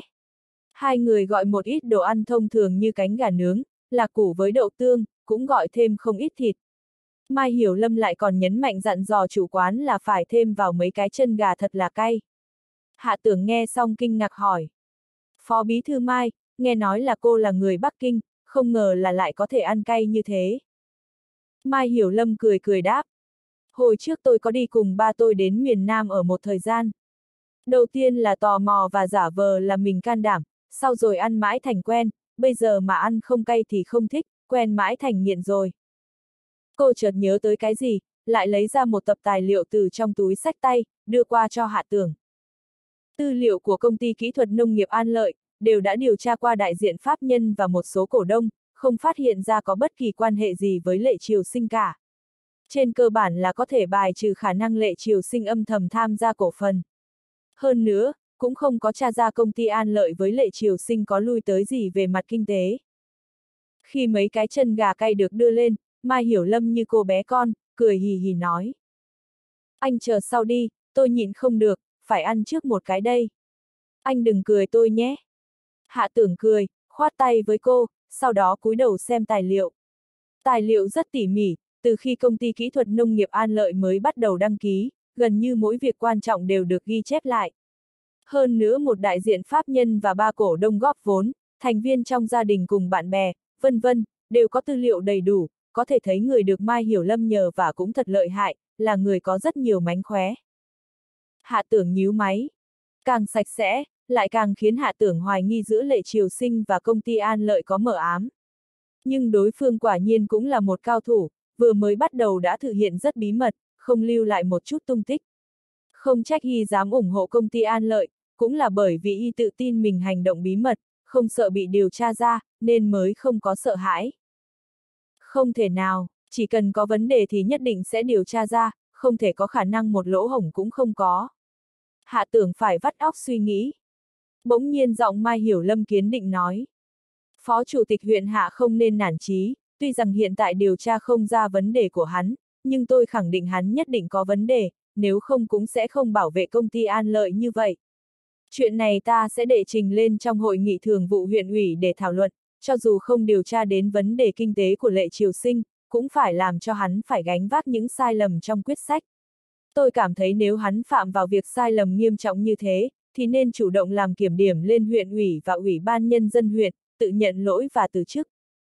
Tự nhận lỗi và xin từ chức, hạ tưởng thiếu chút nữa thì cười ra tiếng. Đùa phải không, đối với một số quan chức trong nước ta, cho dù có làm ra chuyện động trời hơn nữa, cho dù có chết nhiều người dân hơn, chỉ cần lãnh đạo cấp trên không trách tội là có thể giữ được chức quan, mà lừa gạt một lãnh đạo cấp trên thì dễ dàng hơn nhiều so sánh với việc lừa vạn hàng nghìn người dân. Bọn họ cần làm là nịnh bợ người lãnh đạo chứ không phải với quảng đại dân chúng, là quan tâm xem lãnh đạo cấp trên có vui không. Chỉ cần lãnh đạo cấp trên không truy cứu trách nhiệm của bọn họ, vậy thì việc bọn họ tự thấy lương tâm cần phải nhận lỗi và từ chức cũng chẳng khác gì nói mặt trời mọc ở đằng Tây, là chuyện không thể xảy ra.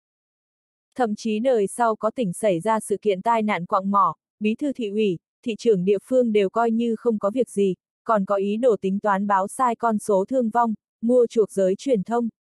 Cuối cùng khi giới truyền thông làm sự việc được sáng tỏ, vẫn còn ngồi trên vị trí ảo tưởng lừa dối để cho qua chuyện mà không chịu chủ động từ chức, cuối cùng vẫn là lãnh đạo cấp trên tức giận, ra lệnh bãi miễn chức vụ của bọn họ. Người trong quan trường, cơ bản đều mặt trắng tâm đen, thật muốn nói là không bằng Tổng thống Obama nước Mỹ, ít nhất người ta thành thực, tâm tuy rằng đen, nhưng ít ra làm trước sau như một. Trắng qua tình thế trước mắt hắn, nếu điều tra không có chứng cứ rõ ràng, khiến cho Mai Hiểu Lâm ở hội nghị thường ủy gõ lệ triều sinh cũng tốt, hạ tưởng liền tỏ vẻ tán thành ý kiến của cô. Tôi ủng hộ quyết định của Phó Bí Thư Mai. Đừng chỉ nói chuyện, mau ăn đi, nếu không tôi lập tức ăn xong rồi. Mai Hiểu Lâm ăn uống rất tốt, loáng một cái đã ăn hết 4 năm cái chân gà, cô để ý thấy hạ tưởng đang sững sờ, ngó ra ngoài cửa hô. Phục vụ, cho thêm mấy cái chân gà nữa. Hạ tưởng hoảng sợ. Còn nhiều lắm, Phó Bí Thư Mai có ăn hết được không? Tôi không ăn nhiều đâu, không cần lãng phí như vậy. Mai Hiểu Lâm nói. Tôi còn có thể ăn 5 cái, còn lại anh phải ăn hết. Tôi không tin một người đàn ông lại ăn không hết chỗ này. Nhưng tôi nói cho anh biết, tôi khi tâm tính không tốt, thấy tức giận trong lòng, liền ăn để giảm bớt áp lực. Trong tay cô cầm một cái xương, rất không lịch sự chỉ vào hạ tưởng, rồi nhấn mạnh nói. Đây là bí mật nho nhỏ của tôi. Anh không được nói ra. Nếu nói ra, tôi sẽ không tha cho anh. Hạ tưởng có chút sững sờ, Mai Hiểu Lâm thế nào lại có điểm khác thường như vậy, nhìn kỹ lại, nguy rồi, vừa nãy hắn mải xem tái liệu, một mình cô không ngờ uống đến ba chai bia. Mai Hiểu Lâm cũng thật lợi hại, tức giận là có thể ăn uống, làm hắn cảm thấy không biết làm sao. Được, được lắm, tôi nhất định không nói. Nếu Phó Bí Thư Mai có điều phiền lòng, cứ nói một chút có lẽ sẽ khá hơn một chút. Đừng có dùng cái này để tra tấn dạ dày của mình. Hạ tưởng an ủi cô. Cũng không có gì, chính là cãi nhau với người khác, cảm giác tôi và anh ta bất đồng quan điểm chính trị, tính cách thấy cũng không hợp nhau, lại vẫn cứ phải trở thành người thân cận nhất. Có một số việc đúng thật là buồn cười, tôi cũng không dám tin cả đời về sau sẽ ở cùng một chỗ với anh ta. Cô đau đớn nắm lấy tóc của mình, trong miệng phát ra âm thanh ô ô. Trời ạ, à, thế không bằng giết tôi đi còn hơn. Xem chừng là cô và Khâu Tự Phong cãi nhau, hạ tưởng đoán được sự việc, rồi lại không thể nói ra, lại không thể hỏi tới, đành phải khuyên nhủ. Trong lòng dù có khó chịu, không vui, cũng không thể dùng dạ dày để hết giận, có đúng không? Đến khi tâm trạng thoải mái thì dạ dày lại khó chịu, phải làm sao bây giờ? Mai Hiểu Lâm nhìn không được cười lên. Anh thật là thú vị, tâm trạng thoải mái thì dạ dày lại khó chịu. Nói rất thật, hạ tưởng, anh hãy uống vài chén với tôi. Có tiếng mở cửa, người phục vụ đưa chân gà tới, để xuống xong liền xoay người đóng cánh cửa lại. Một người ở bên ngoài bước vào cười ha hả. Em nghe giọng nói thấy quen thuộc, hóa ra là hạ ca. Thật là lạ, hạ ca cũng thích ăn chân gà nướng. Em thích nhất ăn chân gà nướng, còn thích nhất là chân gà thật cay. Phương Cách xuất hiện đúng lúc. Hạ tưởng vội giới thiệu Mai Hiểu Lâm với Phương Cách, Phương Cách nho nhã lễ độ bắt tay Mai Hiểu Lâm. Đã sớm nghe qua đại danh của Phó Bí Thư Mai, cũng được ngắm nhìn phong thái Phó Bí Thư Mai từ xa, hôm nay gặp mặt như vậy làm cho tôi thấy gần gũi. Mai Hiểu Lâm cũng không nghĩ nhiều đối với đối phương cách, cô chỉ quan tâm phương cách vừa mới nói một câu. Cậu thật thích ăn chân gà thật cay. Phương cách kỳ thật trình độ ăn cay bình thường, vừa rồi bất quá là vì gặp được Mai Hiểu Lâm nên mới cố ý nói, không nghĩ tới là cô lại nhớ, cũng phải kiên trì mà nói. Tạm được, trình độ ăn cay của tôi cơ bản là đạt được đến mức độ sợ không cay. Ăn cay có ba loại trình độ, không sợ cay, cay không sợ và sợ không cay, mà sợ không cay là trình độ cao nhất. Mai Hiểu Lâm vừa nghe tới đã hứng thú, cũng không để ý đến bản thân là phó thư ký, bàn tay vung lên nói. Nếu cậu một hơi có thể ăn năm cái chân gà cay, cậu có thể ngồi lại nói chuyện. Mai Hiểu Lâm lên tiếng, phương cách nào dám không nghe, cắn răng ăn hết liền một lúc năm cái chân gà rất cay. Hắn thấy cay đến nghiến răng nghiến lợi, đầu đầy mồ hôi, thiếu chút nữa thì quay tròn, mới coi như là được Mai Hiểu Lâm cho phép được ngồi lại. Phương cách một bên lau mồ hôi, một bên lén lút kéo tay hạ tưởng một cái, ý là cảm tạ sự trợ giúp của hắn.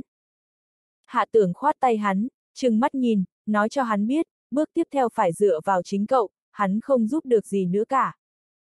Phương Cách liền thừa cơ cùng Mai Hiểu Lâm nói chuyện. Mai Hiểu Lâm có lúc trả lời, lúc lại không trả lời, hiển nhiên là không có hứng thú đối với đối phương. Phương Cách sốt ruột, liền mượn cơ hội mời rượu hỏi. Phó Bí Thư Mai là sinh viên đại học nào? Hạ tưởng cười thầm, Phương Cách là lấy chiêu bài tốt nghiệp Đại học Bắc Kinh để nâng giá trị con người. Mai Hiểu Lâm coi như để cho Phương Cách có chút sĩ diện, cùng với hắn chạm một chén, chẳng qua không nói chuyện khách khí như vậy. Tôi biết cậu là tốt nghiệp Đại học Bắc Kinh, có cảm thấy như vậy là rất giỏi hay không?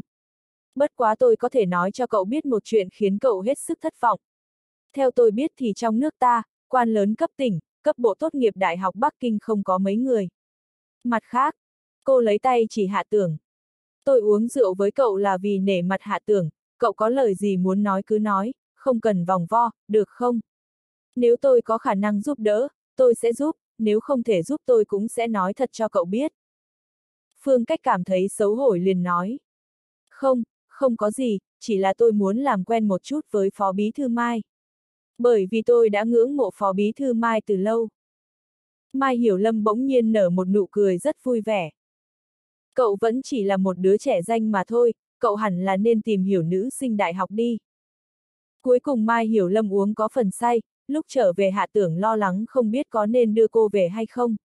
Mai Hiểu Lâm không cho, Phương Cách liền sung phong nhận đưa Mai Hiểu Lâm về. Mai Hiểu Lâm sững sờ một chút liền đồng ý. Phương Cách cao hứng, bị nghẹn uất nửa ngày, rốt cục cũng cảm thấy có một tia cơ hội, liền nhìn về hạ tưởng nháy mắt mà nở nụ cười. Hạ tưởng mặc kệ hắn, liền đi đến nhà hàng Thường Sơn. Hạ tưởng tìm tiêu ngũ để làm một chuyện quan trọng. Tiêu Hà gặp hạ tưởng tại lúc này, trong lòng liền nghĩ đến không biết tiêu ngũ lại gây ra chuyện gì, vội vàng cười hỏi. Phó chủ tịch huyện hạ, không phải là thằng danh nhà tôi lại gây ra chuyện gì chứ?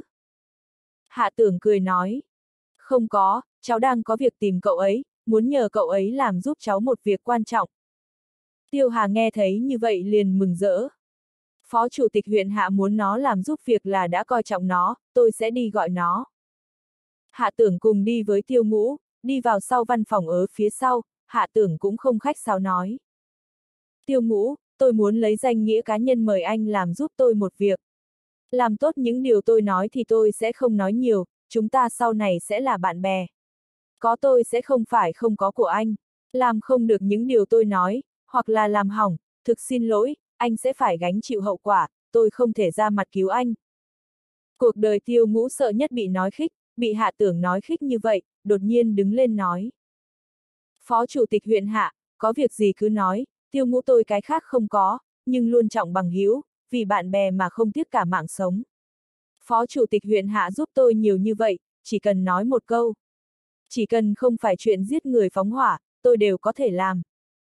Hạ tưởng cũng không phải cố tình nói khó nghe với tiêu ngũ, mà là động viên tinh thần hắn, làm cho tư tưởng hắn biết đúng chừng mực, không bắt hắn phải sử dụng vũ lực. Thấy tiêu ngũ còn muốn nhấn mạnh một chút là hắn sẽ không làm chuyện xấu, hạ tưởng liền nở nụ cười. Có thể tiến hành, còn biết dù thế nào cũng không làm chuyện xấu. Tốt, tôi không nhìn lầm người. Tiêu ngũ, chuyện là vậy, tôi muốn anh âm thầm điều tra lệ triều sinh, nhưng tạm thời không nhằm đến một thứ nào cả, tôi nghĩ anh có thể giúp tôi điều tra ra được. Nhớ kỹ là điều tra ở sau lưng hắn, âm thầm điều tra, không để kinh động đến bất kỳ kẻ nào, ngay cả bạn bè lệ triều sinh cũng không được kinh động, anh có làm được hay không? Bí thư đảng ủy xã đán bảo lệ triều sinh. Tiêu ngũ kinh ngạc hỏi. Không phải bởi vì chuyện cây ăn quả chứ? Hạ tưởng gật đầu. Anh cũng biết chuyện này. Đương nhiên là biết, tôi có người thân ở xã đán bảo, nhà hắn cũng có không ít cây táo có quả mà đều không bán được, năm nay đến cơm còn không có mà ăn, còn tới nhà tôi vay tiền. Tiêu ngũ vẻ mặt hưng phấn mà nói. Phó chủ tịch huyện hạ muốn tôi điều tra hắn, chuyện tốt, tôi hiểu rồi. Việc này rất quan trọng, phải chú ý không nói cho kẻ nào biết. Nếu để lộ phong thanh, hậu quả vô cùng nghiêm trọng, có thể làm được hay không? Hạ tưởng mải dặn dò tiêu ngũ, hắn không sợ tiêu ngũ bị người phát giác mà không thể thoát thân, mà là lo chẳng may tiêu ngũ lỗ mãng kinh động lệ triều sinh, lệ triều sinh có sự phòng bị, sau đó muốn điều tra hắn lại càng thêm khó khăn. Tôi xuất thân từ bộ đội đặc nhiệm, điều tra là thế mạnh của tôi, phó chủ tịch huyện hạ có thể yên tâm, tôi cam đoan có thể điều tra quan hệ của hắn rõ ràng, mà hắn không hề hay biết. Tiêu ngũ hiển nhiên cũng căm hận lệ triều sinh nên nóng lòng muốn thử. Hạ tưởng nhiều lần căn dặn một số công việc cần chú ý, sau đó nói cho tiêu ngũ số điện thoại của mình, liền rời khỏi nhà hàng Thường Sơn. Với hiểu biết của hắn về tiêu ngũ, hắn tin tưởng tiêu ngũ có thể đảm nhiệm nhiệm vụ này. Buổi tối Phương Cách chạy đến phòng hắn tìm hắn, vẻ mặt chán nản nói. Em thấy em không hy vọng nữa, Phó Bí Thư Mai không thích loại như em. Cô ấy nói với trình độ như em, giờ nhiều lắm cũng chỉ có thể lừa gạt nữ sinh đại học. Hạ tưởng vỗ vỗ bờ vai của hắn, nói thật lòng mà tình ý sâu xa. Phương cách, đem tấm lòng của cậu đặt vào công việc. Chăm chỉ công tác ít nhất 2 năm, cậu sẽ trưởng thành mà đứng lên. Sau đó đột nhiên cậu sẽ phát hiện, xung quanh cậu có rất nhiều mỹ nữ vây quanh. Phương cách vô cùng vui vẻ rồi đi. Kỳ thật hạ tưởng cũng chưa nói hết hoàn toàn câu nói ấy, chính là khi cậu ta phát hiện ra xung quanh tất cả đều là mỹ nữ, rồi lại đau lòng phát hiện ra rằng tất cả mỹ nữ đấy không phải là người mà cậu ta thích. Hoặc là khi vất vả tìm được người cậu ta thích rồi, cậu ta lại phát hiện đối phương cũng không thích mình. Cuộc sống muôn màu, nhiều màu sắc rực rỡ với muôn nghìn công việc quan trọng. Đáng tiếc chỉ có một đóa hoa thuộc loại của cậu ta, phải theo vạn đóa hoa tươi mới tìm được một đóa hoa của cậu ấy, cần có thời gian, càng cần vận may nữa. Cũng may, vận khí của hạ tưởng rất khá, ba ngày sau, nghiêm tiểu thì liền gọi điện cho hắn, nói là Ủy ban Nhân dân tỉnh tổ chức buổi gặp gỡ của các doanh nhân thành phố Yến, có rất nhiều nhân vật nổi tiếng tham dự, tổ chức vào sáng thứ sáu, được diễn ra ở nhà khách Lam Thiên, mời Hạ Tưởng đến hôm đó thì tới tham gia. Hạ Tưởng lập tức điện thoại cho Phùng Húc Quang. Phùng Húc Quang nghe xong thật cao hứng, nói. Người anh em Hạ, sau khi nhận anh em với cậu, chuyện tốt đến với tôi không ngừng, tôi dường như cũng không biết cậu đã làm sao mà được như vậy, cậu nói đi. Muốn cái gì, tôi sẽ đưa cậu, cậu thích một chiếc xe, hay là một căn hộ. Hạ tưởng cười hắn. Quên đi, anh với tôi mà còn phải phân rõ ràng nữa sao, vừa nhìn đã thấy không có thành ý. Nếu thật sự có thành ý thì đã mua và đưa tới rồi, còn giả vờ giả vịt hỏi tôi. Hắn cũng biết nếu trước kia hắn không nhiều lần nói như vậy, chỉ sợ Phùng Húc Quang đã sớm mua đưa đến cho hắn. Sở dĩ hắn nói với vẻ thân thiện như vậy, chính là ngầm ý cho y biết, không cần khách sáo với hắn như vậy, kế tiếp hắn lại chuyển đề tài. Công ty An Lợi có điều tra ra cái gì không? Đang muốn nói với cậu chuyện này đây, công ty An Lợi vẫn bình thường, thủ tục đầy đủ, hợp pháp, ít nhất ở bên ngoài không điều tra ra bất cứ vấn đề gì. Hai câu cũng không thể nói rõ được, chỗ tôi đang có tài liệu rồi, khi nào cậu tới thành phố Yến thì xem lại kỹ hơn. Vài ngày kế tiếp cũng không có chuyện gì phát sinh, cũng chưa gặp được Mai Hiểu Lâm, Hạ Tưởng nói qua với tạ khởi nghĩa về tình hình, nói sáng sớm thứ sáu hắn đi tới thành phố Yến tham gia một hoạt động, sau đó liền lái xe thẳng hướng thành phố Yến mà đi. Trước tiên đi vào chỗ Phùng Húc Quang, gặp được Phùng Húc Quang, Hạ Tưởng nói giỡn. Nhìn mức độ gầy của thân hình anh là có thể phỏng đoán rằng, gần đây siêu thị dai ra mở rộng lại có bước tiến lớn. Nào, nói cho tôi biết, 6% cổ phần hiện tại của tôi bây giờ giá trị bao nhiêu tiền? Phùng Húc Quang cười nói. Lần đầu tiên tôi gặp một người tham tiền như vậy, người khác không biết, nhưng tôi biết rõ ràng cậu không thiếu tiền tiêu. Tiền to giấu ở nơi bí mật, tiền lẻ để ở ngoài sáng, so với tôi thì thông minh hơn. Hắn cười cười, rồi nghiêm trang mà nói. Siêu thị Giai ra hiện tại đã có 4 chi nhánh, đang triển khai chi nhánh thứ 5, tổng tài sản hiện tại hẳn là có khoảng 100 triệu, 6% của cậu cũng phải 6 triệu. Hạ tưởng kinh ngạc. Nói như vậy, tôi hiện tại đã trở thành triệu phú. Hắn sờ sờ mũi, lại lắc đầu. Trước kia vẫn hâm mộ triệu phú nhiều tiền, phóng khoáng, hiện tại mới biết được triệu phú cũng là người bình thường, tôi hiện tại trên người tiền mặt không vượt quá một nghìn tệ. Phùng húc quang đập vào vai của hắn. Được rồi, tôi bình thường nếu không mời khách, tiền trên người cũng không vượt quá 300 tệ, mang nhiều hơn thì không muốn, lúc nào cũng sợ đánh mất. Hạ tưởng cười ha ha, thật sự là càng có tiền thì càng sợ. Tài liệu do Phùng Húc Quang cung cấp không khác nhau mấy so với tài liệu Mai Hiểu Lâm cung cấp, từ đó có thể thấy được người mà hai người nhờ vả cũng không phải là nhân vật bình thường, có thể tra ra rất nhiều điều bình thường không thể tiếp xúc nổi. Thật ra nếu muốn phân ra cao thấp thì tài liệu của Phùng Húc Quang viết hơi ít tỉ mỉ một chút, chẳng những liệt ra đại diện pháp nhân của công ty An Lợi và mấy đại cổ đông có quan hệ, còn đặc biệt chỉ rõ một chi tiết, chính là giữa ba cổ đông có sự liên hệ nào đó, dường như là một người bà con xa thân thích, nhưng người này là ai thì không có tra được. chương 240, một phó chủ tịch huyện có quan hệ với ba vị phó chủ tịch tỉnh. Hạ tưởng nghĩ thầm rằng, lệ triều sinh thật đúng là không tầm thường, che giấu được sâu như vậy. Hắn biết, nếu xung đột trực diện thì Mai Hiểu Lâm tuyệt đối không phải là đối thủ của lệ triều sinh. Không chừng ngay cả khâu tự phong cũng không biết rõ lắm về lệ triều sinh. Thật không đơn giản, một bí thư đảng ủy xã, không ngờ từng bước bố trí phòng vệ, rửa sạch bản thân mình không còn gì cả. Giả sử thời gian dài sau này cho hắn lên tới địa vị cao hơn thì còn thế nào? Hạ tưởng càng kiên định quyết tâm phải diệt trừ lệ triều sinh. Lệ Triều Sinh năm nay mới 36 tuổi đã là ủy viên thường vụ huyện ủy, nếu cứ tiếp tục phát triển thế này, rất có thể 40 tuổi đã bước vào cấp phó giám đốc sở. Hạ tưởng thu thập tài liệu, nhìn thời gian thấy cũng đến giờ, liền cùng với Phùng Húc Quang đi tới nhà khách Lam Thiên.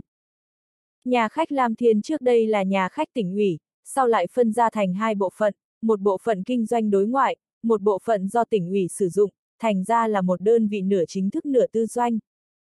Phần bên ngoài nhà khách Lam Thiên cổng chính hướng ra ngoài, phần bên trong phải đi vào trong tòa nhà tỉnh ủy mới có thể vào được. Nơi gặp gỡ được diễn ra ở bên trong nhà khách, muốn vào bên trong cũng phải đăng ký ở cửa, cảnh sát có vũ trang đứng gác bên cạnh phòng khách đăng ký.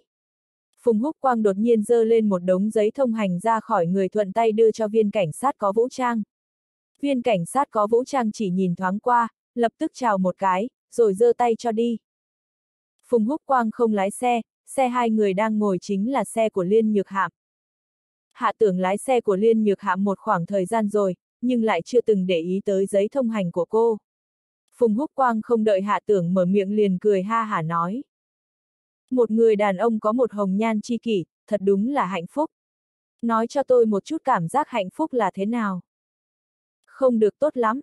Hạ tưởng thật muốn nói cho Phùng Húc Quang biết, hạnh phúc và đau khổ luôn song hành, không bao giờ cùng xuất hiện một lúc, khi cái này xuất hiện thì cái kia ở sau. Đừng nghĩ ngợi lung tung, sốc lại tinh thần, lần này là cơ hội gặp gỡ khó có được, nhất định không thể để một chuyến đi không. Sao có thể đi không chứ? Cậu xem có bao nhiêu mỹ nữ xinh đẹp đứng ở cửa. Có thể nhìn thấy nhiều mỹ nữ như vậy, cũng không đến mức là đến không. Phùng Húc Quang hiển nhiên là đang trêu chọc, hạ tưởng biết hắn không quá hứng thú đối với phụ nữ.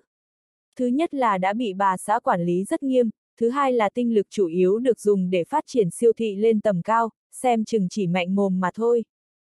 Mỹ nữ mà Phùng Húc Quang vừa nói chính là nghiêm thì. Nghiêm tiểu thì mặc một bộ váy lễ phục dài, màu sắc tươi đẹp, lẳng lặng đứng ở cửa nhìn xung quanh. Cô vừa nhìn thấy chiếc xe Land Rover xuất hiện, vội vàng liền đón lại, nhiệt tình nói. Phó Chủ tịch huyện Hạ sao bây giờ mới đến? Tôi nghĩ anh sẽ đến sớm, vừa lúc có thể cùng tôi trò chuyện. Hạ tưởng liền giới thiệu Phùng Húc Quang và Nghiêm Tiểu thì với nhau, Nghiêm Tiểu thì lễ nghi chu đáo, tuy nhiên không chú ý tới Phùng Húc Quang. Nghe Hạ tưởng nói đến siêu thị giai ra, cô cũng chỉ là lông mi hơi động đậy, có thể thấy cô hiểu biết không nhiều đối với siêu thị, không có hứng thú. Hạ tưởng lại biết của cải của Phùng Húc Quang tăng trưởng tốc độ càng lúc càng nhanh, mà triển vọng của bên bên bất động sản lĩnh tiên của nghiêm tiểu thì hắn không hề coi trọng. Sau khi khách sáo qua đi, nghiêm tiểu thì dắt hạ tưởng và húc quang đi vào đại sảnh. Bên trong đại sảnh có mười mấy người đang ngồi nhưng không có Cao Kiến Viễn và Phạm Tranh. Hạ tưởng vừa nghĩ liền lập tức nghĩ ra rằng, Cao Kiến Viễn luôn làm việc khiêm tốn, mà Phạm Tranh lại không danh chính ngôn thuận, xem ra là hắn sợ phó chủ tịch tỉnh Phạm, nên xuất hiện không tiện, cho nên nghiêm tiểu thì mới ra sức yêu cầu hắn đến đây để đẩy mạnh việc tiêu thụ biệt thự Tây Thủy. Hắn và nghiêm tiểu thì chuyện phiếm trong chốc lát, hạ tưởng quay lại nhìn thì Phùng Húc Quang đã cầm chén rượu đến bên cạnh vài người nói chuyện với họ. Hắn không kìm nổi cười, lão Phùng thật đúng là giỏi, đi đến nói chuyện không luống cuống, từ trước đến nay vốn thế, chẳng trách hắn có thể khiến siêu thị giai ra càng làm càng lớn, cũng thực là người có bản lĩnh. Nghiêm tiểu thì cảm thấy khâm phục năng lực giao tiếp của Phùng Húc Quang. Tổng Giám đốc Phùng thật đúng là một doanh nhân trời sinh, mới một chút thời gian đã cùng tham gia tán gẫu khá ăn ý với các vị có vai vế của Hội Liên hiệp Công Thương nghiệp. So sánh ra, tôi cần phải học tập Tổng Giám đốc Phùng rất nhiều. Hạ tưởng nói, tôi cảm thấy Tổng Giám đốc Nghiêm đã là rất tốt rồi rồi, không dám nói là khéo léo, nhưng người nào gặp rồi cũng sẽ thích cô. Nghiêm tiểu thì che miệng xì cười. Người nào gặp rồi cũng sẽ thích, anh là trêu hoa gẹo nguyệt, châm chọc tôi phải không phó chủ tịch huyện hạ. Nói chuyện không cần khắc nghiệt như vậy được không? Hạ tưởng vội giải thích. Cô đừng hiểu lầm, hoa tươi xinh đẹp là bởi vì tự nó vốn đẹp, cũng không phải vì muốn thu hút ong bướm mới ngày càng xinh đẹp. Tổng giám đốc nghiêm trời sinh đã xinh đẹp, đàn ông háo sắc chạy theo như vịt, không thể trách tổng giám đốc nghiêm xinh đẹp, mà phải trách đàn ông quá tham lam.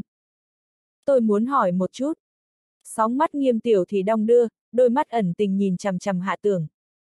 Phó chủ tịch huyện hạ có phải người háo sắc không? Trong tâm hạ tưởng nghĩ giao tiếp với nghiêm tiểu thì thì được, nhưng không thể để rơi vào CMI bẫy màu hồng của cô, bèn trả lời đầy chính nghĩa. Đàn ông đều háo sắc, tôi cũng không ngoại lệ. Tuy nhiên tôi tuân thủ nguyên tắc là, háo sắc mà không dâm, phong lưu mà mà không hạ lưu.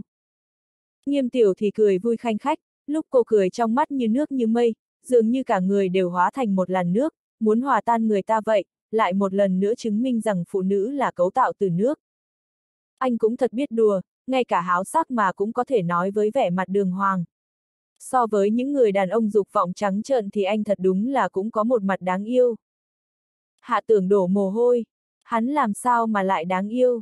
Một người đàn ông mà lại dùng từ đáng yêu để hình dung, làm cho người ta ít nhiều cảm thấy hơi quái dị.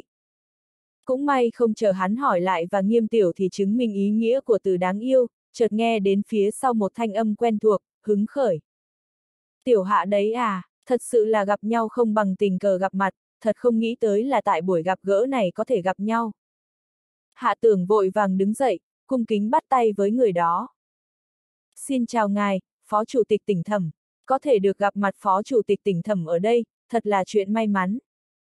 Nghiêm tiểu thì ở một bên không nói lời nào, tuy nhiên trên mặt biểu hiện rõ ràng sự kinh ngạc, cô cảm thấy có phần hơi giật mình đối với hạ tưởng. Thẩm Phục Minh vô cùng khách khí. Nghe nói cậu tới huyện An làm phó chủ tịch huyện. Không tồi, không tệ chút nào, tiến bộ rất nhanh.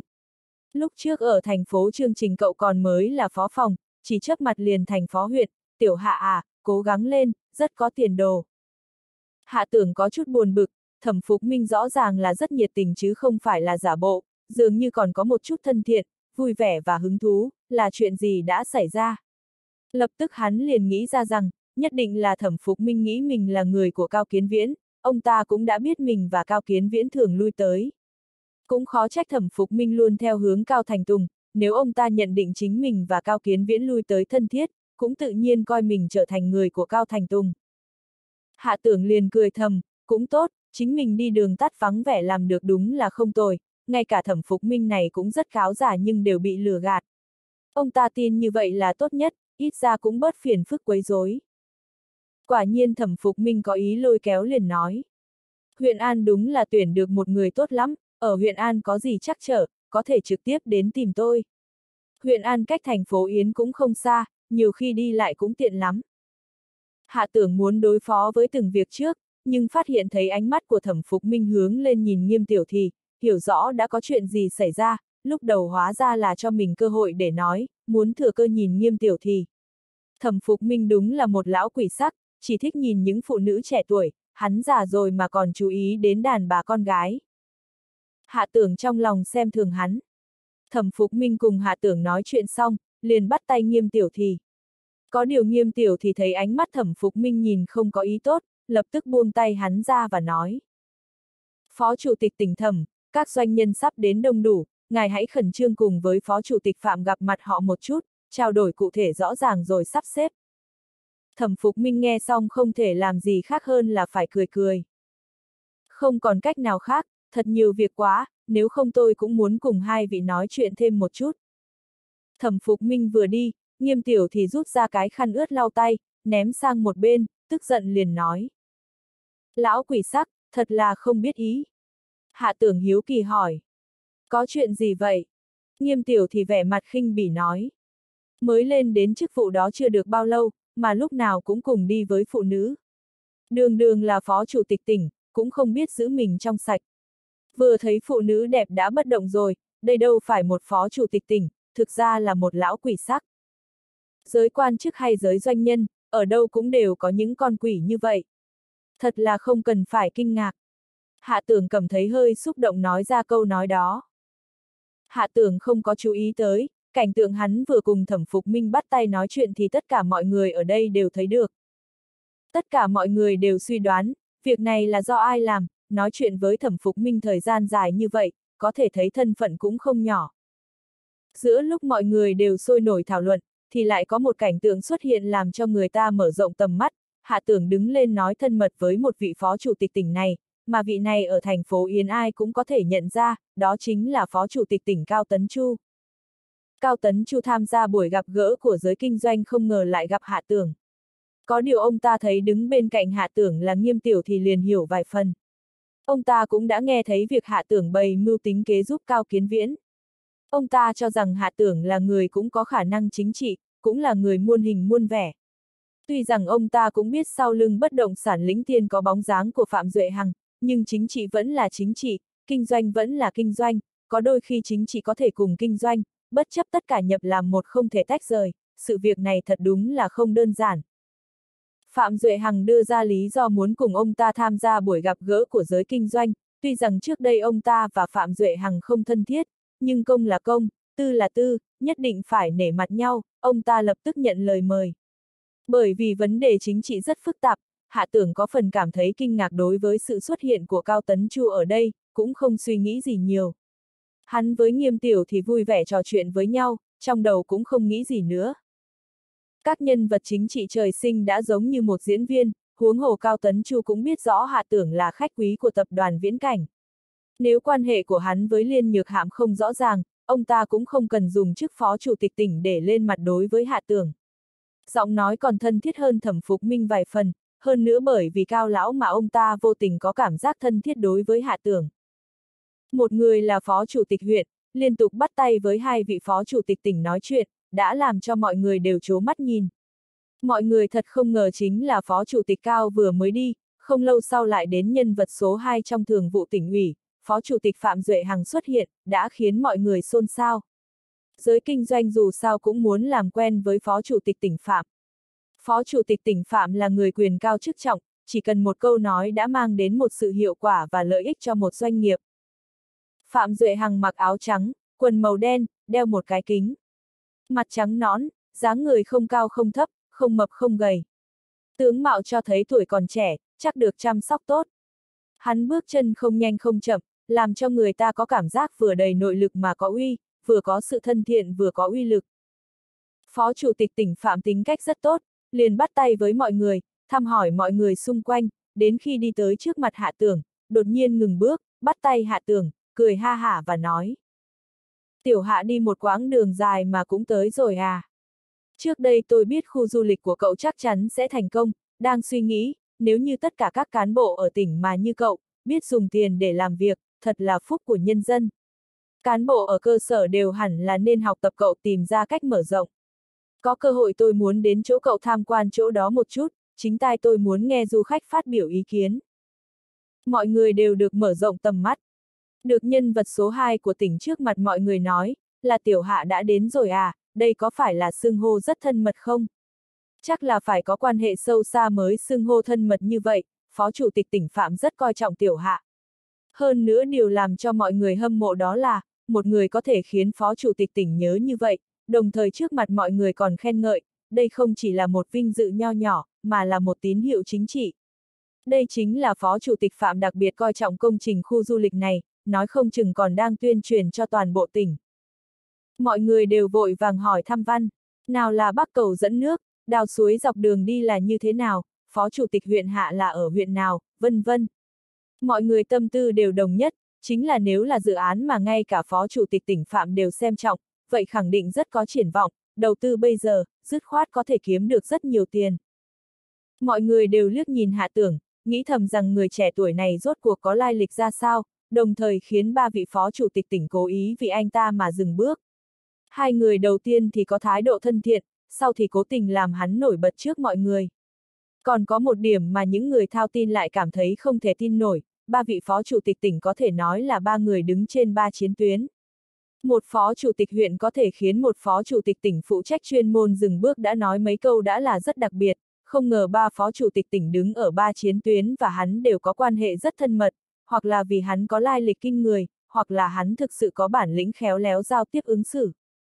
Hạ tưởng thái độ kính cẩn, tươi cười khiêm tốn. Trong lòng cũng hiểu được Phạm Duệ Hằng thật sự là một người thông minh, hiện tại nâng cao hắn một phen, cũng không là vì cho hắn gia tăng điểm chính trị, mà ông ta muốn nâng thân phận của hắn lên, khiến mọi người ở đây đối với hắn có ánh mắt nhìn khác xưa, sau đó kế tiếp đẩy mạnh tiêu thụ biệt thự, hắn mới có thể khiến mọi việc đều thuận lợi khiến tất cả mọi người đều tin phục vô điều kiện. Nhớ tới trước kia Phạm Tranh nói qua rằng Phạm Duệ Hằng cũng không ủng hộ hắn việc buôn bán, hiện tại mới cân nhắc, hạ tưởng xem như là đã hiểu rõ, Phạm Tranh không nói láo. Tuy nhiên Phạm Duệ Hằng rất biết cách đóng kịch, Phạm Tranh không hiểu được mặt nạ chính trị của bố mình, còn tin tưởng rằng ông ta thật sự là không ủng hộ hắn buôn bán. Kỳ thực Phạm Duệ Hằng không phải là không ủng hộ, mà ông ta hiểu được đứa con của mình, mặc kệ là ông ta ủng hộ hay là phản đối, không chừng hắn sẽ làm tất cả. Một khi đã như vậy, ông ta liền làm ra vẻ không ủng hộ, khoan dung, cũng tốt cấp cho bên ngoài biểu hiện giả dối, có thể tăng thêm ít nhiều ấn tượng cho con trai mình. Tuy nhiên đối với một nhà chính trị như Phạm Duệ Hằng, Hạ Tưởng còn là một người phối hợp ăn ý, kinh sợ mà tỏ vẻ cảm tạ, được quan tâm mà lo sợ, mà không dám nói. Thái độ khiến Phạm Duệ Hằng hết sức vừa lòng, cuối cùng Phạm Duệ Hằng lại cố gắng nói vài câu, mới lên đến trên đài, chủ trì lễ khai mạc chính thức. Phạm Duệ Hằng nói chuyện không có gì đặc biệt, tất cả đều là lời nói khách sáo, mặc dù ông ta nói rõng rạc, dưới đài mọi người nghe không nhiệt tình, rốt cục sau khi ông ta nói xong, liền có một người lên đài nói chuyện. Người này nhìn chừng 50 tuổi, mặt đen, gầy, và so với gương mặt trắng nõn của Phạm Duệ Hằng thì tướng mạo thật sự kém không ít, tuy nhiên hắn tinh thần tràn đầy, hai mắt rất có thần thái, hơn nữa nói chuyện giọng vang vọng, khi nói ở đại sảnh vang lên. Tôi tên Mã Vạn Chính, Mã trong đáo thành công Mã, Vạn trong vạn Mã cùng Phi, chính trong chính khí nghiêm nghị. Hôm nay cùng mọi người gặp gỡ, chính là làm quen nhau một chút, xúc tiến tình cảm giao lưu. Chư vị đang ngồi đều là những doanh nhân xuất sắc của tỉnh Yến, đều là những người đứng đầu các ngành nghề. Tôi rất coi trọng và hoan nghênh quý vị có những đề xuất quý giá về phát triển kinh tế tại thành phố Yến. Hạ tưởng híp mắt nhìn Mã Vạn Chính. Đây là lần đầu tiên hắn gần gũi quan sát Mã Vạn Chính, ấn tượng đầu tiên về Phó Chủ tịch tỉnh Mã là một người ngay thẳng, bộ dạng so sánh với người khác thì giản dị, nói chuyên cũng rất sảng khoái lưu loát. Thứ hai hắn có cảm giác ông ta và Phùng Húc Quang thật sự có điểm giống nhau, có thể nói, cả hai đều cực kỳ giống nhau. Nói như vậy, Phó Chủ tịch tỉnh Mã thật có thể là chú Phùng của Phùng Húc Quang. Không biết từ khi nào Phùng Húc Quang đã tới bên cạnh hạ tưởng nhỏ giọng nói. Gần như giống nhau như đúc với ba tôi. Cậu nói xem, trong chốc lát nếu có cơ hội, tôi nên mở miệng như thế nào? Hạ tưởng vỗ vỗ vai Phùng Húc Quang. Ông anh bây giờ bao nhiêu tuổi rồi? Việc như vậy vẫn còn cần người dạy sao? Phùng Húc Quang bị nghẹn nói không ra lời, tức giận xông đến hạ tưởng dơ dơ lên nắm tay, hạ tưởng cười không để ý đến y, tâm lý hắn đặt ở tín hiệu chính trị mà buổi gặp gỡ hôm nay truyền đạt lại. Tuy rằng nói buổi gặp gỡ hôm nay có quy cách khá cao, nhưng đồng thời có bốn phó chủ tịch tỉnh tham dự, nên không hợp với quy củ. Tuy nhiên cũng may hôm nay là buổi gặp gỡ không chính thức, mà không phải hoàn toàn là các quan chức, cho nên bốn phó chủ tịch tỉnh xuất hiện đồng thời cũng không phải là không thể. Có người cũng chỉ là đi qua loa, gặp mặt một lần rồi bước đi. Nhưng vấn đề mấu chốt là bốn phó chủ tịch tỉnh đều không phải là cùng nhất trí một mặt trận. Phạm Duệ Hằng có thế quy là người của Cao Thành Tùng, Thẩm Phục Minh cũng thế. Cao Tấn Chu lại là phái Bắc Kinh, mà Mã Vạn Chính đi lại với ai thì hạ tưởng cũng không biết rõ, nhưng hắn có thể khẳng định phó chủ tịch tỉnh Mã không phải là người của Cao Thành Tùng. Tổng hợp lại sự tình hôm nay có rất nhiều điểm ý vị sâu xa. Mã Vạn Chính tham dự hoạt động này, hạ tưởng có thể đoán nguyên nhân một phần, bởi vì ông ta được phân công quản lý kinh tế, đây là trong phạm vi công việc của ông ta. Vì sao Cao Tấn Chu xuất hiện thì có điểm hơi bất ngờ, bởi vì việc này không thuộc phạm vi phân công quản lý trong phạm vi của ông ta. Hơn nữa ông ta và Phạm Duệ Hằng bất hòa, chẳng lẽ là tới để cho Phạm Duệ Hằng sĩ diện. Về phần thẩm phục minh, hạ tưởng cũng lười đoán. Y là một cây súng của Cao Thành Tùng, khi cần là có thể tùy tiện nhắm khắp nơi. Đừng nói là bảo y tới một nơi gặp gỡ như vậy, cho dù bảo y khảo sát trong thôn thì y cũng còn phải đi. Hạ tưởng đang muốn suy nghĩ, bỗng nhiên cánh tay bị một người huyết một chút, quay đầu lại thì thấy nghiêm tiểu thì vẻ mặt tươi cười bớn cợt nhìn hắn, lấy ngón tay trắng như ngọc chỉ người phía trước. Đó là một cô gái đang ngồi, toàn thân mang một bộ váy trắng. Cô trầm lặng như tùng, trong sáng như ngọc, ngồi ngay ngắn ở đó, tựa như không hợp nhau với người chung quanh, hiện ra một vẻ cô đơn và hiu quạnh. Không hiểu sao, ngay lần đầu tiên nhìn thấy cô, hạ tưởng liền cảm thấy rằng cô và liên nhược hạm có chút giống nhau. Hạ tưởng khó hiểu nhỏ giọng hỏi nghiêm tiểu thì. Làm sao vậy? Nghiêm tiểu thì lấy tay che mặt. Không biết xấu hổ, anh vừa nhìn chằm chằm vào cô ấy, ánh mắt thẳng tắp. Thật không biết xấu hổ. Nghiêm tiểu thì lấy tay che mặt xấu hổ, dáng điệu vô cùng thanh tú, toát ra một vẻ đáng yêu, hồn nhiên, làm cho người ta trong lòng nghi ngờ cô còn là một cô bé còn chưa lớn. Hai mắt hạ tưởng sáng ngời. Con gái Giang Nam có nét thẹn thùng, ngược lại với con gái phương Bắc thật rung động lòng người. Trách không được người ta nói Giang Nam là nơi dịu dàng, mổ chôn các anh hùng. Không cần nói tới gì khác, chỉ riêng sự uyển chuyển dịu dàng của con gái Giang Nam đã đủ khiến cho vô số anh hùng thoái chí. Nhớ lại ngày xưa, khi Trương Sĩ Thành mới thống lĩnh Tô Châu thì đầy hùng tâm tráng trí, cuối cùng bị Chu Nguyên Trương đánh bại, ngẫm lại cũng đúng. Bên người y có mấy người con gái giống như nghiêm tiểu thì, ai còn muốn cầm thương lên ngựa, tung vó tranh đoạt Giang Sơn nữa chứ? Giang Sơn không phải ở ngay trên người mỹ nhân trong lòng mình hay sao? 1. 1. Về Trương Sĩ Thành và Chu Nguyên Trương, mời các bạn đọc tại Wiki. Hạ tưởng không kìm nổi cười, mắt lại thất thần. Hắn lắc đầu, cười nói. Vừa rồi đang suy nghĩ chuyện linh tinh, ánh mắt vô tình nhìn cô ấy thôi. Việc này tôi tin. Nghiêm tiểu thì gật gật đầu, cười khẽ mà nổi lên khóe miệng. Bạn gái của anh thật xinh đẹp như vậy, những người con gái khác ở trong mắt anh dường như không có gì. Cũng không hẳn, lý luận, nhất diệp chi thu, hai hiển nhiên không thể áp dụng trên người phụ nữ được. Ngàn người ngàn mặt, đều có nét đặc sắc và mỹ cảm riêng. Hơn nữa trên thế giới cũng không có thống nhất tiêu chuẩn mỹ nữ. Một người dù có xinh đẹp, cũng có khả năng khiến cho tất mọi người đều nghĩ cô ấy xinh đẹp, có phải hay không? Hạ tưởng bất ngờ ngẩng đầu, gặp bóng áo trắng của người con gái đôi mắt vừa lúc hướng ra xem, trong ánh mắt có một tia nghi vấn, kinh ngạc, hắn không thất lễ mà nhìn cô khẽ gật đầu, sau đó hỏi nghiêm tiểu thì. Cô biết cô ấy à? Hai, nhất diệp chi thu, nhìn một chiếc lá biết cả mùa thu. Có một người dân sở bình vương một đôi đũa bằng ngọc quý. Y được vua phong cho một chức quan bát phẩm. Quan đại phu nước sở tư sản thấy thế thở dài mà nói. Đôi đũa ấy sẽ khiến cả vương triều gãy đổ mất thôi. Tể tướng nước sở là phí vô cực nghe chuyện mới nói. Chỉ là một đôi đũa mà sao đại nhân lại nặng lời đến vậy? Tư sản nói. Dâng vua một đôi đũa mà được chức quan bát phẩm thì tất sẽ có người đem dâng những đồ quý hơn để mong được chức quan to hơn. Như vậy mọi người sẽ ngầm hiểu là ai muốn được vua yêu thì phải dâng quà, triều đình vì thế mà sẽ xuất hiện nhiều nịnh thần. Nịnh thần mà nhiều thì người chung còn không, nước không có người hiền kẻ sĩ thì còn giữ được nước không. Quả nhiên sau đó ít lâu, có người dâng vua một cái bát ngọc và được vua phong cho chức quan lục phẩm. Rồi lại có người đem dâng vua một chiếc mâm vàng và được vua phong cho chức quan ngũ phẩm. Tư sản thấy vậy mới than. Đã có đũa ngọc thì không thể ăn với bát sành, vì thế mới có kẻ dâng bát ngọc. Có đũa ngọc và bát ngọc thì tất có kẻ dâng mâm vàng. Đũa ngọc, bát ngọc và mâm vàng thì tất không thể ăn rau dưa mà phải dùng cao lương, mỹ vị, thịt quý cá ngon. Đã được ăn ngon thì không thể ở nhà bình thường được mà phải xây cung điện nguy nga tráng lệ. Đã có cung điện nguy nga tráng lệ thì tất phải có rượu ngon và gái đẹp. Tất cả những thứ đó đều bắt dân chúng phải lao động vất vả phục dịch ngày đêm. Quả thật sở Bình Vương đã bắt các địa phương phải cống nạp nhiều sản vật quý hiếm. Vua sở thích ăn thịt chim sâm cầm và hạc vàng cho nên chỉ trong thời gian ngắn, nước sở đã không còn một con sâm cầm và hạc nào nữa cả. Nhà vua còn thích con gái có eo thon vì thế con gái nước sở nhịn ăn để giữ eo đến nỗi thân thể gầy rộc chết không biết bao nhiêu mà kể. Nhà vua sống xa hoa như vậy thì tất phải tăng thuế má. Vì thế mà dân chúng oán thán gọi là hôn quân. Nước tần muốn kết giao với nước sở nên gả nàng mạnh doanh cho con trai của sở Bình Vương. Nhưng vì mạnh doanh nhan sắc quá xinh đẹp cho nên sở Bình Vương đã cướp vợ của con trai, phế hoàng hậu đương triều để phong nàng mạnh doanh làm hoàng hậu mới. Đại tướng nước sở là ngũ sa thấy vậy mới can ngăn thì bị sở Bình Vương đem ra chém. Con trai của ngũ sa là ngũ viên trốn thoát được sang nước ngô ngày đêm gây dựng lực lượng chờ ngày về báo thù. Sở Bình Vương hoang dâm vô đạo khiến trời người cùng oán quân dân không đồng lòng cho nên sau này ngũ viên đem quân chỉ đánh một trận là tiêu diệt được.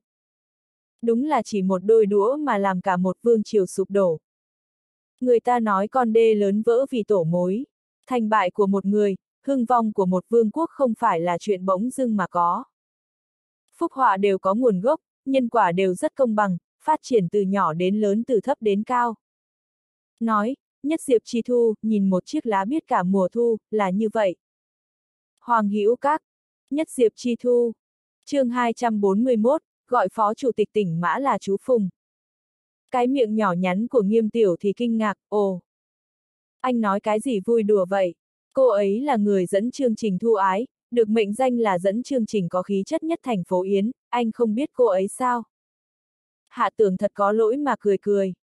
Tôi thật không biết, bởi vì tôi rất ít xem TV, thật đúng là không xem qua tiết mục mà cô ấy chủ trì. Tuy nhiên hắn đã nghe qua cái tên thu ái. Trước kia cùng Khúc Nhã Hân ăn cơm, Khúc Nhã Hân từng hay nói giỡn nói phải giới thiệu thu viên cho hắn làm quen. Không nghĩ tới lại tình cờ gặp mặt ở chỗ này. Hạ tưởng không tưởng tượng được chính là cô ấy. Thu ái đứng dậy cầm lên một ly rượu mới, sau đó chân thành hướng về phía hắn đi tới, nâng chén ra hiệu nói. Chủ nhiệm hạ, à, ngại quá, hiện tại nên gọi phó chủ tịch huyện hạ mới đúng. Tôi là Thu ái, có thể tình cờ gặp mặt phó chủ tịch huyện hạ, thật sự làm tôi mừng rỡ. Nghiêm tiểu thì nheo mắt nhìn hạ tưởng. Ý người ta là mừng rỡ được gặp anh, anh có vui mừng hay không cũng nên lộ rõ trên nét mặt đi chứ.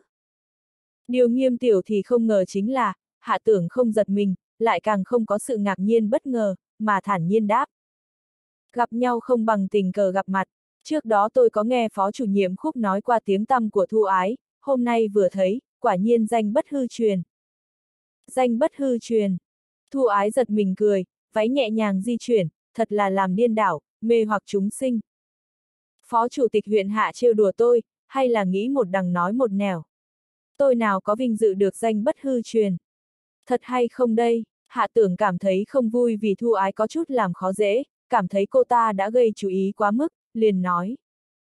Tuy rằng tôi không có xem qua cô chủ trì tiết mục, tuy nhiên nghe Tổng Giám Đốc Nghiêm nói cô là nữ dẫn chương trình có khí chất nhất thành phố Yến, cái gọi là nổi tiếng không bằng gặp mặt chăm nghe không bằng một thấy quả nhiên là tự nhiên hào phóng, khí chất hơn người. Thu ái vươn một ngón tay, nhẹ nhàng lay động trước người. Nghĩ một đằng nói một nẻo. Phó Chủ tịch huyện Hạ nếu không có xem qua tiết mục tôi chủ trì, tại sao lại nói nghe danh không bằng gặp mặt? Cô mỉm cười, phát hiện Hạ tưởng không cảm thấy quá hứng thú đối với mình, liền lại thức thời nói. Tôi không quấy giày nhã hứng Phó Chủ tịch huyện Hạ nữa. Hạ tưởng một câu giữ lại cũng không có, liền nói thẳng. Xin cứ tự nhiên. Trong ánh mắt thu ái hiện lên một tia tức giận, tuy nhiên không thể hiện ra ngoài, xoay người không hài lòng lắm mà đi. Nghiêm tiểu thì kinh ngạc nhìn hạ tưởng. Tôi là lần đầu tiên thấy anh lạnh nhạt đối với người khác như vậy, còn tưởng rằng đối với bất cứ người nào anh cũng đều khách khí. Không nghĩ tới, đúng là có lúc anh lại không lịch sự với người khác. Hạ tưởng cũng không biết là vì sao, chỉ cảm thấy là không kiên nhẫn cùng thu ái làm quen, thậm chí ngay cả cùng cô nói chuyện cũng không có chút hứng thú. Có lẽ mọi người đều có lúc nào đó không hiểu tại sao, hắn cười cười, không giải thích nhiều. Cũng không thể nói là vô lễ, chẳng qua nói chuyện không hợp với cô ấy mà thôi. Ánh mắt nghiêm tiểu thì mang theo sự nghi vấn, đánh giá toàn thể hạ tưởng, muốn nói cái gì, há miệng thở dốc, rồi cũng không nói ra cái gì cả. Hạ tưởng cũng không có tâm tư để ý nghiêm tiểu thì nhiều lời, bởi vì hắn vừa thấy mã vạn chính đi vào bên trong đám người, cơ hội tốt như thế không thể bỏ qua. Hắn quay đầu, liền phát hiện Phùng Húc Quang vẻ mặt khẩn trương đi về phía hắn, vừa đi vừa nói. Đến đây, đến đây, mau theo tôi đi tới đó, tìm một cơ hội xem có thể nói hay không nói. Đến lúc đó nếu chẳng may tôi không nói được, nhất định cậu không được quên phải giúp tôi. Hạ tưởng quen biết Phùng Húc Quang cũng không ngắn, nhưng đây là lần đầu tiên thấy y khẩn trương như thế. Cũng đúng, Phùng Húc Quang tuy rằng hiện tại càng kinh doanh càng lúc lớn, cũng có bài có vở, nhưng dù sao cũng chỉ là kẻ bình dân, cho dù quen biết Cao Kiến Viễn nhưng Cao Kiến Viễn dù sao cũng là con bí thư tỉnh ủy mà không phải bí thư tỉnh ủy. Ngẫm lại Phùng Húc Quang trước kia chắc cũng từng tiếp xúc với các cán bộ cấp cao nhất là cấp phòng hoặc cấp cục, đột nhiên cùng với Phó Chủ tịch tỉnh nói chuyện, hơn nữa còn có tâm lý nhận họ hàng, khó tránh khỏi tâm lý hoảng loạn. Hạ tưởng cũng ít nhiều hơi bất an. Hắn không phải bởi vì mã vạn chính cấp bậc cao mà hoảng hốt, mà là không đoán ra thái độ của mã vạn chính, nếu chẳng may chữa lợn lành thành lợn què sẽ không tốt lắm. Tuy nhiên hiện tại nếu chỉ kém một bước nữa là mặt đối mặt, chính là tên đã trên dây, không thể không phát. Mặc kệ, hạ tưởng nghĩ vậy liền đơn giản thông suốt đi ra ngoài. Hắn kéo Phùng Húc Quang qua nói. Anh đừng nói trước gì cả, để tôi sắp xếp. Phùng Húc Quang chỉ mong hạ tưởng thay mình ra chủ ý, thấy vậy liền lập tức gật đầu. Hạ tưởng liền cùng Phùng Húc Quang một trước một sau, chậm rãi tách ra đám người, tới gần Mã Vạn Chính. Mã Vạn Chính đang bị mấy chủ doanh nghiệp vây quanh, trả lời một chút về những chính sách họ quan tâm. Sau khi trả lời mấy vấn đề, Mã Vạn Chính liền nói với đám người. Thật có lỗi với các vị, tôi còn có việc phải đi, nên phải đi trước. Mọi người thông cảm. Vừa nghe nói Mã Vạn Chính phải đi, Phùng Húc Quang hơi sốt ruột. Nếu nói trước kia chỉ muốn cấp tốc tìm vì bị bố gây áp lực đè nén, vì muốn thỏa mãn tâm nguyện của bố mà muốn nhận họ hàng, hiện tại phó chủ tịch tỉnh Mã gần trong gang tấc, nhìn hắn và phụ thân có khuôn mặt giống nhau, Phùng Húc Quang đầy kích động trong lòng, lần đầu tiên xuất hiện tình cảm máu mủ, trực giác cho rằng phó chủ tịch tỉnh Mã trước mắt chính là chú ruột thất lạc đã nhiều năm của hắn. Người thân ngay trước mặt cũng không dám nhận, Phùng Húc Quang không vội mới là lạ. Hắn cuống lên, liền dùng sức giữ chặt hạ tưởng. Mau nghĩ cách giúp tôi. Khi hai người đang nói chuyện, phó chủ tịch tỉnh Mã đã được mọi người vây quanh đưa tới cửa đại sảnh. Hạ tưởng trong cái khó ló cái khôn, vội vàng nói một tiếng. Anh đừng theo tới, chờ tôi gọi anh. Hắn bước nhanh đi theo đám người, đi ra bên ngoài đại sảnh, thấy phó chủ tịch tỉnh Mã cùng thư ký đi đến hướng ô tô. Hạ tưởng liền hô to một tiếng. Chú Phùng xin dừng bước, sao chú lại ở chỗ này? Thanh âm của hạ tưởng cũng đủ lớn, lại là trực tiếp hướng về phía mã vạn chính mà hô, mã vạn chính nghe rành mạch, tò mò mà đứng lại, quay đầu về phía hạ tưởng mà nói. Chú Phùng, cậu nhận sai người rồi. Tôi họ mã không họ Phùng, nhận nhầm người rồi. Ha ha. Hạ tưởng vẻ mặt xấu hổ mà đi tới trước mặt mã vạn chính ngượng ngùng nói. Hóa ra là phó chủ tịch tỉnh mã, thật là ngại quá. Vừa rồi tôi thấy bóng dáng ngài, và phụ thân của một bằng hữu quả thực giống nhau như đúc, tôi còn tưởng ngài là ông ấy, cho nên tình thế cấp bách liền mở miệng hô một tiếng. Quấy giấy phó chủ tịch tỉnh mã thật là ngượng ngùng. Mã vạn chính cũng không nghĩ nhiều, mỉm cười vài tiếng. Không sao, nhận sai người là chuyện thường, tôi đôi lúc cũng gọi sai tên người khác, ha ha. Hạ tưởng gãi đầu. Tuy nhiên mắt tôi tốt lắm, lại không cận thị, rất ít khi nhận sai người, chủ yếu là hình dáng phó chủ tịch tỉnh Mã và chú Phùng rất giống, như là một người, nếu hai người đứng chung một chỗ, giống như anh em ruột vậy. Hạ tưởng cố lấy dũng khí nói xong câu này, nghĩ thầm rằng nếu Mã chủ tịch không còn có phản ứng thì hắn không còn cách nào khác. Cũng may, Mã Vạn Chính nghe xong những lời này lập tức sửng sốt, nhìn chăm chú hạ tưởng sau một lúc lâu, đột nhiên hỏi. Cậu tên là gì? Tôi tên Hạ Tưởng, hiện tại làm phó chủ tịch huyện An. Hạ Tưởng cung kính trả lời. Mã Vạn Chính liếc mắt nhìn thư ký, thư ký lập tức lại gần, hắn nhỏ giọng nói mấy câu, Mã Vạn Chính một bên gật đầu một bên hồ nghi nhìn Hạ Tưởng vài lần, sau đó lại hỏi. Cậu trước kia ở thôn nội đô đã từng công tác ở văn phòng tổ cải tạo. Đúng vậy, luôn chịu sự chỉ đạo công tác của thị trưởng Trần. Hạ tưởng biết những việc mình đã từng trải qua không thể giấu giếm được ai, cũng không thể gạt được mã vạn chính. Hôm nay đến đây là muốn vì huyện An mà thu hút vốn đầu tư à? Mã vạn chính lại hỏi, hiển nhiên là ông ta hoài nghi hạ tưởng đến buổi gặp gỡ này có mục đích. Trước kia bởi vì có quan hệ cộng tác và kết giao với Tổng Giám đốc nghiêm bên bất động sản lĩnh tiên, nên cô ấy mời tôi đến tham gia, nói tôi có thể đến để thử xem vận may, xem có thể vì huyện An mà mời gọi đầu tư hay không. Cho dù quan hệ giữa hắn và nghiêm tiểu thì không nói lộ ra thì Mã Vạn Chính cũng có thể điều tra lại tỉ mỉ.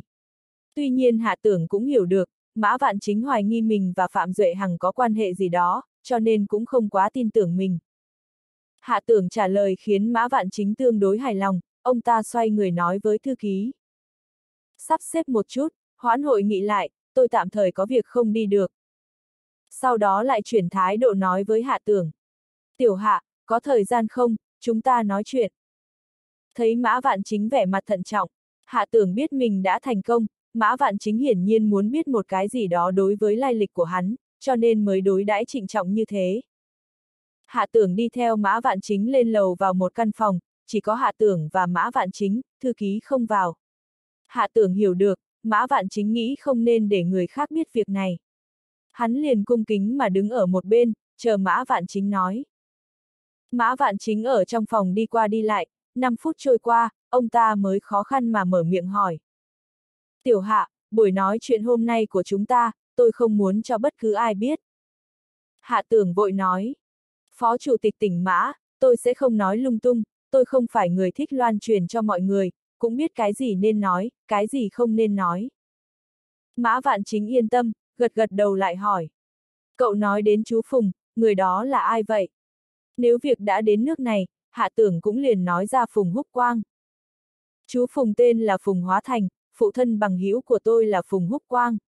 Ông ấy không ở thành phố Yến, mà ở quê nhà huyện Thương Sơn, chỉ có Phùng Húc Quang ở thành phố Yến. Phùng Húc Quang và Phó Chủ tịch tỉnh Mã có có vài nét giống nhau. Huyện Thương Sơn. Mã Vạn Chính vẻ mặt xúc động, bàng hoàng nhìn ra phía ngoài cửa sổ. Mấy năm qua, trong lòng tôi như có tảng đá. Người càng về già, lại càng nhớ gốc gác quê hương mình, trong suy nghĩ vẫn không tìm thấy quê nhà, nếu không tìm được về với Tông thì mang theo sự tiếc nuối to lớn. Mã Vạn Chính xúc động mà cầm tay hạ tưởng. Cảm ơn cậu tiểu hạ, cậu khiến tôi sau bao nhiêu năm đau khổ tìm kiếm rốt cuộc đã có kết quả, tự đáy lòng tôi cảm thấy vui mừng. Hạ tưởng khiêm tốn nói. Phó chủ tịch tỉnh mã ngài quá khách khí rồi. Rốt cuộc là đã có chuyện gì xảy ra? Nếu tôi đoán không sai, nếu cậu không có nhìn lầm, chú Phùng mà cậu nói chính là anh ruột mà tôi đã thất lạc nhiều năm. Nếu không, trên thế giới này không có sự tình ngẫu nhiên như thế này. Mã vạn chính không giấu giếm hạ tưởng mà nói ra những lời thật. Hạ tưởng vừa nghe, vẻ mặt sợ hãi nói. Sự tình liên quan tới bí mật cá nhân của Phó Chủ tịch tỉnh Mã, tôi không nên biết thì hơn. chương 242, ôm nhầm vệ tân. Mã vạn chính cười ha hả. Cũng không phải việc gì mất mặt cả. Anh em nhận ra nhau là chuyện tốt, chỉ cần cậu không nói lung tung ra ngoài là được. Nếu cậu là bạn của Phùng Húc Quang, có thể bố trí thời gian, cho tôi gặp mặt Phùng Húc Quang trước được không? Có một số việc cần phải giáp mặt chứng thực một chút. Hôm nay Húc Quang cũng đến tụ hội. Hiện tại anh ấy cũng coi như một doanh nghiệp có chút thành tựu, cho nên cũng nhận lời mời tới đây. Thật à! Mã Vạn Chính ngạc nhiên vui vẻ. Thật tốt quá, vậy mời cậu ta tới được chứ? Phùng Húc Quang lòng nóng như lửa đốt, đi tới đi lui trong khách sạn, không biết nên như thế nào cho phải. Hạ tưởng đột nhiên xuất hiện trước mặt y, nói phó chủ tịch mã mời y tới nói chuyện. Y còn không thể tin nổi tai mình, ôm lấy vai hạ tưởng. Chú cũng đừng lừa tôi, chuyện lớn như vậy không thể nói đùa. Nếu không tôi sẽ sụp đổ đấy. Hạ tưởng cười y. Lớn chừng này rồi mà còn không chịu nổi chút áp lực à. Nhanh đi, đừng để phó chủ tịch mã phải đợi. Còn nữa, tôi giả vờ nhận nhầm người để giữ phó chủ tịch mã lại, anh cũng đừng để lộ ra. Hạ tưởng lại giải thích mấy câu, miễn cho Phùng Húc Quang kích động nói ra là bọn họ chuyên môn tới để nhận người nhà. Tóm lại, cố hết sức nói là tình cờ gặp, như vậy mới thuận theo tự nhiên. Phùng Húc Quang hoàn toàn đồng ý, sau đó đi theo hạ tưởng lên lầu. Hạ tưởng bảo y đi vào phòng còn mình chờ ở bên ngoài.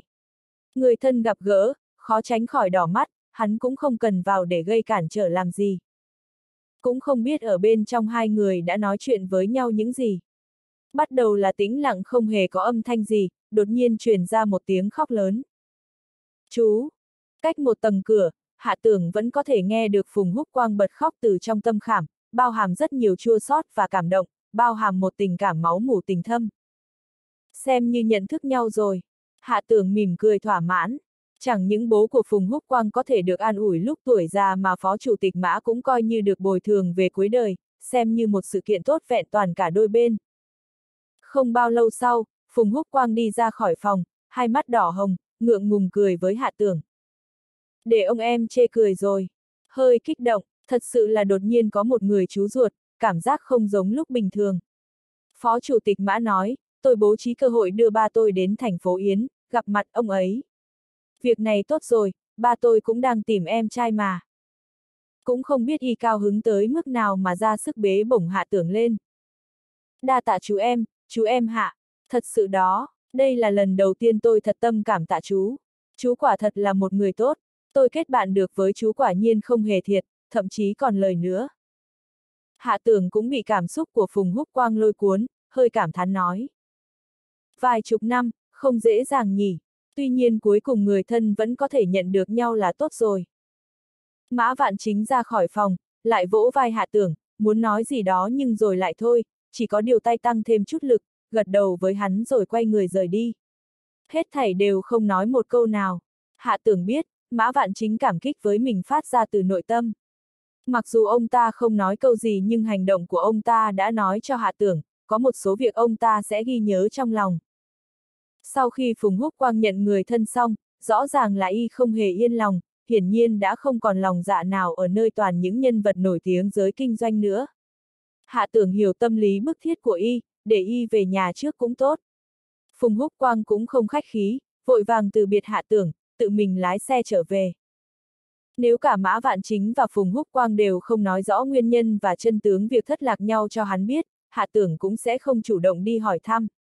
Dù sao đó cũng là việc riêng tư của người ta, không biết thì hơn. Chờ Phùng Húc Quang đi rồi, hạ tưởng mới đột nhiên nhớ ra nhiệm vụ chủ yếu hôm nay vẫn chưa hoàn thành, liền vội vàng đi tới đại sảnh dưới lầu, tập trung vào việc đẩy mạnh tiêu thụ khu biệt thự Tây Thủy cho nghiêm tiểu thì.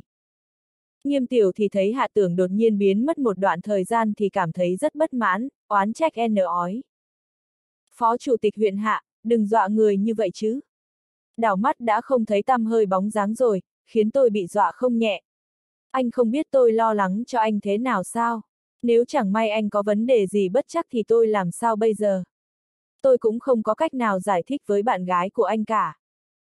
Nghiêm tiểu thì thông minh chỉ ra là cô lo lắng cho sự an toàn của hắn mà không nói tới việc hắn chậm trễ đẩy mạnh tiêu thụ, nghe cũng thoải mái hơn, mặc dù không ai biết lời cô nói có xuất phát từ thật tâm hay không. Hạ tưởng cũng không giải thích nhiều, chỉ hàm hồ ứng phó mấy câu. Tuy nhiên hắn cũng cố gắng liên hệ đẩy mạnh tiêu thụ, nhân cơ hội làm quen được với mấy nhân vật nổi tiếng trong giới kinh doanh, cũng coi như có chút thu hoạch, mặc dù không kéo được đầu tư tới huyện An.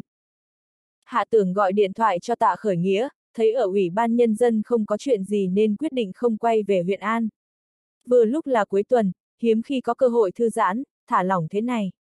Hắn liền gọi điện thoại cho Liên Nhược Hạm, hỏi công viên rừng rậm tiến triển ra sao. Liên Nhược Hạm không trả lời ngay mà nói. Chăm nghe không bằng một thấy. Hạ tưởng hiểu, Liên Nhược Hạm muốn hắn tự mình tới xem. Ngẫm lại quả thật cũng lâu rồi không tới công viên rừng rậm. Treo điện thoại, hắn cũng không nói cho Liên Nhược Hạm biết hắn đang ở thành phố Yến mà đi thẳng tới công viên rừng rậm.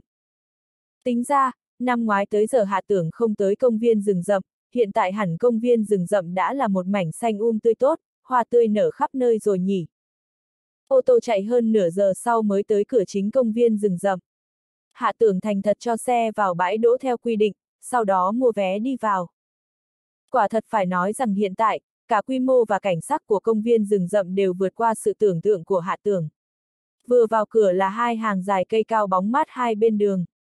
Không cần nói tới sự chỉn chu của con đường nhỏ này, chỉ riêng hàng cây dọc hai bên đường đã tạo ra một sự yên lặng, bầu không khí thư thái, khiến người ta như bước vào một chốn đảo nguyên mát mẻ ngoài thế tục, lập tức trở nên vui vẻ thoải mái.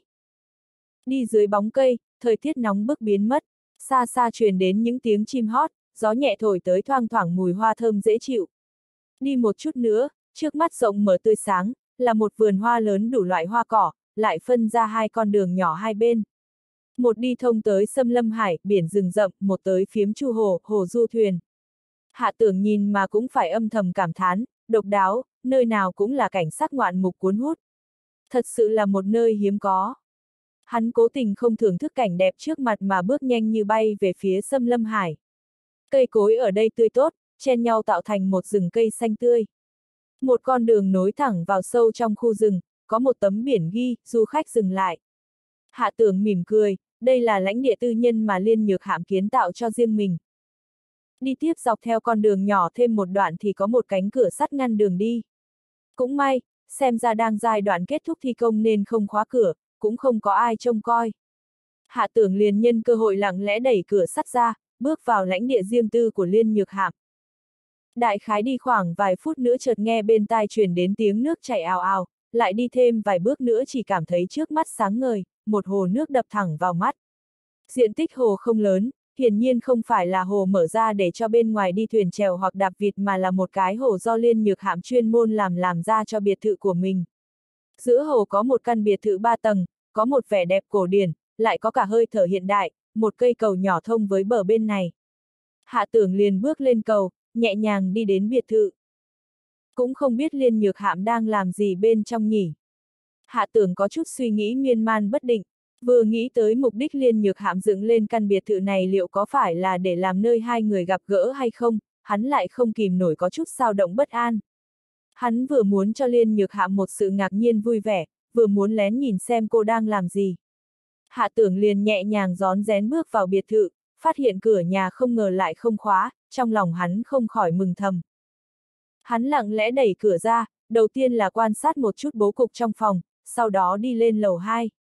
Nghe thấy trong một căn phòng truyền đến những tiếng động rất nhỏ, hắn đoán hẳn là Liên Nhược Hạm đang bận rộn làm gì đó, liền cẩn thận đẩy cánh cửa phòng khép hờ, thấy có một bóng người là lướt ở phía sau tấm bình phong, thỉnh thoảng lại quay âng sau ười, cúi đầu, mơ hồ có thể thấy được những đường cong mê người, đang không ngừng bận rộn làm việc.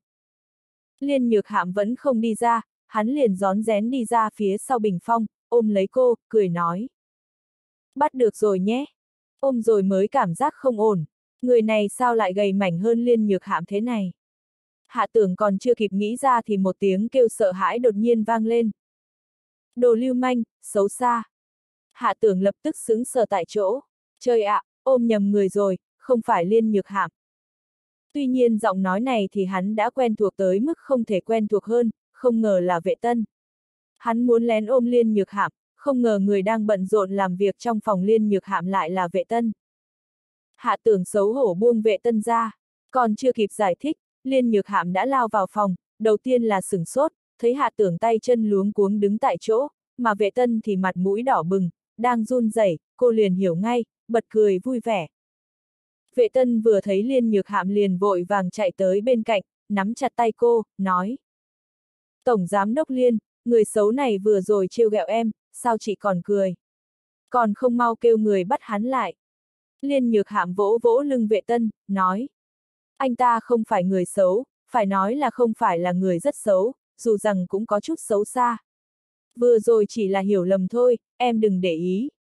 Anh ta tên là Hạ Tưởng, hiện tại là phó chủ tịch huyện An, có thể xem như một nhân vật trẻ tuổi đầy hứa hẹn. Em xem, anh ta có thể là người xấu sao? Vệ tân vẫn hơi sợ hãi, rụt rè nói. Không nhất định cứ làm quan thì sẽ là người tốt. Hắn, vừa rồi hắn ôm em. Cô vừa thẹn vừa tức, uất giận chừng mắt nhìn hạ tưởng, vẻ mặt phẫn nộ. Nghe vệ tân nói vậy, liên nhược hạm không chút khách khí chừng mắt nhìn hạ tưởng, ý là không ngờ lại như vậy. Giỏi thật, có bản lĩnh đó. Hạ tưởng bất đắc dĩ khoanh tay, ý tứ là, anh thật sự không phải cố ý, vốn là anh muốn ôm em cơ.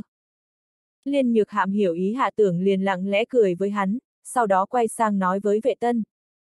Chị bảo anh ấy xin lỗi em là được chứ gì, anh ấy cũng không phải cố ý, em tha thứ cho anh ấy, được không? Khi bình thường, Liên Nhược Hạm có thể rất hung hăng với Hạ Tưởng, có thể chọc giận hắn, nhưng một khi gặp phải sự tình gì thì cô bảo vệ Hạ Tưởng còn không kém chút nào so với Tào Thù Lê, thậm chí bất kể là phương pháp hay thủ đoạn nào cũng đều trực tiếp và mãnh liệt hơn so với Tào Thù Lê. Vệ tân nghe Liên Nhược Hạm nói vậy thì cũng ngại không muốn truy cứu Hạ Tưởng nữa.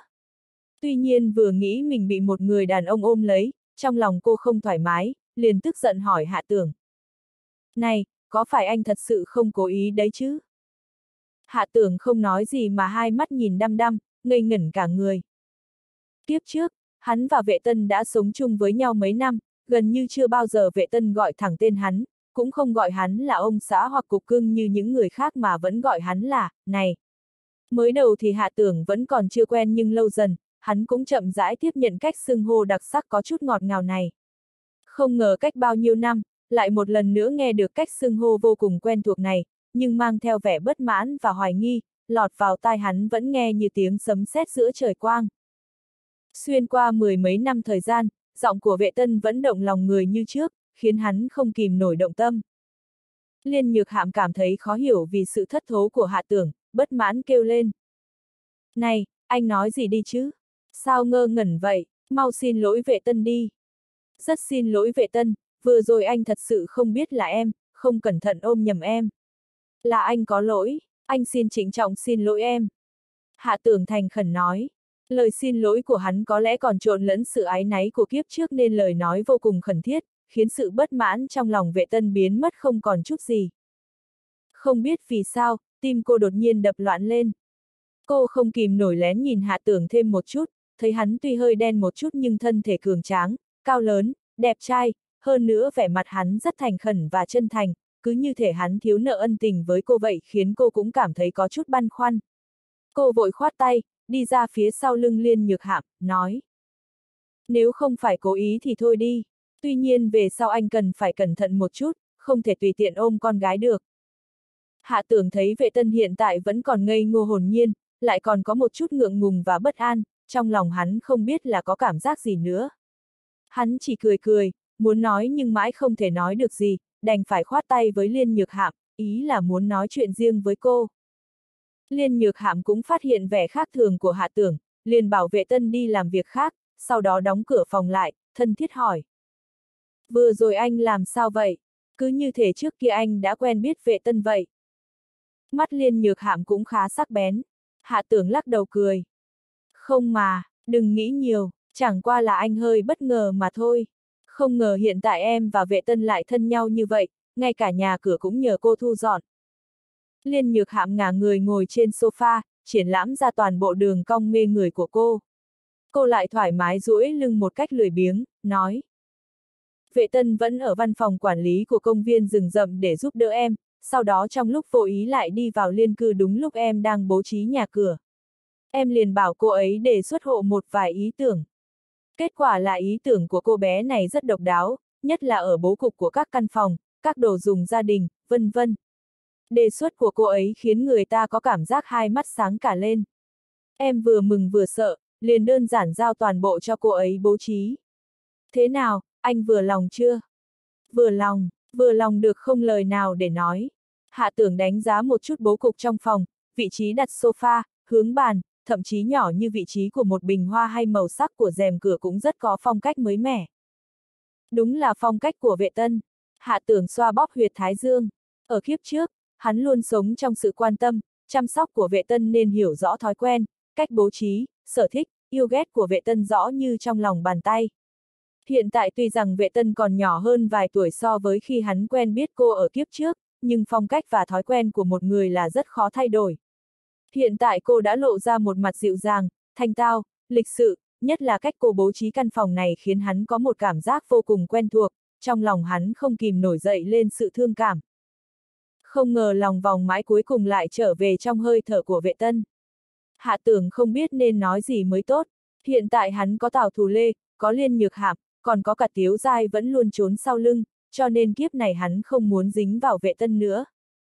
Kiếp trước hắn đã mang tới cho cô rất nhiều đau khổ, vất vả. Kiếp này nếu lại dính tới cô, có lẽ khó tránh khỏi một lần nữa làm thương tổn cô. Hạ tưởng không đành lòng lại tổn thương người con gái từng yêu thương mình sâu sắc thêm một lần nữa. Chỉ tiếc là hiện tại Liên Nhược Hạm và Vệ Tân càng ngày càng thân nhau. Hạ tưởng không biết làm cách nào cả, chỉ có thể hy vọng về sau khi gặp Liên Nhược Hạm có thể tránh mặt Vệ Tân là tốt nhất. Chẳng qua hắn vẫn khó có thể tránh được phong cách bố trí quen thuộc của Vệ Tân ở mọi nơi. Trốn không thoát thì kệ thôi, chỉ cần không phát sinh điều gì nữa với Vệ Tân là được. Có gặp nhau vài lần cũng chẳng sao. Liên Nhược Hạm lại dẫn Hạ Tưởng đi thăm toàn bộ phòng ốc trong liên cư, đương nhiên là có căn phòng mà Liên Nhược Hạm dành riêng cho hắn. Cũng may cô không bố trí phòng của hắn đối diện với phòng của cô, cuối cùng cũng khiến hắn âm thầm thở phào nhẹ nhõm. Căn phòng của Hạ Tưởng bố trí khá ấm áp, màu sắc dịu nhẹ, nhìn qua trông rất thoải mái. Mỗi một vị trí đều thiết kế cực kỳ tủ mỹ, ngay cả tủ đựng giày và giá treo quần áo cũng khiến hắn có cảm giác rất thuận tay, ngay cả hướng giường cũng là hướng Nam Bắc mà hắn yêu thích. Có thể nói, tất cả đều khiến hắn rất hài lòng, không chỗ nào có thể bắt bẻ. Liên Nhược Hạm nói, phòng của anh cũng là do vệ tân bố trí. Chẳng trách hết thảy đều quen thuộc như vậy, thuận tay như vậy, làm cho mình cảm thấy thoải mái như vậy. Lúc này hạ tưởng mới phát hiện, hóa ra cho tới giờ, vệ tân vẫn còn ảnh hưởng sâu sắc tới mình đến thế. Hắn vẫn luôn thuê phòng ở hoặc ở tại nhà khách, hoặc ở nhờ tàu ra, vẫn không thực sự có một căn phòng của riêng mình, hiện tại bỗng nhiên phát hiện, một khi hắn tự ngẫm lại, khi hắn thật sự có một căn phòng ngủ của riêng mình, hắn mới biết rằng ở sâu trong trái tim hắn vẫn có bóng dáng của vệ tân ở khắp mọi nơi. Dù sao ở kiếp trước, tính tất cả những người phụ nữ mà hắn đã từng trải qua, không ai có thể sống với hắn lâu dài như vệ tân. Mấy năm sống với nhau, cùng nhau trải qua từng ngày từng tháng đã có những ảnh hưởng vô cùng to lớn đến mỗi người. Mới đầu hắn còn tưởng rằng mình không thèm để ý tới vệ tân, hiện tại mới đột nhiên phát hiện ra rằng, hóa ra ở khắp nơi trong tim hắn, trong óc hắn đều có bóng dáng của vệ tân. Hạ tưởng ra sức lắc đầu, ý đồ xua đuổi mớ suy nghĩ hỗn loạn đó. Liên nhược hạm hiểu lầm hắn, hỏi. Anh không thích à? Không phải. Tâm tình hạ tưởng hơi trùng xuống. Anh rất thích, cảm ơn em, nhược hạm. Lần đầu tiên liên nhược hạm thấy hạ tưởng có bộ dạng nghiêm trang, trầm lắng, không biết vì sao hắn lại có xúc cảm khác thường như vậy liền quan tâm hỏi. Sao vậy anh, có phải không thoải mái hay không? Hay là công việc gặp phải sự tình không hài lòng? chương 243, một ngày yên ả của hạ tưởng. Cũng không phải, anh không có việc gì, chỉ đột nhiên cảm thấy hơi mệt, muốn nghỉ ngơi một chút. Hạ tưởng quả thật cảm thấy rất mệt mỏi, cũng không biết vì sao chỉ muốn nằm xuống căn phòng quen thuộc này, ngủ một giấc thật ngon lành. Liên nhược hạm cũng có một mặt rất dịu dàng. Cô trải giường cho hạ tưởng, dịu dàng nói. Anh mệt thì đi nghỉ một chút, em cho người nấu cơm. Nấu cơm xong sẽ gọi anh, được không? Hạ tưởng liền gật đầu. Được, anh nghỉ luôn ở đây, em cứ làm việc của mình đi, không cần để ý tới anh. Hạ tưởng không biết là hắn vừa mới ngủ một lát, liên nhược hạm đã lặng lẽ quay lại, lặng im không một tiếng động đứng trước giường hắn, lặng lặng nhìn hắn một lúc lâu, sau đó mới khẽ thở dài một tiếng, quay người rời đi. Hạ tưởng tỉnh lại thì trời đã chạng vạng, nghe thấy dưới lầu truyền đến những tiếng làm việc bận rộn. Hắn vừa đi xuống thì thấy vệ tân đang đeo tạp dề, bận rộn bày biện mâm cơm. Cô đi dép lê, buộc tóc đuôi ngựa, đi qua đi lại trông không rất đáng yêu. Bởi vì tạp dề hơi nhỏ, không vừa với người, nhưng chính vì thế lại càng tôn lên vòng eo thon và cặp mông căng đầy của cô. Hơn nữa khi làm việc, cô còn cao hứng khẽ ngâm nga mấy câu hát, nếu không để ý tới tuổi còn rất trẻ của cô, trông chẳng khác gì một bà chủ gia đình hiền lành. Liên nhược hạm cũng đeo tạp dề, đang xào rau trong phòng bếp. Bộ dạng cô rất tập trung khiến hạ tưởng cảm giác buồn cười. Nhớ tới lần đầu tiên quen biết Liên nhược hạm ở huyện Bá, cô rất hống hách và ngang ngược, nhưng cô cũng không phải là hoàn toàn cố tình gây sự mà cô có nguyên tắc của chính mình. Vậy mà hiện tại không ngờ cô cũng có thể vào làm bếp, khiến hắn cũng hơi cảm thán. Thời gian trôi nhanh thật, chớp mắt đã quen biết liên nhược hạm được một năm rồi. Khi ăn cơm, hạ tưởng ngồi vị trí ông chủ, liên nhược hạm và vệ tân mỗi người một bên tiếp hắn. Hạ tưởng vốn tưởng rằng liên nhược hạm sẽ tìm một lý do để vệ tân rời đi, không ngờ liên nhược hạm vẫn để vệ tân lại cùng ăn cơm. Vệ tân cũng không hề có tâm lý sợ hãi hạ tưởng mà ngược lại còn cảm thấy tò mò về hắn. Cô nói nhìn hắn mãi mà không hề thấy có một chút hình tượng phó chủ tịch huyện nào. Thỉnh thoảng cô còn hỏi đông hỏi tây, hỏi hắn làm sao mà còn trẻ như vậy đã lên làm phó chủ tịch huyện. Trong ấn tượng của em, các cán bộ đều là người già, cho dù không già cũng ít nhất là 40, 50 tuổi. Đây là lần đầu tiên em nhìn thấy phó chủ tịch huyện trẻ như anh. Anh nói anh là phó chủ tịch huyện không phải là lừa người đấy chứ. Giọng vệ tân vẫn rất êm tai như trước kia, khi đến âm tiết cuối đều hơi khàn khàn giọng mũi một chút, khiến người ta nghe cảm giác rất dễ chịu. Lừa người Á, lừa ai cơ? Hạ tưởng liếc liên nhược hạm rồi cười nói. Em bảo Tổng Giám Đốc Liên còn thiếu cơ hội mời một phó chủ tịch huyện ăn cơm sao? Trong mắt cô ấy, chưa chắc thị trưởng thành phố Yến đã đủ thể diện khiến cô ấy tự mình xuống bếp. Anh chỉ là một phó chủ tịch huyện nhỏ bé, cô ấy chịu để mắt tới anh sao? Nếu anh lừa người thì ít nhất cũng phải tự cấp cho mình danh hiệu phó thị trưởng mới được. Anh nói là phó chủ tịch huyện thì em không tin nhưng nếu anh nói là phó thị trưởng thì không những em không tin mà còn trực tiếp báo cảnh sát. Vệ tân cười rộ lên, hàng mi của cô cong vút, khi cười lên lại nhấp nháy trông rất xinh. Cô lại quay sang nhìn Liên Nhược Hạm, nói. Tổng Giám Đốc Liên, em cảm thấy chị và Phó Chủ tịch huyện Hạ rất xứng đôi, vừa nhìn là thấy có duyên vợ chồng. Liên Nhược Hạm hơi đỏ mặt. Cái gì mà duyên vợ chồng? Nói cứ như thầy bói vậy. Vệ tân, chẳng lẽ em biết xem bói? Em không biết xem, bình thường em chỉ thích xem một ít sách vớ vẩn linh tinh. Trong sách nói, nam nữ hấp dẫn nhau chẳng những tính cách gần giống nhau mà ngay cả tướng mạo cũng có điểm giống nhau. Nếu là vợ chồng sống với nhau lâu năm thì mức độ tương tự của tướng mạo là rất cao.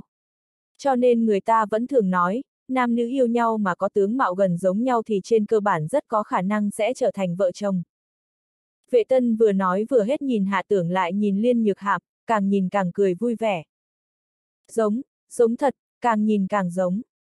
Hạ tưởng nghĩ thầm rằng, liên nhược hạm làm tổng giám đốc này không hề đủ tư cách chút nào, sao lại để vệ tân không sợ cô chứ, còn dám nói lung tung.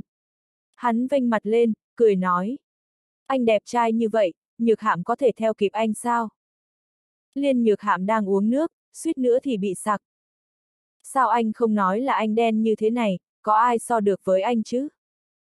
Đàn ông đen một chút mới dễ nhìn, công tử bột thì ai thích? Nhất là mấy nam sinh trong trường của em, nói chuyện thì cứ thì thào nhỏ nhẹ, có khi còn chỉ trỏ nhẹ nhàng như con gái vậy, khiến người ta nhìn mà phát buồn nôn. Nam không ra nam, nữ không ra nữ, ghê người. Con gái trắng, con trai đen là chuyện rất bình thường. Vệ tân quả nhiên đúng là vệ tân, thẩm mỹ quan của cô không hề thay đổi vì tuổi tác. Mà cô nói cũng là sự thật, ở học viên âm nhạc, có mấy nam sinh không bình thường cũng là chuyện rất bình thường. Hạ tưởng nghĩ đến sau này sẽ còn xuất hiện rất nhiều mỹ nữ trung tính. Hắn đúng là không hề có chút hứng thú nào đối với loại nam không ra nam, nữ không ra nữ đó, cũng hiện tại cũng không phải thẩm mỹ quan của thời đại đó. Sau khi ăn xong, vệ tân rất thức thời chủ động thu dọn bát đĩa. Hạ tưởng liền đưa liên nhược hạm ra ngoài tản bộ, ánh nắng chiều chiếu xiên xiên, thời tiết dần bớt nóng, công viên rừng rậm chậm rãi khôi phục lại vẻ yên ắng, chỉ còn nghe tiếng nước chảy rì rào, còn cả tiếng chim bay về tổ kêu ríu rít. Hạ tưởng liền cảm giác thoải mái nhất từ trước tới giờ. Hắn tạm thời vứt hết những việc vặt vãnh ra khỏi đầu, đơn giản là không hề suy nghĩ gì cả, chỉ đi dạo với liên nhược hạm. Dần dần đi đến chỗ không người, cánh tay liên nhược hạm vô tình khoác lên tay hắn. Giọng cô cũng dịu dàng trước giờ chưa từng có. Hôm nay em rất vui. Anh ngủ trong căn phòng em chuẩn bị, ngủ rất ngon khiến em lần đầu tiên cảm giác anh gần gũi với em như vậy. Hơn nữa anh còn cùng ăn tối với em, ăn xong thì cùng nhau đi tản bộ, cũng khiến em lần đầu tiên có cảm giác chân thật, anh là của em. Cô dựa sát vào bên người hạ tưởng, dính chặt vào hắn, như thể lo sợ hắn sẽ đột nhiên bay đi vậy. Loại cảm giác này rất chân thật, cũng rất hạnh phúc. Hóa ra, không phải càng nhiều tiền càng tốt, cũng không phải xe càng đẹp càng tốt mà là ở cùng một chỗ với người mình yêu, đi dạo với người mình yêu, cùng nhau gắn bó, mới là tốt nhất. Hạ tưởng véo mũi cô. Tuổi còn trẻ như vậy mà đã cảm thán nhiều vậy sao? Quen biết em lâu như vậy, chẳng những em lừa gạt anh về thân thế của em, ngay cả tuổi tác cũng lừa gạt anh. Hiện tại anh cũng không biết rốt cục năm nay em bao nhiêu tuổi, sinh nhật là ngày nào. Em nói đi, có phải em rất không công bằng với anh hay không? Cố tình không nói cho anh, tạm thời giữ bí mật. Liên nhược hạm nghênh mặt lên, cuột cường nói, sau đó lại cười.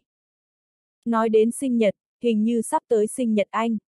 Mà anh và cô bé Lê mới gọi là có duyên vợ chồng, hơn nữa sinh nhật cũng rất gần nhau. Đúng là duyên phận rất sâu. Một câu cuối cùng rõ ràng là có vị ghen tuông. Sinh nhật lịch âm của Hạ Tưởng là ngày 27 tháng 5, của Tào Thù Lê là 13 phần 6, không cách xa nhau mấy. Anh đoán, sinh nhật em là mùa thu, đúng không? Hạ tưởng không để ý tới liên nhược hạm đang ghen. Hắn nghĩ có một số việc càng nói càng không rõ ràng, thà không nói còn hơn, liền rời đề tài đi. Anh còn đoán, em lớn hơn cô bé Lê khoảng 2 tuổi. Anh cũng đoán là em không phải tốt nghiệp đại học chính quy mà là một học viện đặc thù nào đó. Sốt cục là cái gì thì khi nào em đồng ý, sẽ cho anh đáp án sau. Liên nhược hạm trầm mặc, ánh nắng chiều xiên từ phía tây chiếu lên người cô, tôn lên vẻ đẹp trầm tĩnh như hoa sen nổi trên mặt nước, thanh cao, trang nhã. Hạ tưởng cũng không nói gì, si ngốc nhìn liên nhược hạm, nghĩ thầm rằng người con gái trong trẻo nhưng lạnh lùng như mặt trăng này cũng có ngày rơi xuống thế gian. Chỉ có điều trong lòng cô rốt cục cất giấu bí mật gì thì vẫn không hề nói với ai. Hạ tưởng liền cảm thấy lúc thì mình rất gần liên nhược hạm, cảm giác chỉ giơ tay ra là với tới, nhưng có lúc lại xa như tận cuối chân trời. Hai người đi dạo hơn một giờ trong công viên rừng rậm. Hạ tưởng nghe Liên Nhược Hạm kể về quy hoạch phát triển lâu dài của tập đoàn Viễn Cảnh. Căn cứ đề xuất quy hoạch 3 năm của Ủy ban Nhân dân thành phố, năm nay sẽ chính thức đề xuất di rời toàn thể nhà máy thép và nhà máy dược, trước năm 2003 sẽ hoàn thành công tác di rời, sang năm sẽ di rời nhà máy thép trước. Nói cách khác, muộn nhất là nửa cuối năm sau, tập đoàn Viễn Cảnh có thể đề xuất phương án sơ bộ về việc sau khi di rời nhà máy thép và nhà máy dược thì sẽ xây dựng khu đô thị kiểu gì. Liên Nhược Hạm nói, Hạ Tưởng nghe, không phát biểu ý kiến, chỉ làm một người nghe đủ tư cách. Công viên rừng rậm đã hình thành quy mô, sau khi màn đêm buông xuống, đèn đường tự thắp sáng, dù không thể nói đảm bảo mỗi ngóc ngách đều được chiếu sáng nhưng cũng cố gắng không để có góc chết.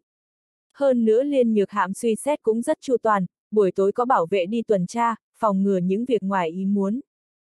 Sau khi trở lại biệt thự, vệ tân đang ngồi đọc sách trong phòng khách để chờ. Gần đây bởi vì không có nhiều bài vở nên chỉ cần có thời gian rảnh là vệ tân lại tới ở đây cùng Liên Nhược Hạm.